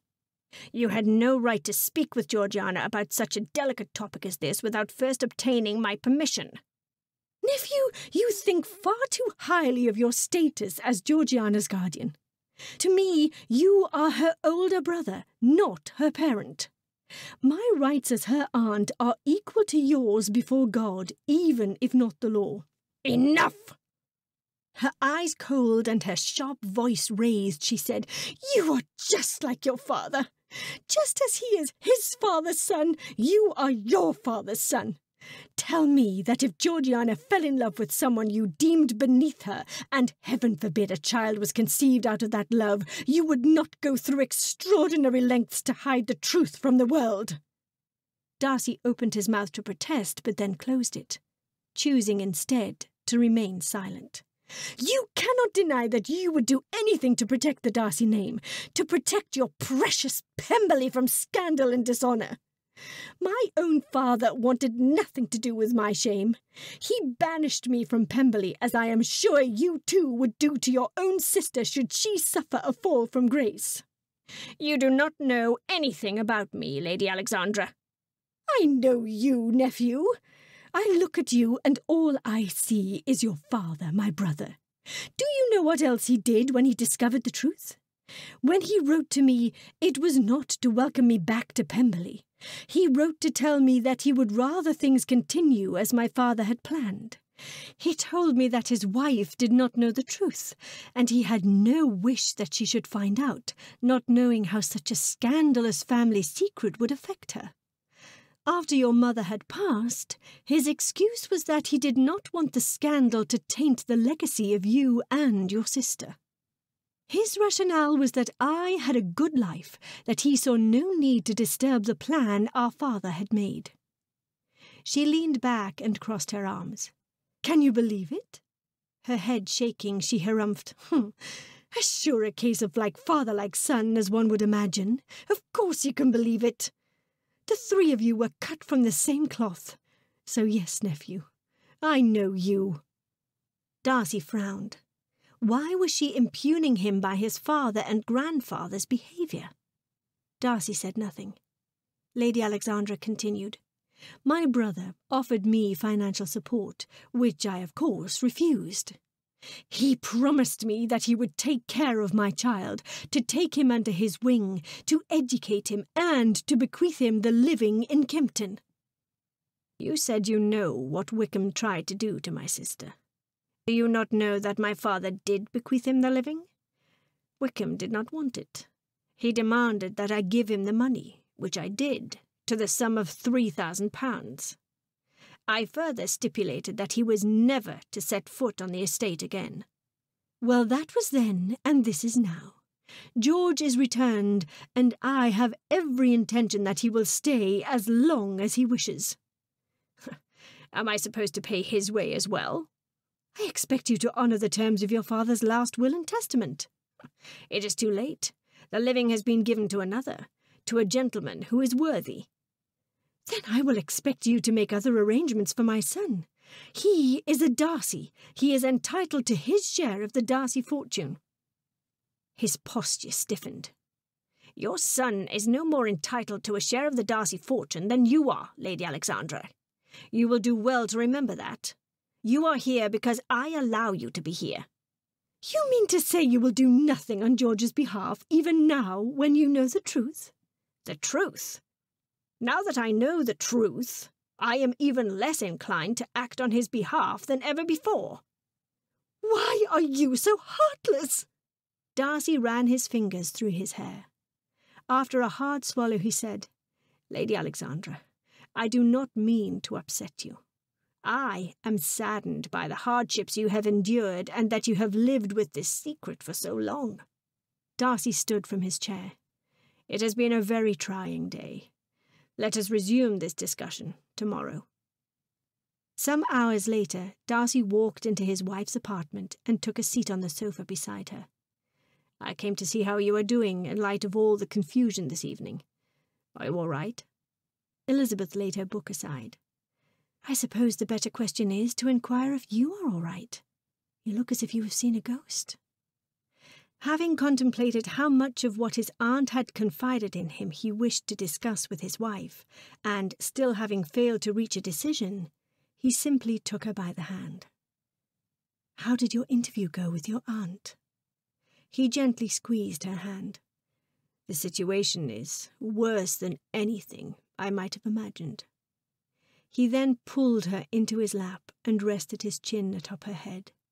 I fear our lives will never be the same. Chapter 14 the next day, Georgiana looked up from the pianoforte when he walked into the music room. Tall, handsome, he had not changed a bit. With a practiced smile, he strolled over to the instrument, clapping his hands. Bravo! In all my travels, I have yet to meet anyone who equals you in your mastery of the pianoforte. George, Lady Alexandra said you might arrive this week. She stood from her seat, raced over to where he stood, and curtsied. He accepted her proffered hand and bowed. Dearest Georgiana, what a pleasure it is to see you once again. I wish everyone here at Pemberley welcomed me as wholeheartedly as this. If you are speaking of my brother and his bride, you must give them time. If not for the fact that uh, Lady Alexandra took me into her confidence, I confess that I might have suffered some measure of reservation over your being here as well. Now I can honestly say that I am delighted you have returned. Indeed. You cannot imagine how pleased I was when her ladyship told me that you looked forward to renewing our acquaintance. As much as I love Pemberley and shall always consider it my home, I would not have returned had I thought it meant causing you a modicum of discomfort. He cupped her hand in his. It is fortunate that you are willing to consider the misunderstanding between us uh, a thing of the past. We have always been close, you and I. Now we are even closer. Wickham offered her his arm, which she eagerly accepted, and the two walked to the pianoforte. He sat beside her, there was no hiding the effect of his tender words on her eager sensibilities. Now that you are family, and my brother has allowed you to return to Pemberley, perhaps. Please, dearest Georgiana, I know what you're about to say. It is best left unspoken. He patted her hand. Surely you must know that I carry the memories of our years together at Pemberley closest to my heart. Those were some of the best days of my life. How can I help caring for you? His countenance clouded. You know your brother as well as anyone, I dare say. You know how his good opinion, once lost, is lost forever. to say nothing of his temper, he prides himself on the fact that it is most resentful. Wickham, hardly knowing how to look, busied himself by flipping through the selection of music sheets. Darcy and I have a long way to go before we regain even a semblance of our former rapport. I would not do anything to give him an excuse to deny me my rightful place. As heir and master of Pemberley, he retains that right. Any resumption of my attentions towards you, as honest and pure as you and I know it would be, he would regard with contempt. Taking care that she read more in his words than a less sentimental young lady might, he took her hand in his and caressed it. I have always cared for you, dearest Georgiana, in a very special way. Since learning that we are cousins, my feelings have only increased. Let us be contented with the knowledge that, in spite of our tender regard, it was not meant to be, for we are family. Thus we have no need for any greater ties between us. So long as you and I know how special the unbreakable bond is between us, my heart is at ease. I would beg that you consider yours similarly. He raised her hand to his lips and kissed it with affectionate gallantry. Persuaded by the sincerity of his plea, Georgiana, whose sentimental heart had always retained a strong impression of his kindness to her as a child, protested no more. The two cousins selected a piece, and she played whilst he turned the pages for a half hour. When Wickham stood to leave, Georgiana, with all the sensibilities of a young girl of sixteen, watched him walk away with the satisfaction of knowing that her love for her cousin George had not been in vain. That following evening at dinner, Wickham's simpering caused Darcy to lose his appetite. Each course was as unappealing as the one before. Venison, roast beef, salmon, why, these were all Wickham's favourites. Appalled and disgusted by the easy acceptance by his wife and his sister of the scoundrel, Darcy silently fumed throughout the meal. Not that anyone noticed.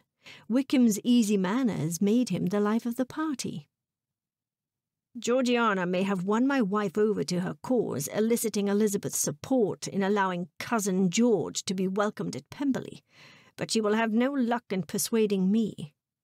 This is all Lady Alexandra's doing. In light of Georgiana's history with the scoundrel, she should never have forgiven him. Surely she has acquiesced for our aunt's sake.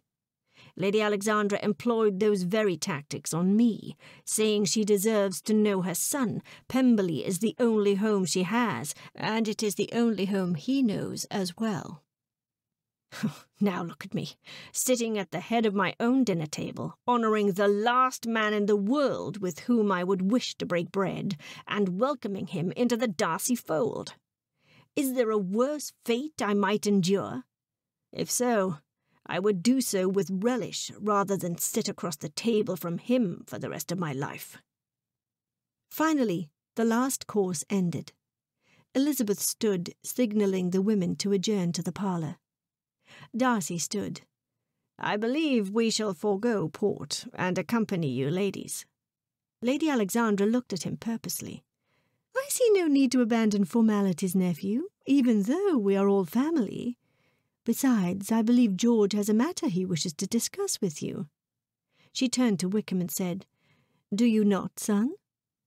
After the ladies quitted the room, Darcy relinquished all pretence of civility towards his unwanted guest.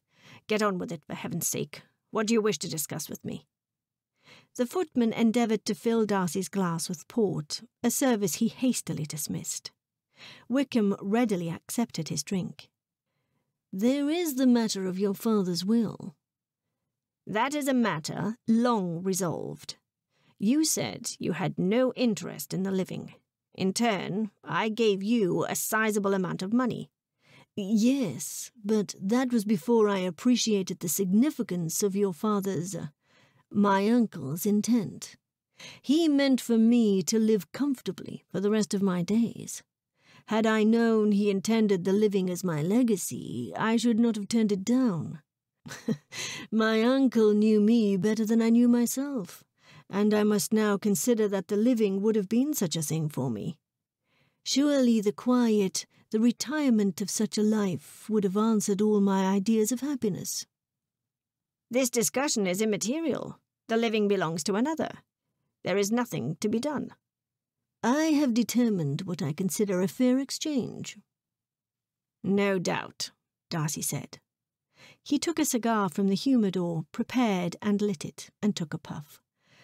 Well, what is it? You might grant me the annual value of the living, in perpetuity.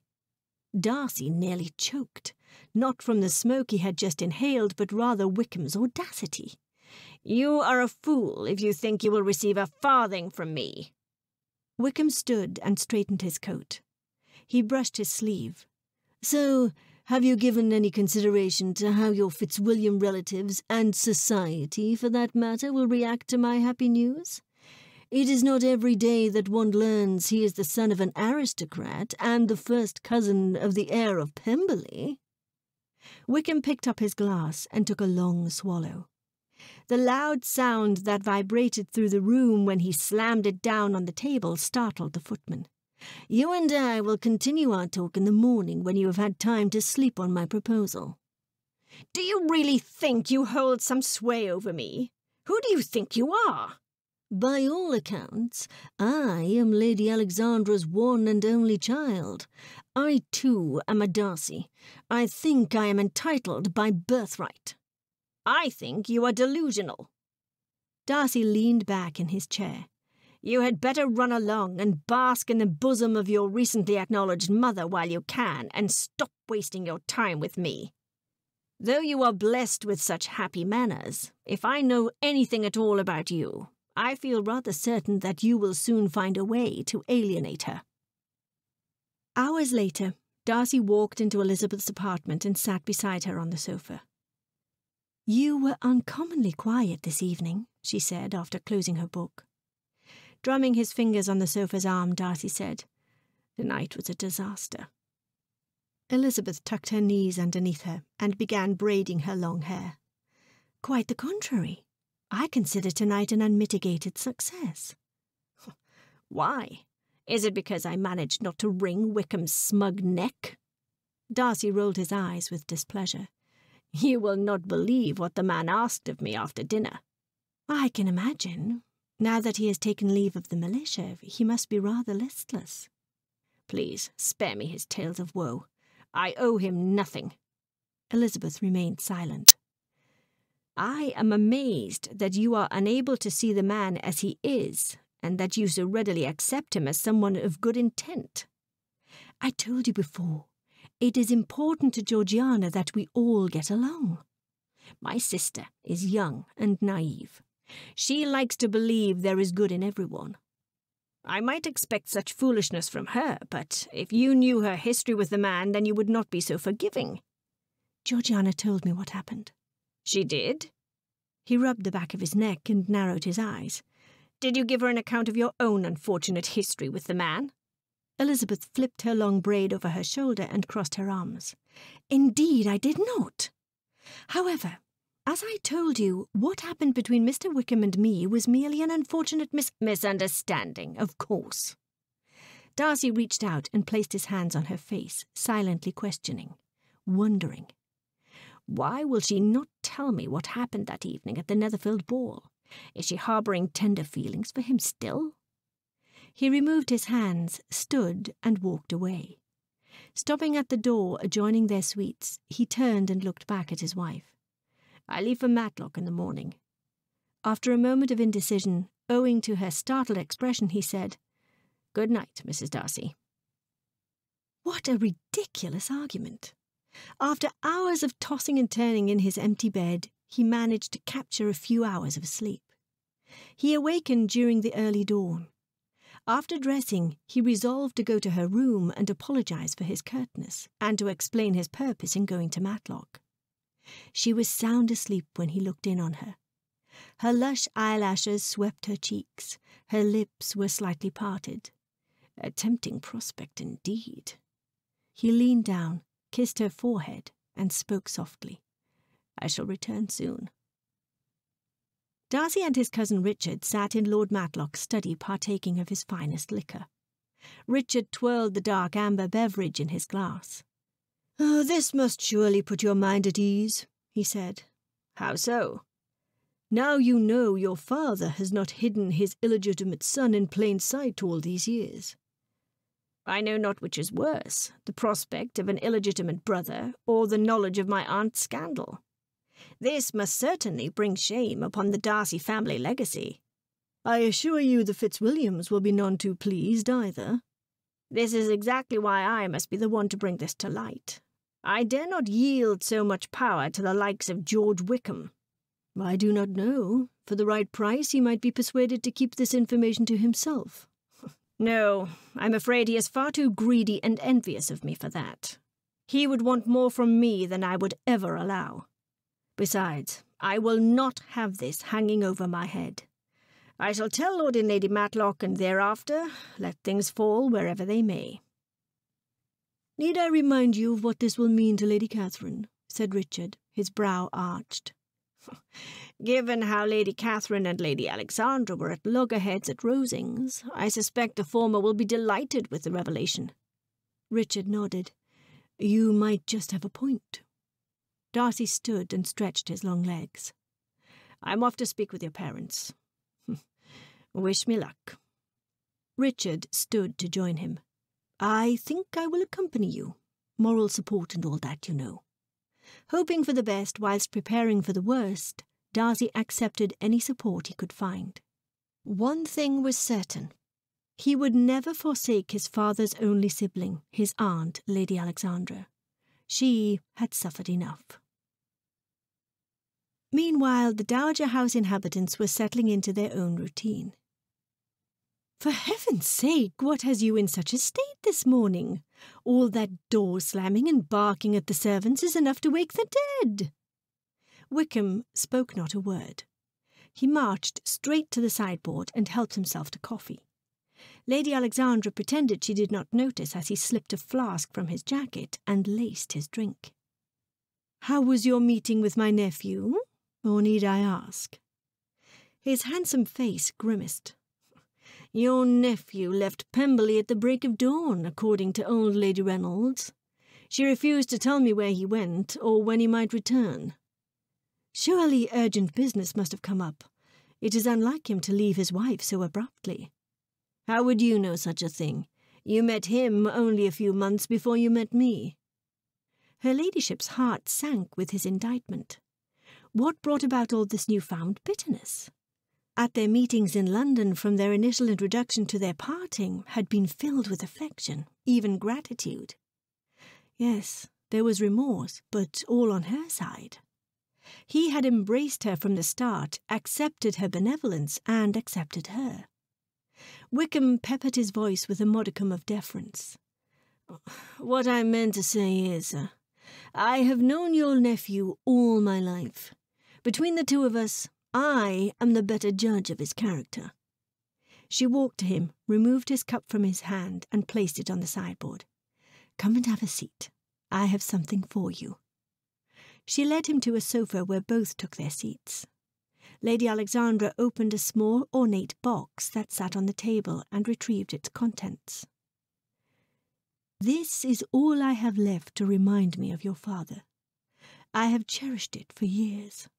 I want you to have it. With a long look, she handed the ring to her son. A large, sturdy band of gold surrounding an oval sapphire. Wickham accepted the ring with aplomb. With a practised eye, he raised his hand, commanding a better view. It is a thing that must surely capture the applause of a besotted young woman. I dare say it will not fetch much at any of Lambton's pawn shops. It might fetch a bit more in London. Wickham placed the ring in his pocket. Have you anything else of significance you wish to pass along? Perhaps something of the heralded Darcy family heirlooms? I seem to recall Pemberley's last mistress adorned in jewels worthy of a queen. Lady Alexandra retrieved the ring from her son's pocket and placed it upon his finger. A better fit she could not imagine. Nothing in my possession compares to this ring's worth, which is why I want you to have it, son. Wear it proudly. It belonged to your father and his father before him. Whilst it is true the Elliots were not rich, they were proud. Above all, they were honourable. that may be, but neither honour nor pride means much without a respectable fortune. Now that I know my true heritage, I will settle for nothing else. You speak foolishness, my son. I have no claim on Pemberley. Surely you realize you have none as well. As far as I know, there are only two living Darcy males. Once we announce my connections to the world, and so long as Darcy does not beget an heir, what is to prevent my inheriting everything? Especially if Pemberley is entailed. Pemberley is not entailed. You studied law, did you not? Surely you know you have no legacy as regards Pemberley. Both you and I are at the mercy of my nephew's benevolence. Your benevolent nephew is not immortal. As it stands today, he has no heir apparent. I intend to look into the matter. I may be entitled to more than any of us is aware. His tone took on an air of defiance. You may decide against helping me, but you will not stand in my way. Lady Alexandra shook her head and placed her hand on his arm. Please, son, do not give me cause for regret in having brought you back to Pemberley. Jerking his arm away, he said, Spare me your feigned concern, mother. You and I both know what my being here is all about. It has nothing to do with your latent maternal feelings. You brought me here to spite Darcy. You meant to use me as a pawn in your scheme to get back at him for refusing to allow you to have your way in his home. How dare you suggest such a thing? Do you really think me so petty? I do not know what to make of you, Lady Alexandra. I mean to make up for. Wickham held up his hand. I have heard enough excuses and apologies to last a lifetime. The decision to leave Pemberley may not have been yours, but it was your decision to stay away. You could have returned at any time.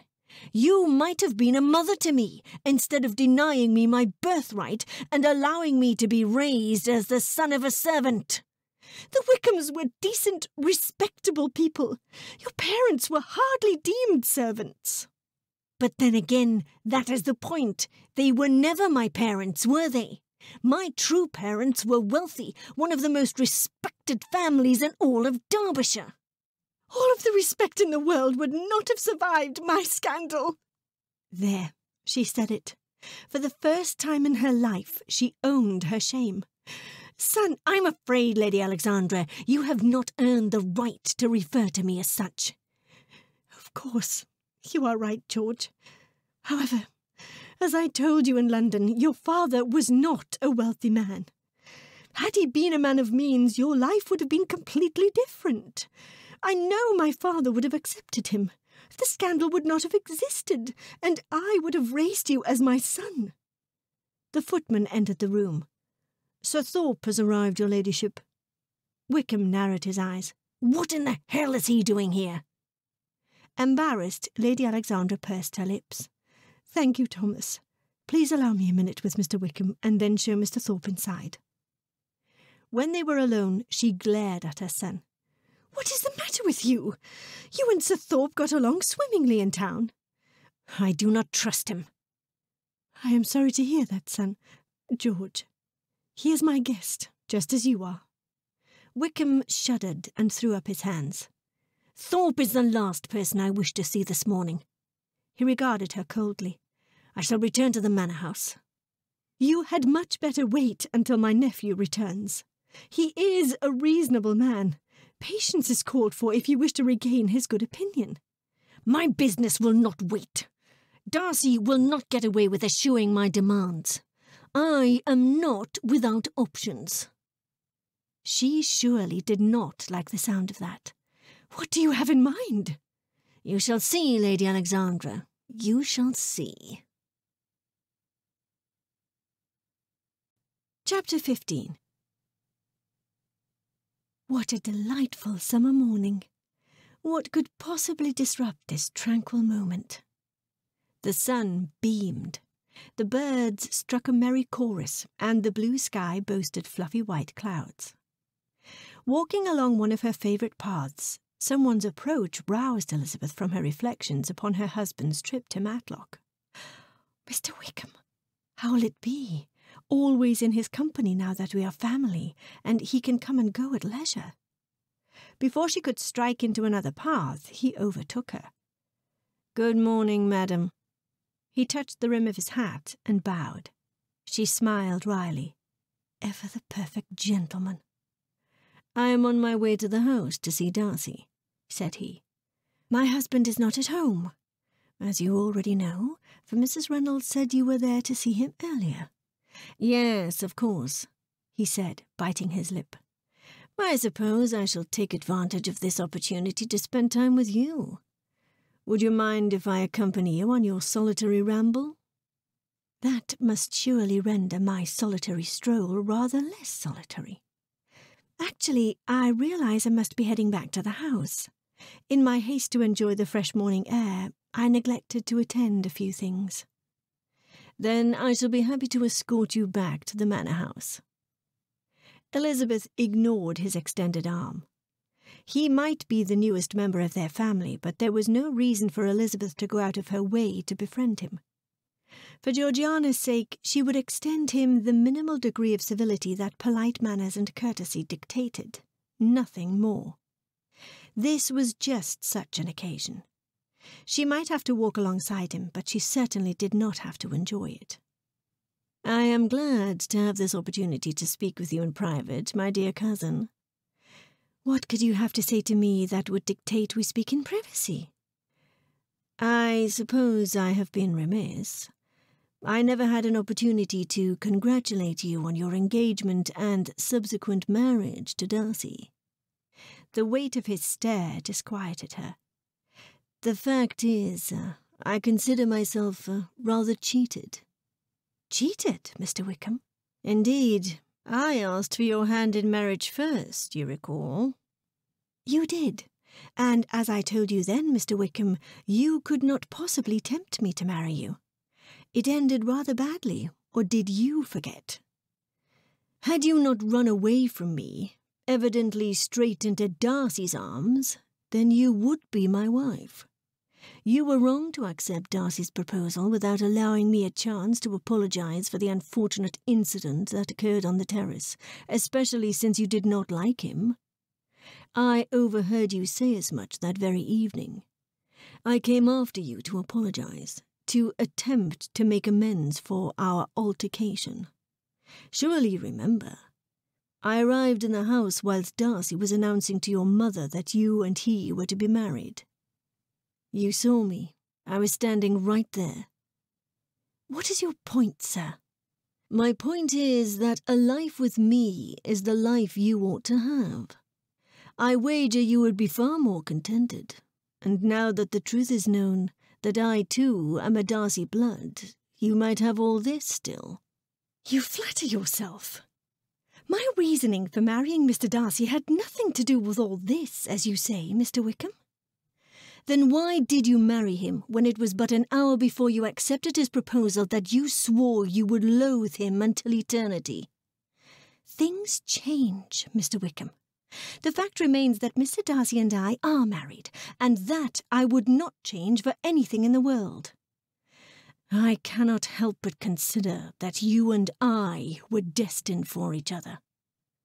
Thankfully, she had walked fast. She would soon be rid of him, this was not a discussion she wished to continue. It was certainly one she never intended to engage in ever again. At the risk of provoking him, she said, I beg you, Mr. Wickham, not to presume that I would have accepted you under any circumstances. It will make for a more felicitous acquaintance. We are all family, we should do our best to get along with no regrets, no remorse, and no pretending that there was anything other than a certain degree of mutual fondness on either of our parts. If you insist, madam, I shall do my best to oblige your wishes. After all, everything worked out for the best. You got what you wanted all along a rich husband. Now we may enjoy the best of both worlds, for we are family, and I am here to stay, which means I will be here for you should you ever need more than your pompous husband can provide. Against her unspoken protests, he took her hand and managed to bestow a wet, lingering kiss before she forcibly withdrew. With a lopsided grin, he raked his eyes over her body. And rest assured, madam, my offer stands day and night. Lady Alexandra handed Sir Thorpe a cup of steaming hot tea. It was so kind of you to come as soon as you received my letter. You needed me. There is no other place I would rather be, my lady. He took a sip of tea and then set his cup aside. The tension between you and your son filled the room when I walked in on you two earlier. Have you any regrets, Lady Alexandra, about bringing him to Pemberley? I do not know what has become of my son. Things were so much better when we were in town than they have been of late. I thought he had forgiven me, accepted me. But ever since his arrival at Pemberley, he has not been the same. Bitterness consumes him. I suppose being here, at his childhood home, and yet not being here in the same standing as Darcy, is a cause for resentment. Mind you, I am not making excuses. I am only making an observation. No, I know you are only trying to help, and I appreciate it. Yes, you can always count on me, Lady Alexandra. I am your faithful servant. He accepted her proffered hand, and she squeezed his hand in turn. You are a true friend. Would that I could be so much more. Lady Alexandra reflected on Sir Thorpe's earlier proposal of marriage. It would not do. He was a good man. He deserved better than relegation to second fiddle in her life. I'm afraid I owe it to my son to finish what I have started in coming back into his life. You owe him nothing more than that which you have bestowed, the truth of his lineage. He is a grown man. What he does is for him to decide, and can have no bearing on the choices you make for yourself. He raised her hand to his heart. You would be happy with me in Yorkshire. No, it is not Pemberley, but it is a comfortable estate you would want for nothing. My life is filled with complications, and I suspect things will grow worse. I admired you long before I learnt of any of this, from the moment I first laid eyes on you standing on the dock, your lovely eyes brightened by the brush of the sea against your beautiful face. My feelings have not changed. My feelings have only deepened. Yes, Pemberley is your home. You need not remain here to make it so, for you carry its magic in your heart. Thus it will always be your home. Her ladyship pursed her lips. Sir Thorpe, what about the scorn and ridicule that awaits me should I show my face in society once more? Would you really want that for yourself? For your dear mother? It is a small price to pay for the chance to pass the rest of my days with you at my side.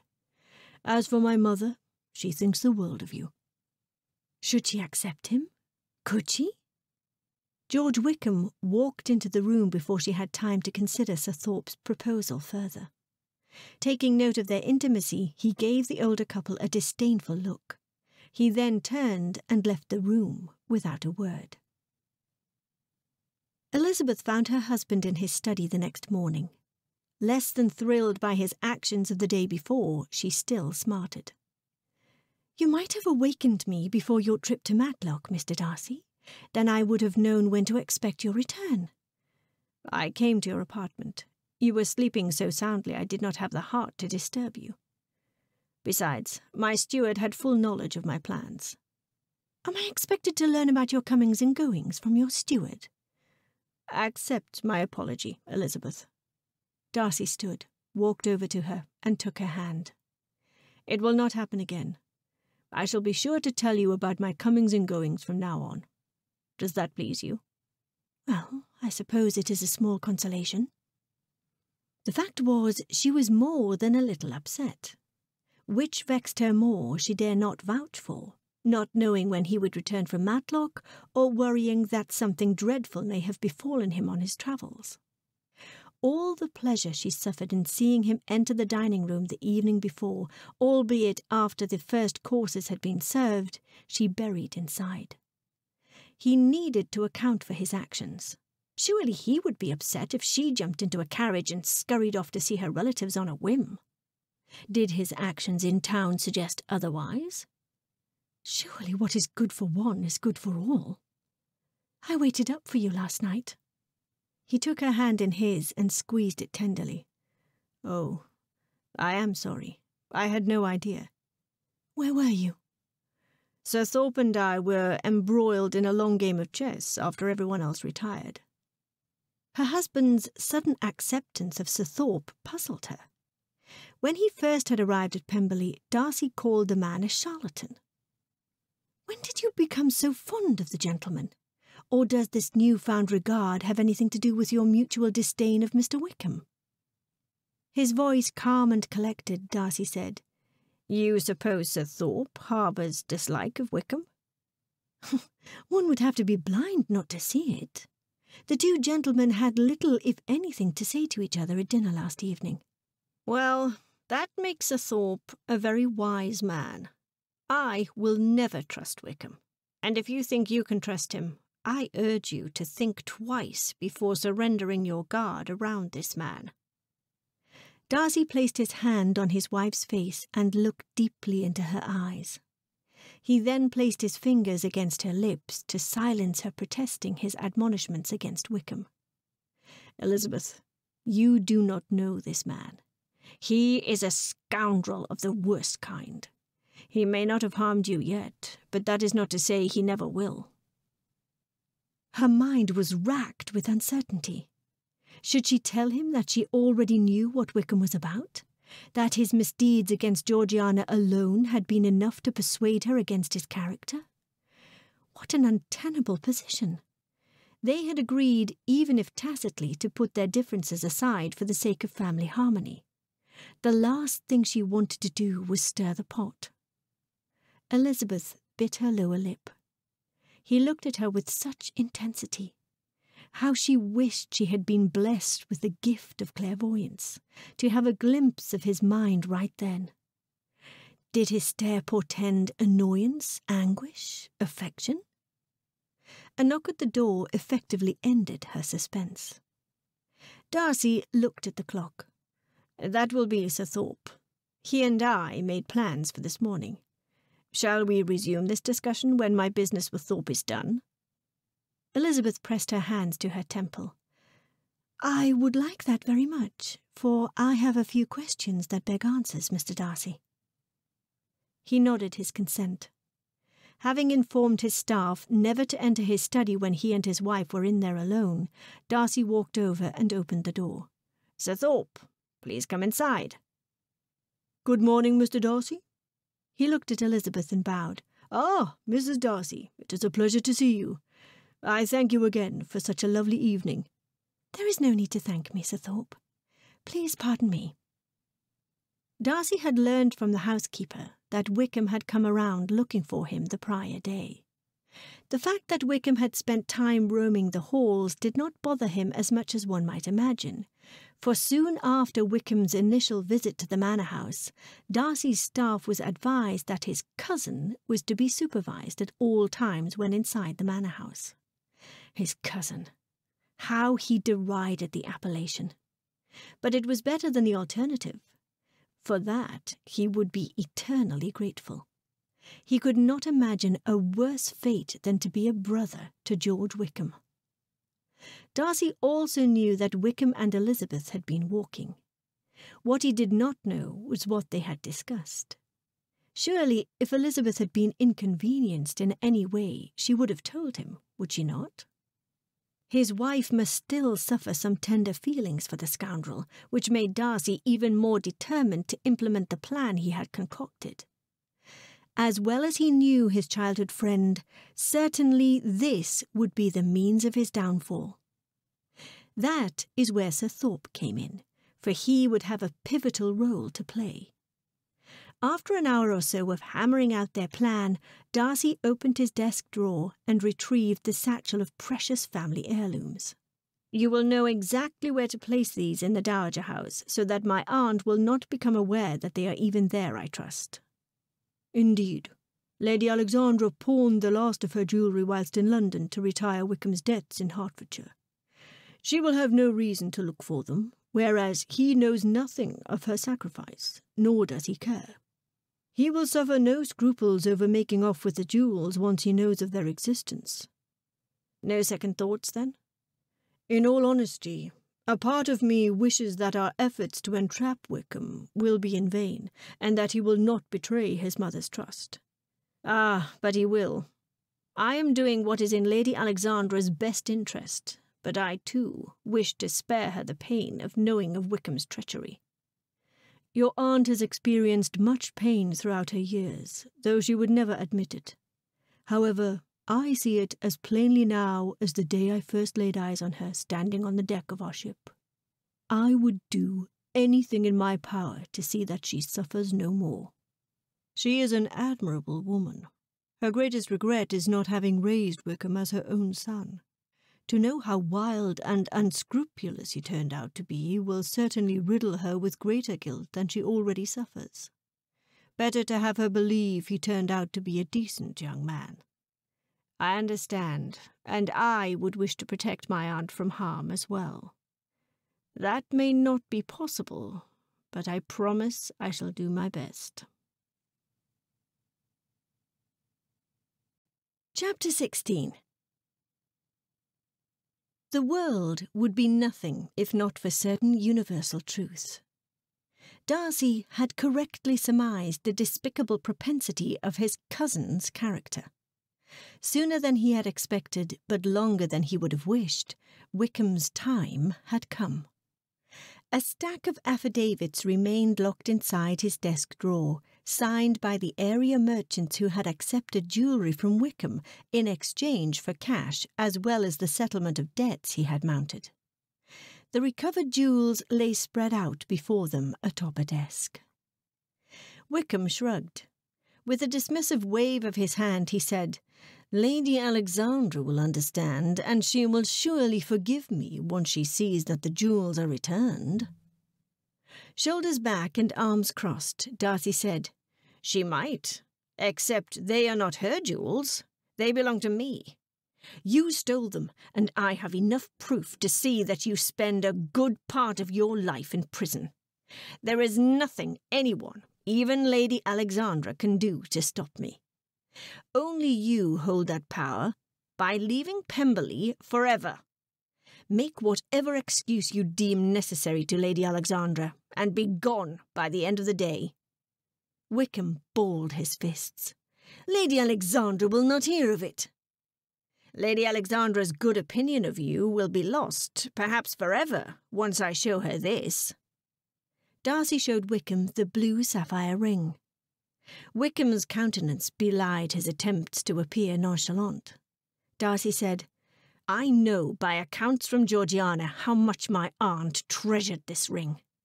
It belonged to your true father.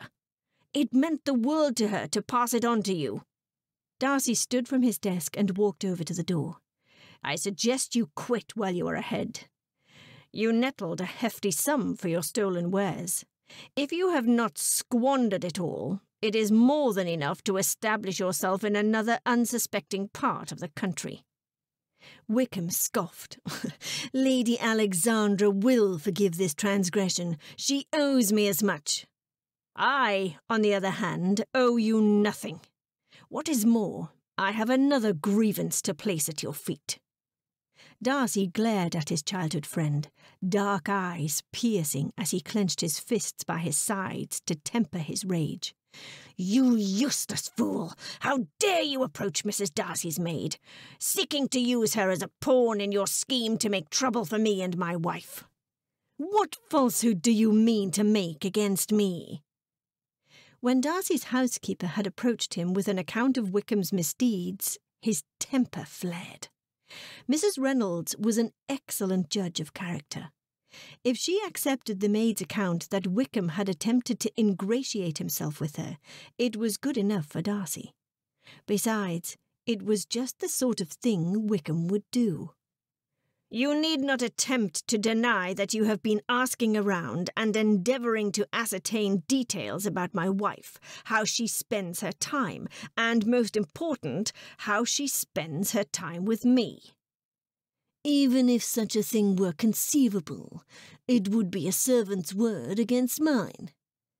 She made her complaint with Mrs. Reynolds, who happened to believe her. Imagine how dreadful it was for her to have to tell me that you attempted to seduce a member of the household staff as a means of harming me. Old Lady Reynolds has always detested me, and as for the maid, even you can attest to the fact that she has been smitten with me for years. Darcy could not deny the legitimacy of Wickham's claim. Indeed, she had harboured a tender regard for Wickham. He had trifled with her before.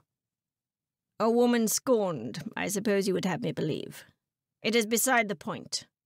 Perhaps she turned against you because she discovered your want of whispering the same sweet nothings in other female servants' ears. She has known you long enough and seen how you have treated other young women before her to be too affected by your charms. I am not my father. I will not turn a blind eye to your wickedness as you spread your seed all over Pemberley, leaving me to clean up behind you. Lady Alexandra will have something to say about this. You know better than that. Pemberley is mine. I say who comes and who goes, and I say your time is up. Now clear out before I have you arrested for the thief that you are. You cannot prove a thing. Anyone could have stolen those jewels and sold them. Darcy strolled over to his desk, pulled open the top drawer, and took out a signed affidavit from one Lambton merchant who had accepted the jewels from Wickham in return for cash. He threw it at Wickham. Read it. I have several others. Unless the prospect of imprisonment intrigues you, leave my home at once and never return. Wickham coloured. His eyes turned darker. You pompous, high-handed sneak! Do you think I do not know what you are about? This has nothing to do with stolen jewellery and compromised servants, and everything to do with Elizabeth. I proposed to her that night on the terrace. Did she tell you? I meant to marry her, and you knew it. You knew she liked me best. We suffered little more than a lover's spat, which you used to your advantage. You swooped in with all your wealth and stole her from me. You were the true thief. A few minutes more, and Elizabeth would now be my wife. Get out! This is not over, not by a long shot. She had not laughed that much in years. Lady Alexandra and Sir Thorpe returned to the Dowager House after a leisurely walk, where he regaled her with tales of his former life. The amiable gentleman was a balm to her battered ego. The past weeks of contention with her son might have worn her down completely if not for Sir Thorpe's being there. He knew just what to do or say to reassure her that she was not to blame for her son's deficits. The footman handed her a note when she entered the parlour. I have been instructed to pass this along to you, your ladyship. Thank you, Thomas, she said as she accepted it. Her heartbeat raced. She recognized the handwriting. What was she to make of it? She placed her hand on her bosom. Are you all right, my lady? Said Sir Thorpe. This letter is from George. But uh, why would he need to write to me when we share the same home? Has our relationship come to this? Shall I leave you to read your letter in privacy? Oh, no. You are welcome to stay whilst I read it. She unfolded the missive and read what her son had to say. Dear Lady Alexandra, you will forgive me for taking my leave of Pemberley without saying a proper goodbye.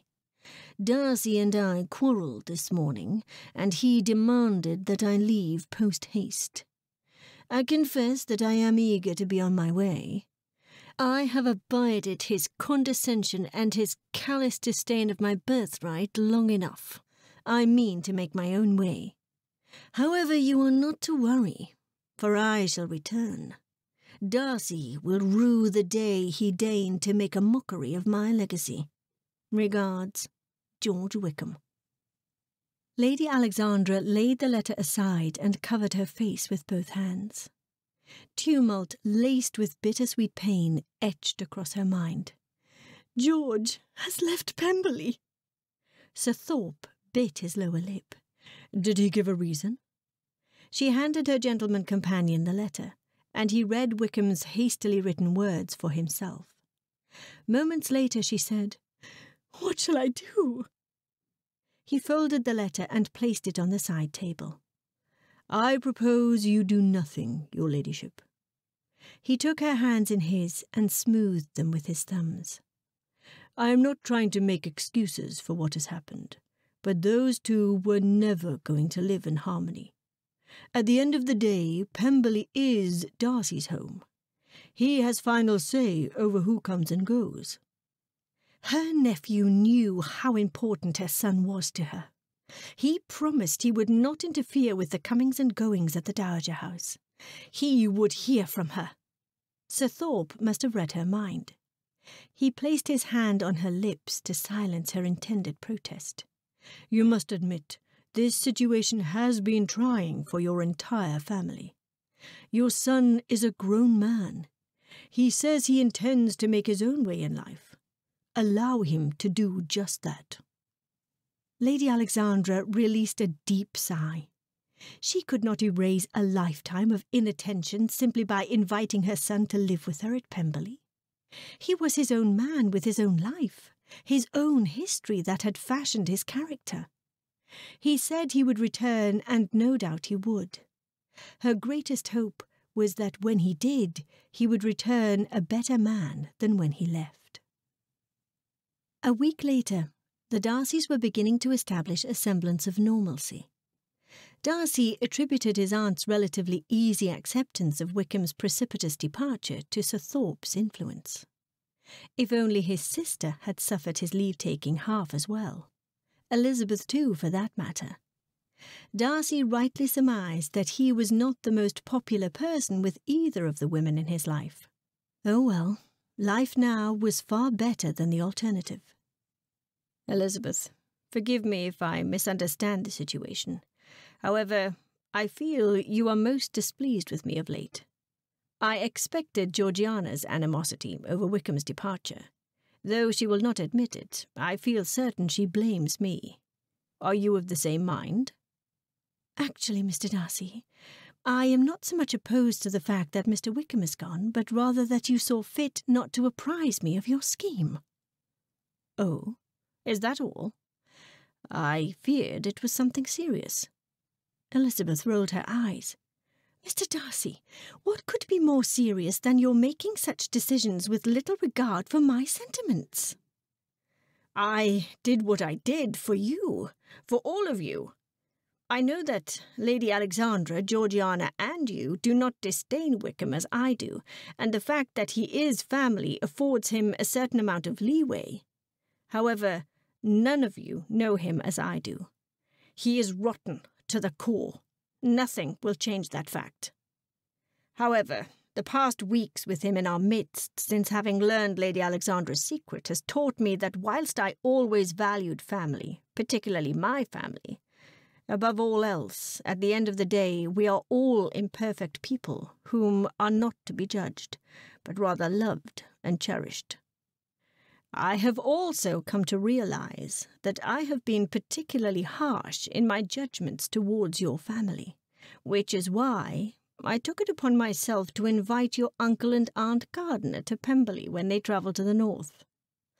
A warm colour covered her face with a wonderful glow, and the delight that his heart so cherished added lustre to her eyes.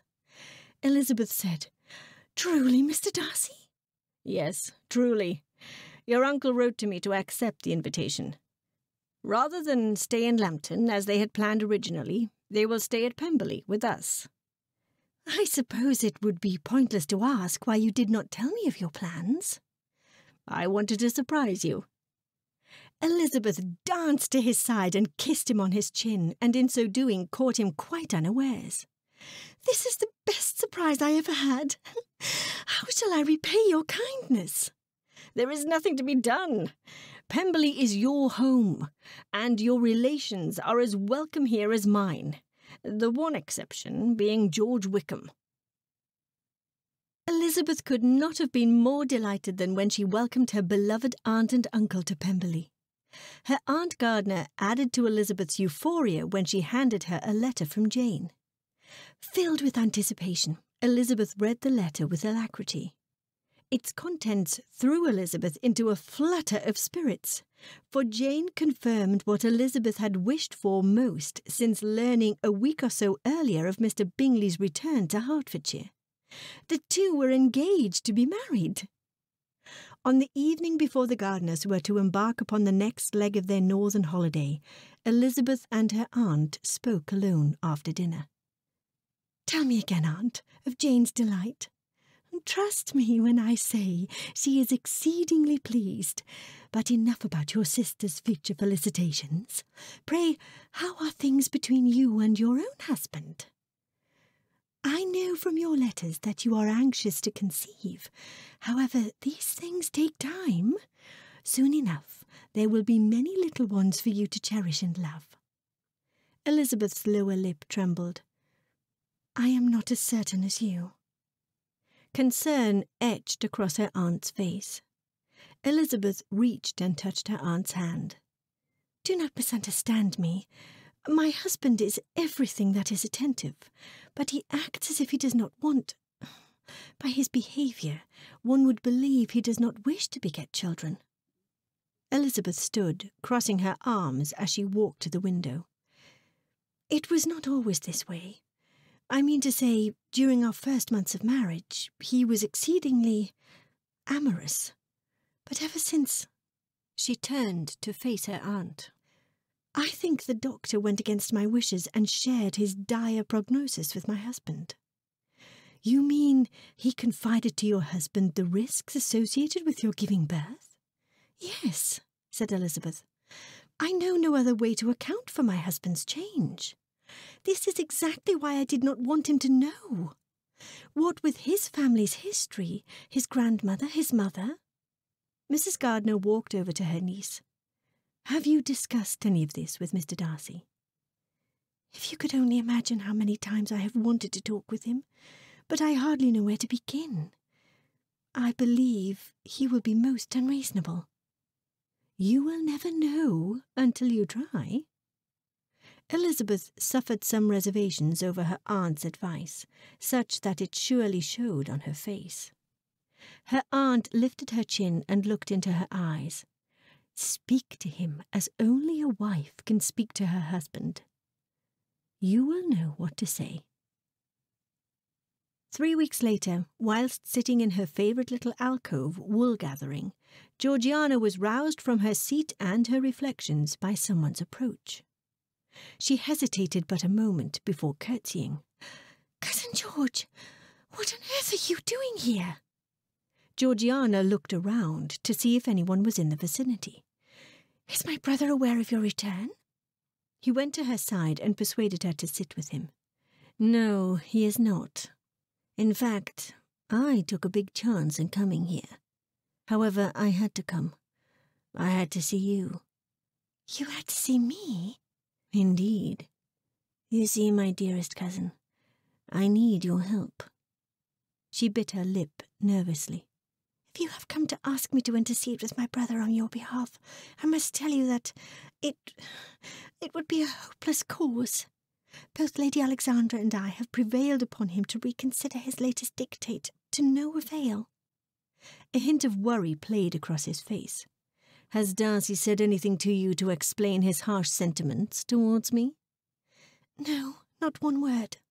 He refuses to answer any of our inquiries as to the cause of your sudden departure. It is no wonder, for he has no legitimate quarrel with me. The fact is that his vengeful nature simply will not allow him to forgive me for the unfortunate circumstances of my birth. It matters not that I am his own flesh and blood. He continues to regard me as the lowly son of his father's steward. The winds of fate have changed, and Darcy, well, he simply refuses to accept it. Wickham stood, walked over to a nearby tree, and plucked a leaf from its low-hanging branch. He turned to face Georgiana. The only way I can reconcile Darcy's behaviour is by recalling that he has always been jealous of me because your father loved me best. Darcy hates me. There had to be more to the story than what either her brother or her cousin allowed. Why have you returned? Surely you risk incurring his wrath. He dropped the leaf and returned to her side. I fear that the only person who can persuade Darcy to let go of his malice is his dear wife. I know that should I have a chance to speak to her away from Pemberley and your brother's watchful eyes, I would be able to remind her of what great friends she and I had always been in the past. Then I shall ask her to speak on my behalf to Darcy. He knelt and took her by the hand. Pemberley is my home, too. It has been and always will be my home. Though I might not always expect to reside here, as I am not its heir, I should certainly expect to come and go at leisure. You must understand that, Georgiana. Imagine what would happen should you ever lose Darcy's good opinion, should you fall prey to his ill temper, and should he banish you from Pemberley. She withdrew her hand. My brother would never do that. Do you know that with certainty? Surely Lady Alexandra told you the story of how her own father banished her from Pemberley owing to the circumstances of my birth. We suffer human frailties, all of us. We all make mistakes. However, Pemberley's masters tend to forget that they too are human and subject to the same frailties as the rest of us. Just when she was beginning to think better of her brother, due in part to his affection for his wife, Georgiana questioned her beliefs. From what she could remember of her father, he was the best of men. She saw in her brother many of her father's admirable qualities. He was the best master, devoted to his family and their protection, highly regarded by all of Pemberley, all of Derbyshire. However, Lady Alexandra also had spoken highly of her own father and how well regarded he was amongst all those who knew him. She had spoken of his darker nature as well, his ruthlessness, and worst of all, how he had turned his back on her. Could one man be both good and heartless? Could her brother have inherited those same traits? Oh, what a chilling prospect! Georgiana stood and walked over to the same low hanging branch where he had stood. She crossed her arms over her chest. He approached her from behind and placed his hand on her shoulder.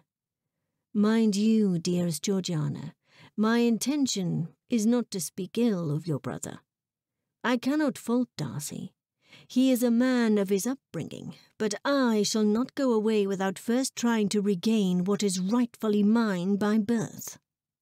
Say you understand, dearest cousin.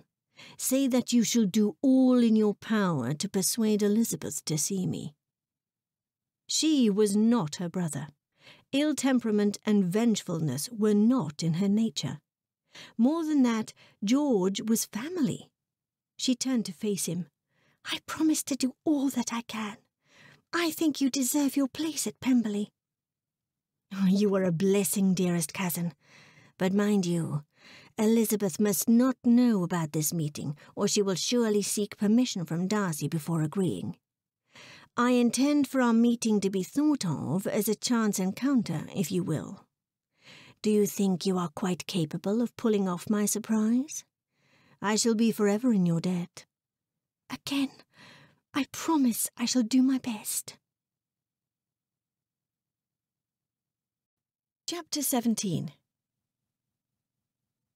you foolish girl! Elizabeth hardly knew how to think, such was her vexation. That is why Georgiana was particularly fidgety the closer we drew to our destination. Her sweet, innocent sister had been the means of bringing Elizabeth face to face with the one person she did not wish to see. Pulling Elizabeth along, Georgiana hurried to his table in the back of the tea room. Although Georgiana could not have been more blatant, he pretended he had not been expecting them. He stood and bowed with great flourish. Good morning, ladies. How fortuitous I am in seeing you. The prospect of basking in your beautiful presence has been my fondest wish ever since I last saw you at Pemberley. Good morning, Cousin George. We have missed you at Pemberley. It is not the same without you. Georgiana faced Elizabeth. Do you not agree, Elizabeth? We all miss George's liveliness. Georgiana, I dare say we get along fine. If you will pardon me, I wish to speak with your cousin in private. You shall wait for me at one of the tables in front. But, Elizabeth... Please do as your sister advises, Georgiana. We shall join you shortly, I am sure. Georgiana pouted and walked away, looking back from time to time with uncertainty. I would not be so sure were I you, Mr. Wickham. I have no business with you. I know family is important to you, Elizabeth. We are family. I made a mistake, and I need you to persuade Darcy of my sincerest regret so that I might reclaim his good opinion. What you are asking is the impossible. As much as Mr. Darcy does not care for you, I know he cares for Lady Alexandra. Whatever you did to cause him to force you from Pemberley, and in so doing break his aunt's heart, must have been particularly egregious. You mean to say he did not tell you of his grievances against me? I do not care to know. Elizabeth backed away. As I said, I have no business with you, nor do I have any quarrels. Whatever misunderstandings arose between you and my husband that led to your current predicament have nothing at all to do with me. His voice hardened. It has everything to do with you, and you well know it. Darcy orchestrated this entire situation. He denied me what is rightfully mine, and then he tempted me to take measures that were certain to better my plight. Why would he do that? He has always been, and he always will be, jealous of me. First it was his father's preference for me, then Georgiana's, and now yours, especially yours. Mine? He knows you liked me best from the moment of our introduction in Meryton, and he simply cannot stand it. He orchestrated his malicious scheme to keep us apart. Elizabeth placed her hands on her hips. Mr. Wickham, the sooner you disentangle your mind from the notion of my ever having preferred you, the better. I rejected your foolish proposal, as you well know. There is nothing that would have tempted me to accept you. You are a fool to think otherwise. I will stop thinking it when you stop looking at me the way you do.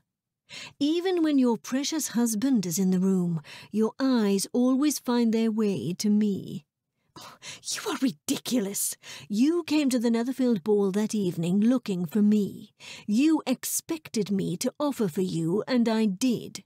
Only, like a child who chases a ball and then becomes bored once it is within her grasp, you tossed me aside the moment you saw the chance to land a bigger catch.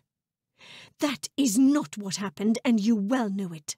All I know is you struck gold when Darcy took advantage of our misunderstanding, and I intend to benefit from your good fortune. I refuse to stand here a second longer and subject myself to this ludicrous abuse.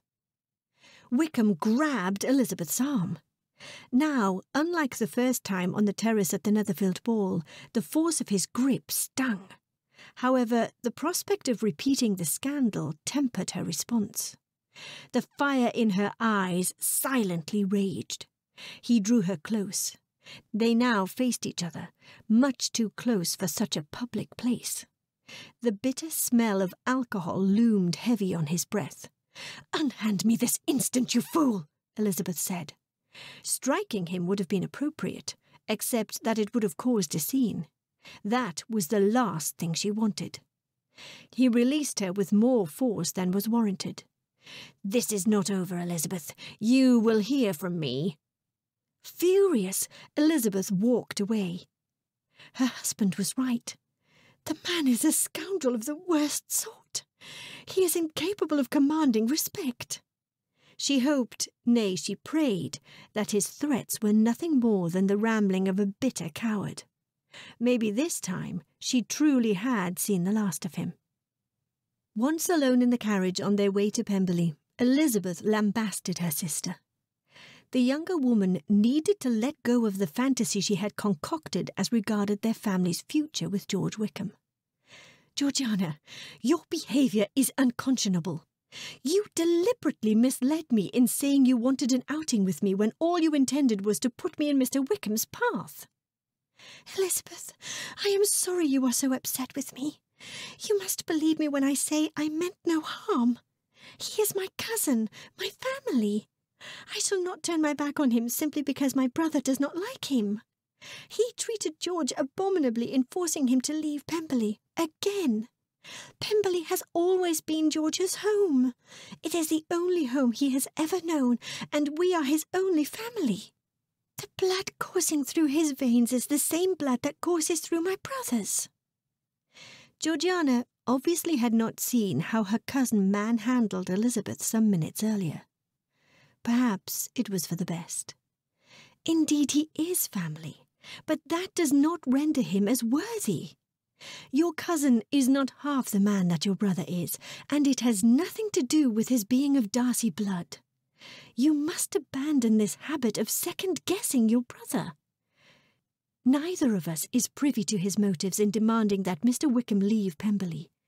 Nevertheless, you, nay, we, must trust that he is doing what is best for all of us. Elizabeth, if I believed there was merit in your claims, I might regret my actions. However, I. Elizabeth raised her sleeve and showed Georgiana the fresh bruises on her arm. Is this proof enough of what the man is capable of doing? Georgiana gasped. Your arm! What happened? Your cousin is what happened. Furthermore, he threatened that I have not heard the last of him. Oh, Elizabeth, this is bad. My brother will be furious. Elizabeth lowered her sleeve. Perhaps now you see that you need to let go of this fantasy that we shall all have a happy ever after existence with Mr. Wickham. It will never be. He is a wicked man. Deep in your heart, you know it is true. Georgiana's eyes filled with tears.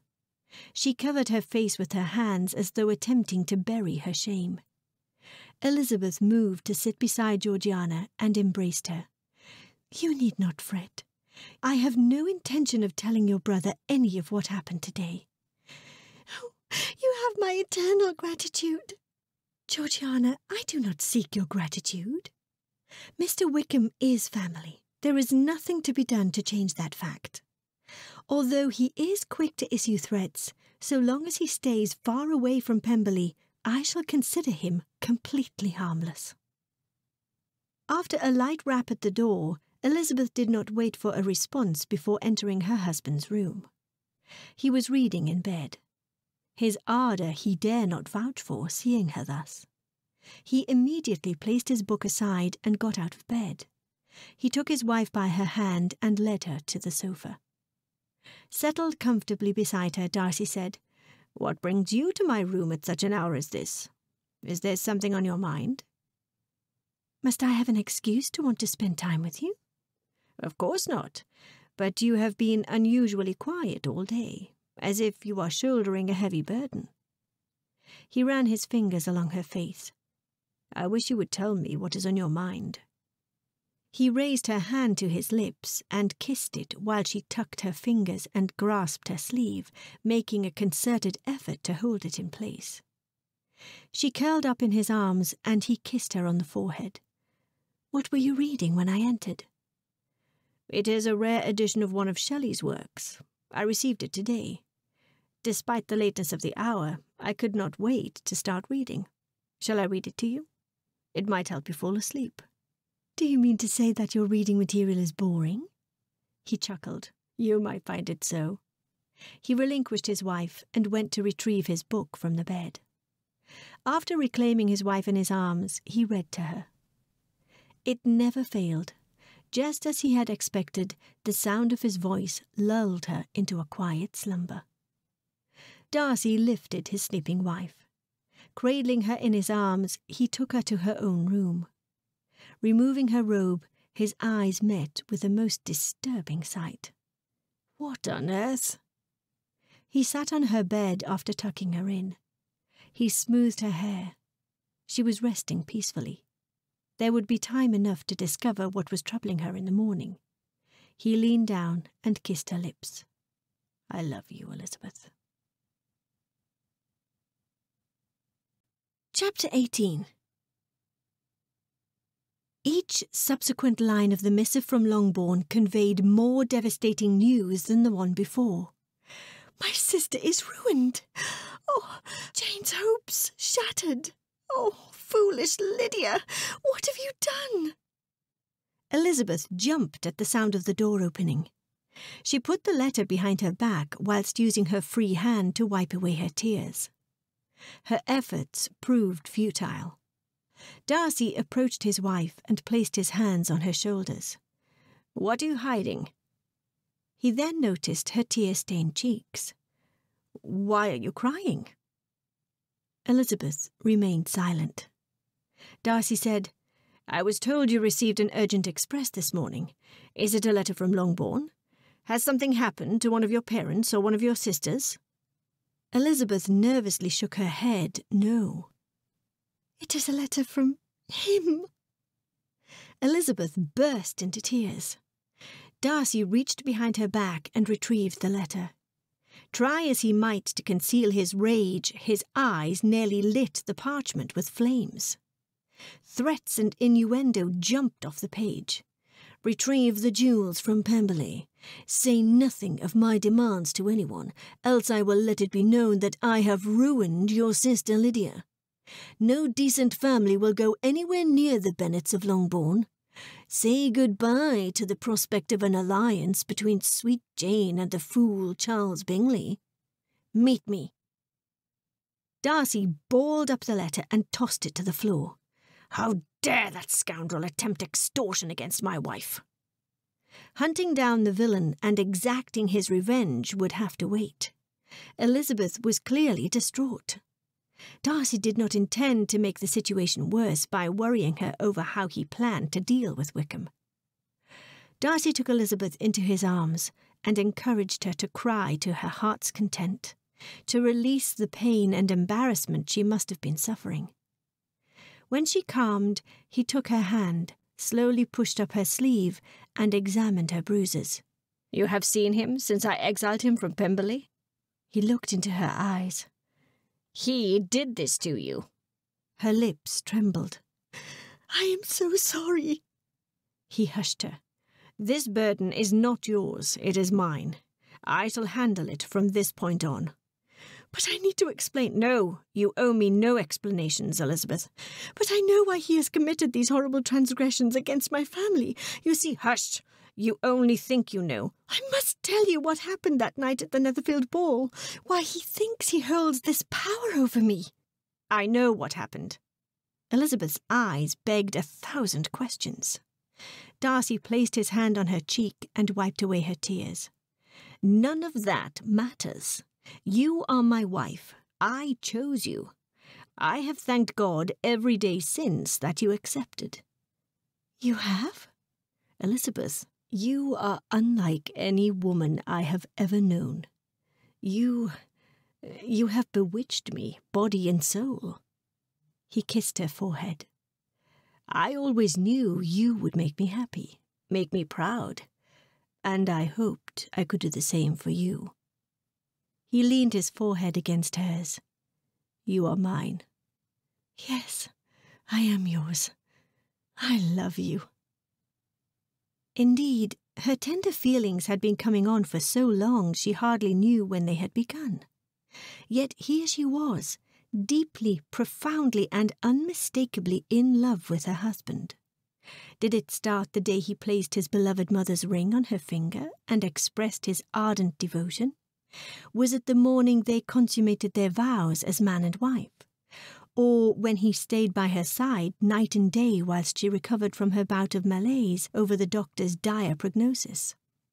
Whenever had been the start, she was happy, and she had been for the longest time. She was safe, she was protected, she was in love. Darcy placed his finger on her chin and lifted her head.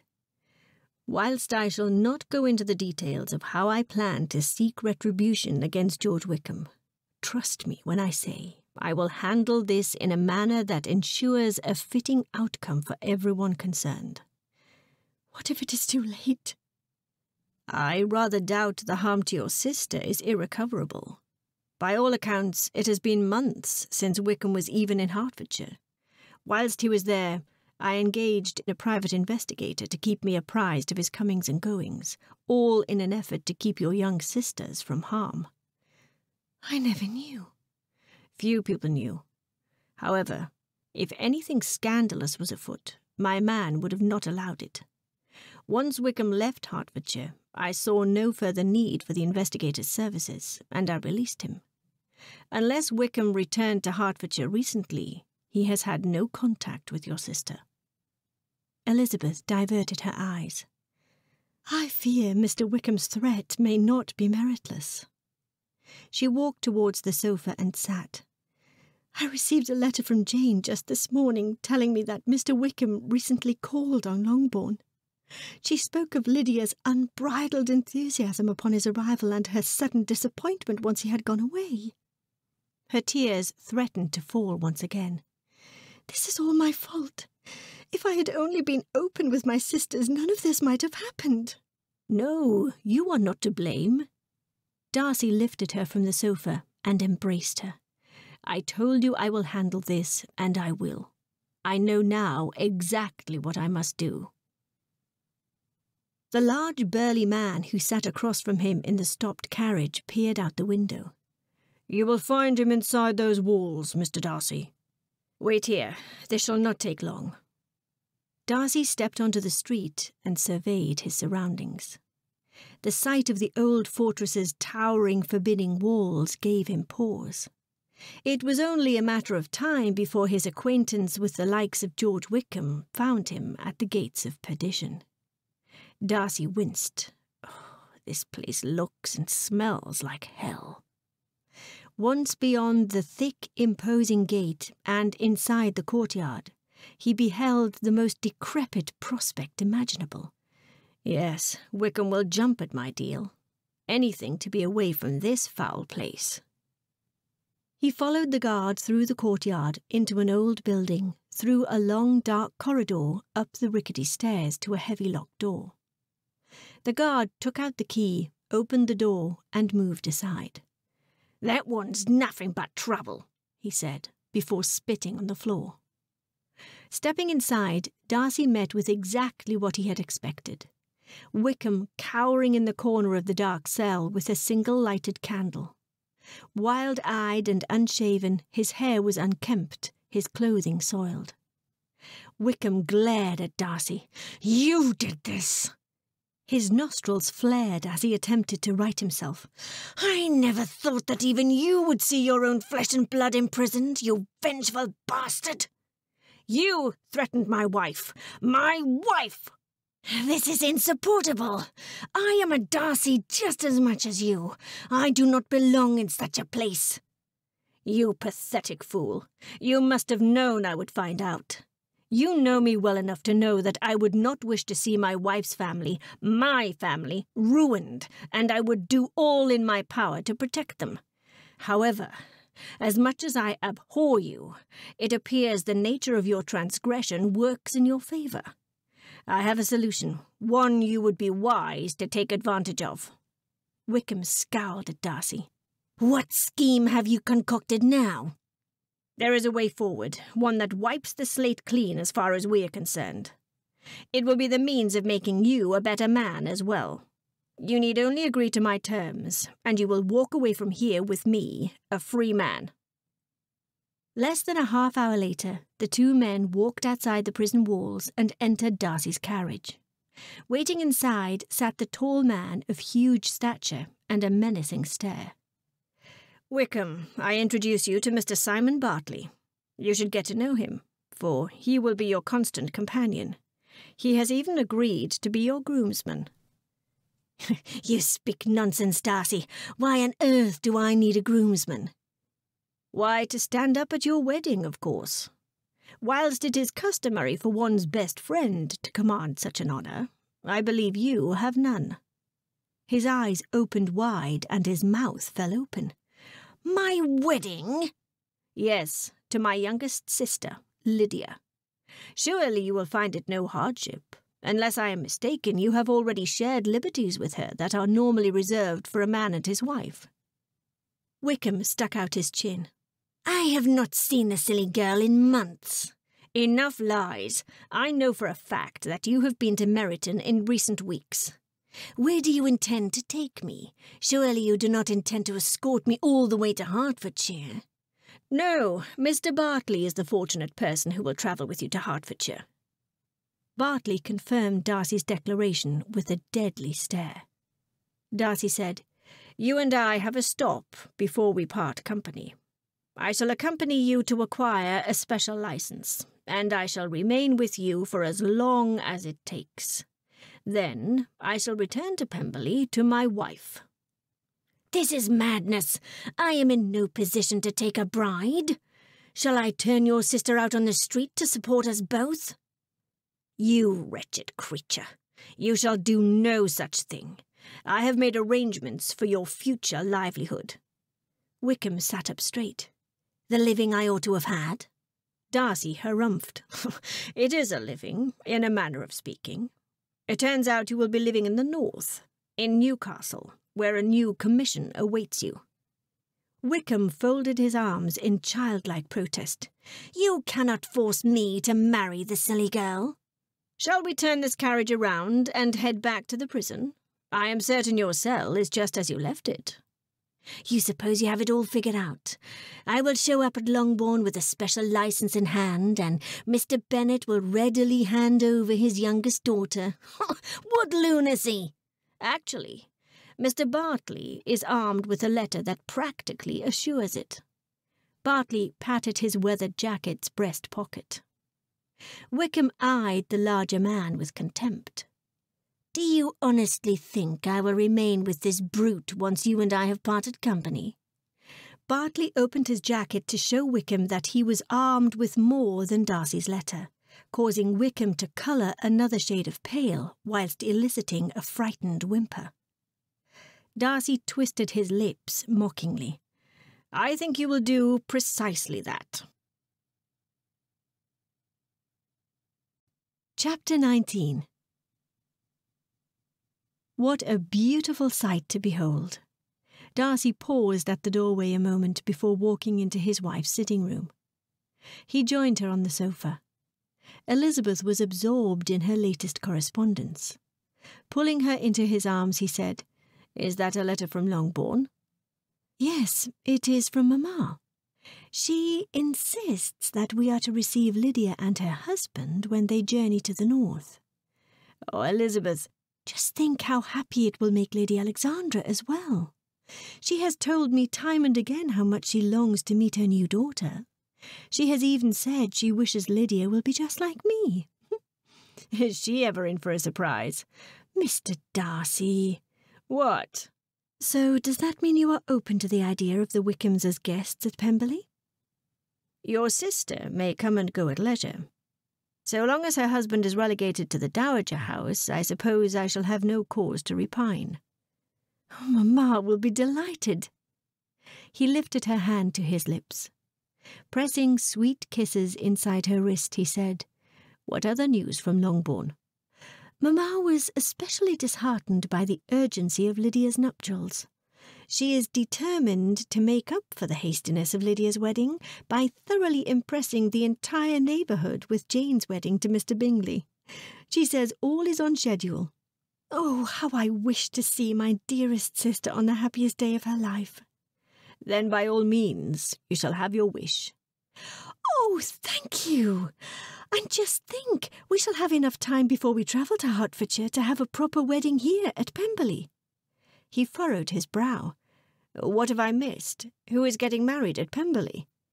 Why, Lady Alexandra and Sir Thorpe. of course, they only decided yesterday. Perhaps they have not had a chance to tell you. How did you find out? She called on me earlier. Whilst your aunt and I are not yet the dearest of friends, I think we are making steady progress towards an amiable regard for each other. Darcy said, It is wonderful that Lady Alexandra has set her grievances towards you aside. Now, if she will only forgive me, as Georgiana has seen fit to do, do I have you to thank for that? I shall not take credit for your sister's change of heart towards you, my love. She is quite a sensible young woman, and as regards Lady Alexandra, I suspect she understands. After all, you have saved her from living her life as Mr. Wickham's greatest victim, even if he is her son. She should not be forced to suffer guilt for the rest of her days. I pray you are correct. I wish for nothing more than that we should all be a happy family. Darcy kissed his wife. Now, if only the breach between the Darcys and Fitzwilliams would heal. Surely Lord and Lady Matlock, as well as Lady Catherine, will put their disapproval of Lady Alexandra aside. To do otherwise would mean shunning Georgiana and you. I have seen how much they adore both of you. I say it is merely a matter of time. Perhaps the Darcys and the Fitzwilliams will be reunited at Christmas. He nuzzled her earlobes before whispering, You are quite an optimist. I love you most ardently, Mrs. Darcy, with all my heart and soul. He brushed her lips with his. You are beautiful, kind, and understanding. Innocent teasing etched into his voice. what is more, I confess you are not too terribly demanding. Elizabeth's spirits turned playful. When did you first realize you loved me? I hardly know when it started, but if I have to name a time and place, I would have to say our first morning as man and wife, when the soft sketching of your fingers along my face gently roused me from my slumber. You mean when I did this? Elizabeth traced her fingers along his broad chest. Even though fully dressed, the intensity of her touch was just as powerful as it had been the first time. Indeed, may I never tire of the touch of your hands. Darcy raised her hand to his lips and kissed the inside of her palm. Elizabeth said, I seem to recall your mentioning that you dreamed of the two of us as man and wife. Yes, and I awakened to find you amiable to making my dreams come true. Do you continue to have such dreams? I dream every night of worshipping your body, my love. Then you might explain why it has been months since we have unreservedly exercised the fulfillment of said dreams, with no pulling back. Darcy moaned. These have been some of the hardest days of my life. Nevertheless, I am painfully aware of the risks, and I will not chance losing you. I truly value you above and beyond all else in life. He lifted her hand to his lips and bestowed a sweet kiss. My greatest desire is to cherish you more and more as each year goes by. Pemberley needs an heir. I need you. I need you as well. However, I need children. If you allow me to confess my own dreams, I would have to say that my greatest dream is that our home is filled with children. It is what I want more than anything, more than life itself. Elizabeth placed her hand on his. I do not mean to make light of the Darcy's family history in this regard, but there have been many advances in the field of midwifery. You know this because I am constantly improving my mind with extensive reading, and this is a subject close to my heart. Were I to lose you, I would blame myself forever. It is simply not a risk I wish to take. We must. It is nature's plan. Yes, there are risks. Life offers no guarantees. Elizabeth sat astride her husband's lap and started loosening his cravat. Her impetuous act stirred him immediately, just as she intended. Elizabeth. She touched his soft lips with the tips of her small, slender fingers. Hush. She kissed him. You worry too much. I am certain such a fate will not befall us. Elizabeth, my love, I wish to have children. It is my duty to beget Pemberley's heir. However, in spite of the advances, what with all our family's history, I cannot bear to subject you to a similar fate as that suffered by my mother and grandmother. I want to grow old with you. Elizabeth raised his hand to her lips and brushed a light kiss across his knuckles. Mr. Darcy, I grant you that some things are beyond our control, but I urge you to embrace a bit of my philosophy in such cases as this. Our future is bright. I will give you many children. Pemberley's halls will dance to the tune of their tiny footsteps racing to and fro. Further, Throughout the years, you will find me by your side, both our faces brightened by our children's enthusiasm, our ears ringing with the sound of their laughter, their children's laughter.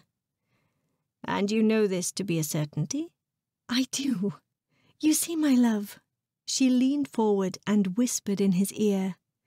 I know this because it comes down to one thing a matter of trust. This has been Matter of Trust The Shades of Pemberley, written by P.O. Dixon, narrated by Pearl Hewitt. Copyright 2012 by P.O. Dixon. Production copyright 2013 by P.O. Dixon.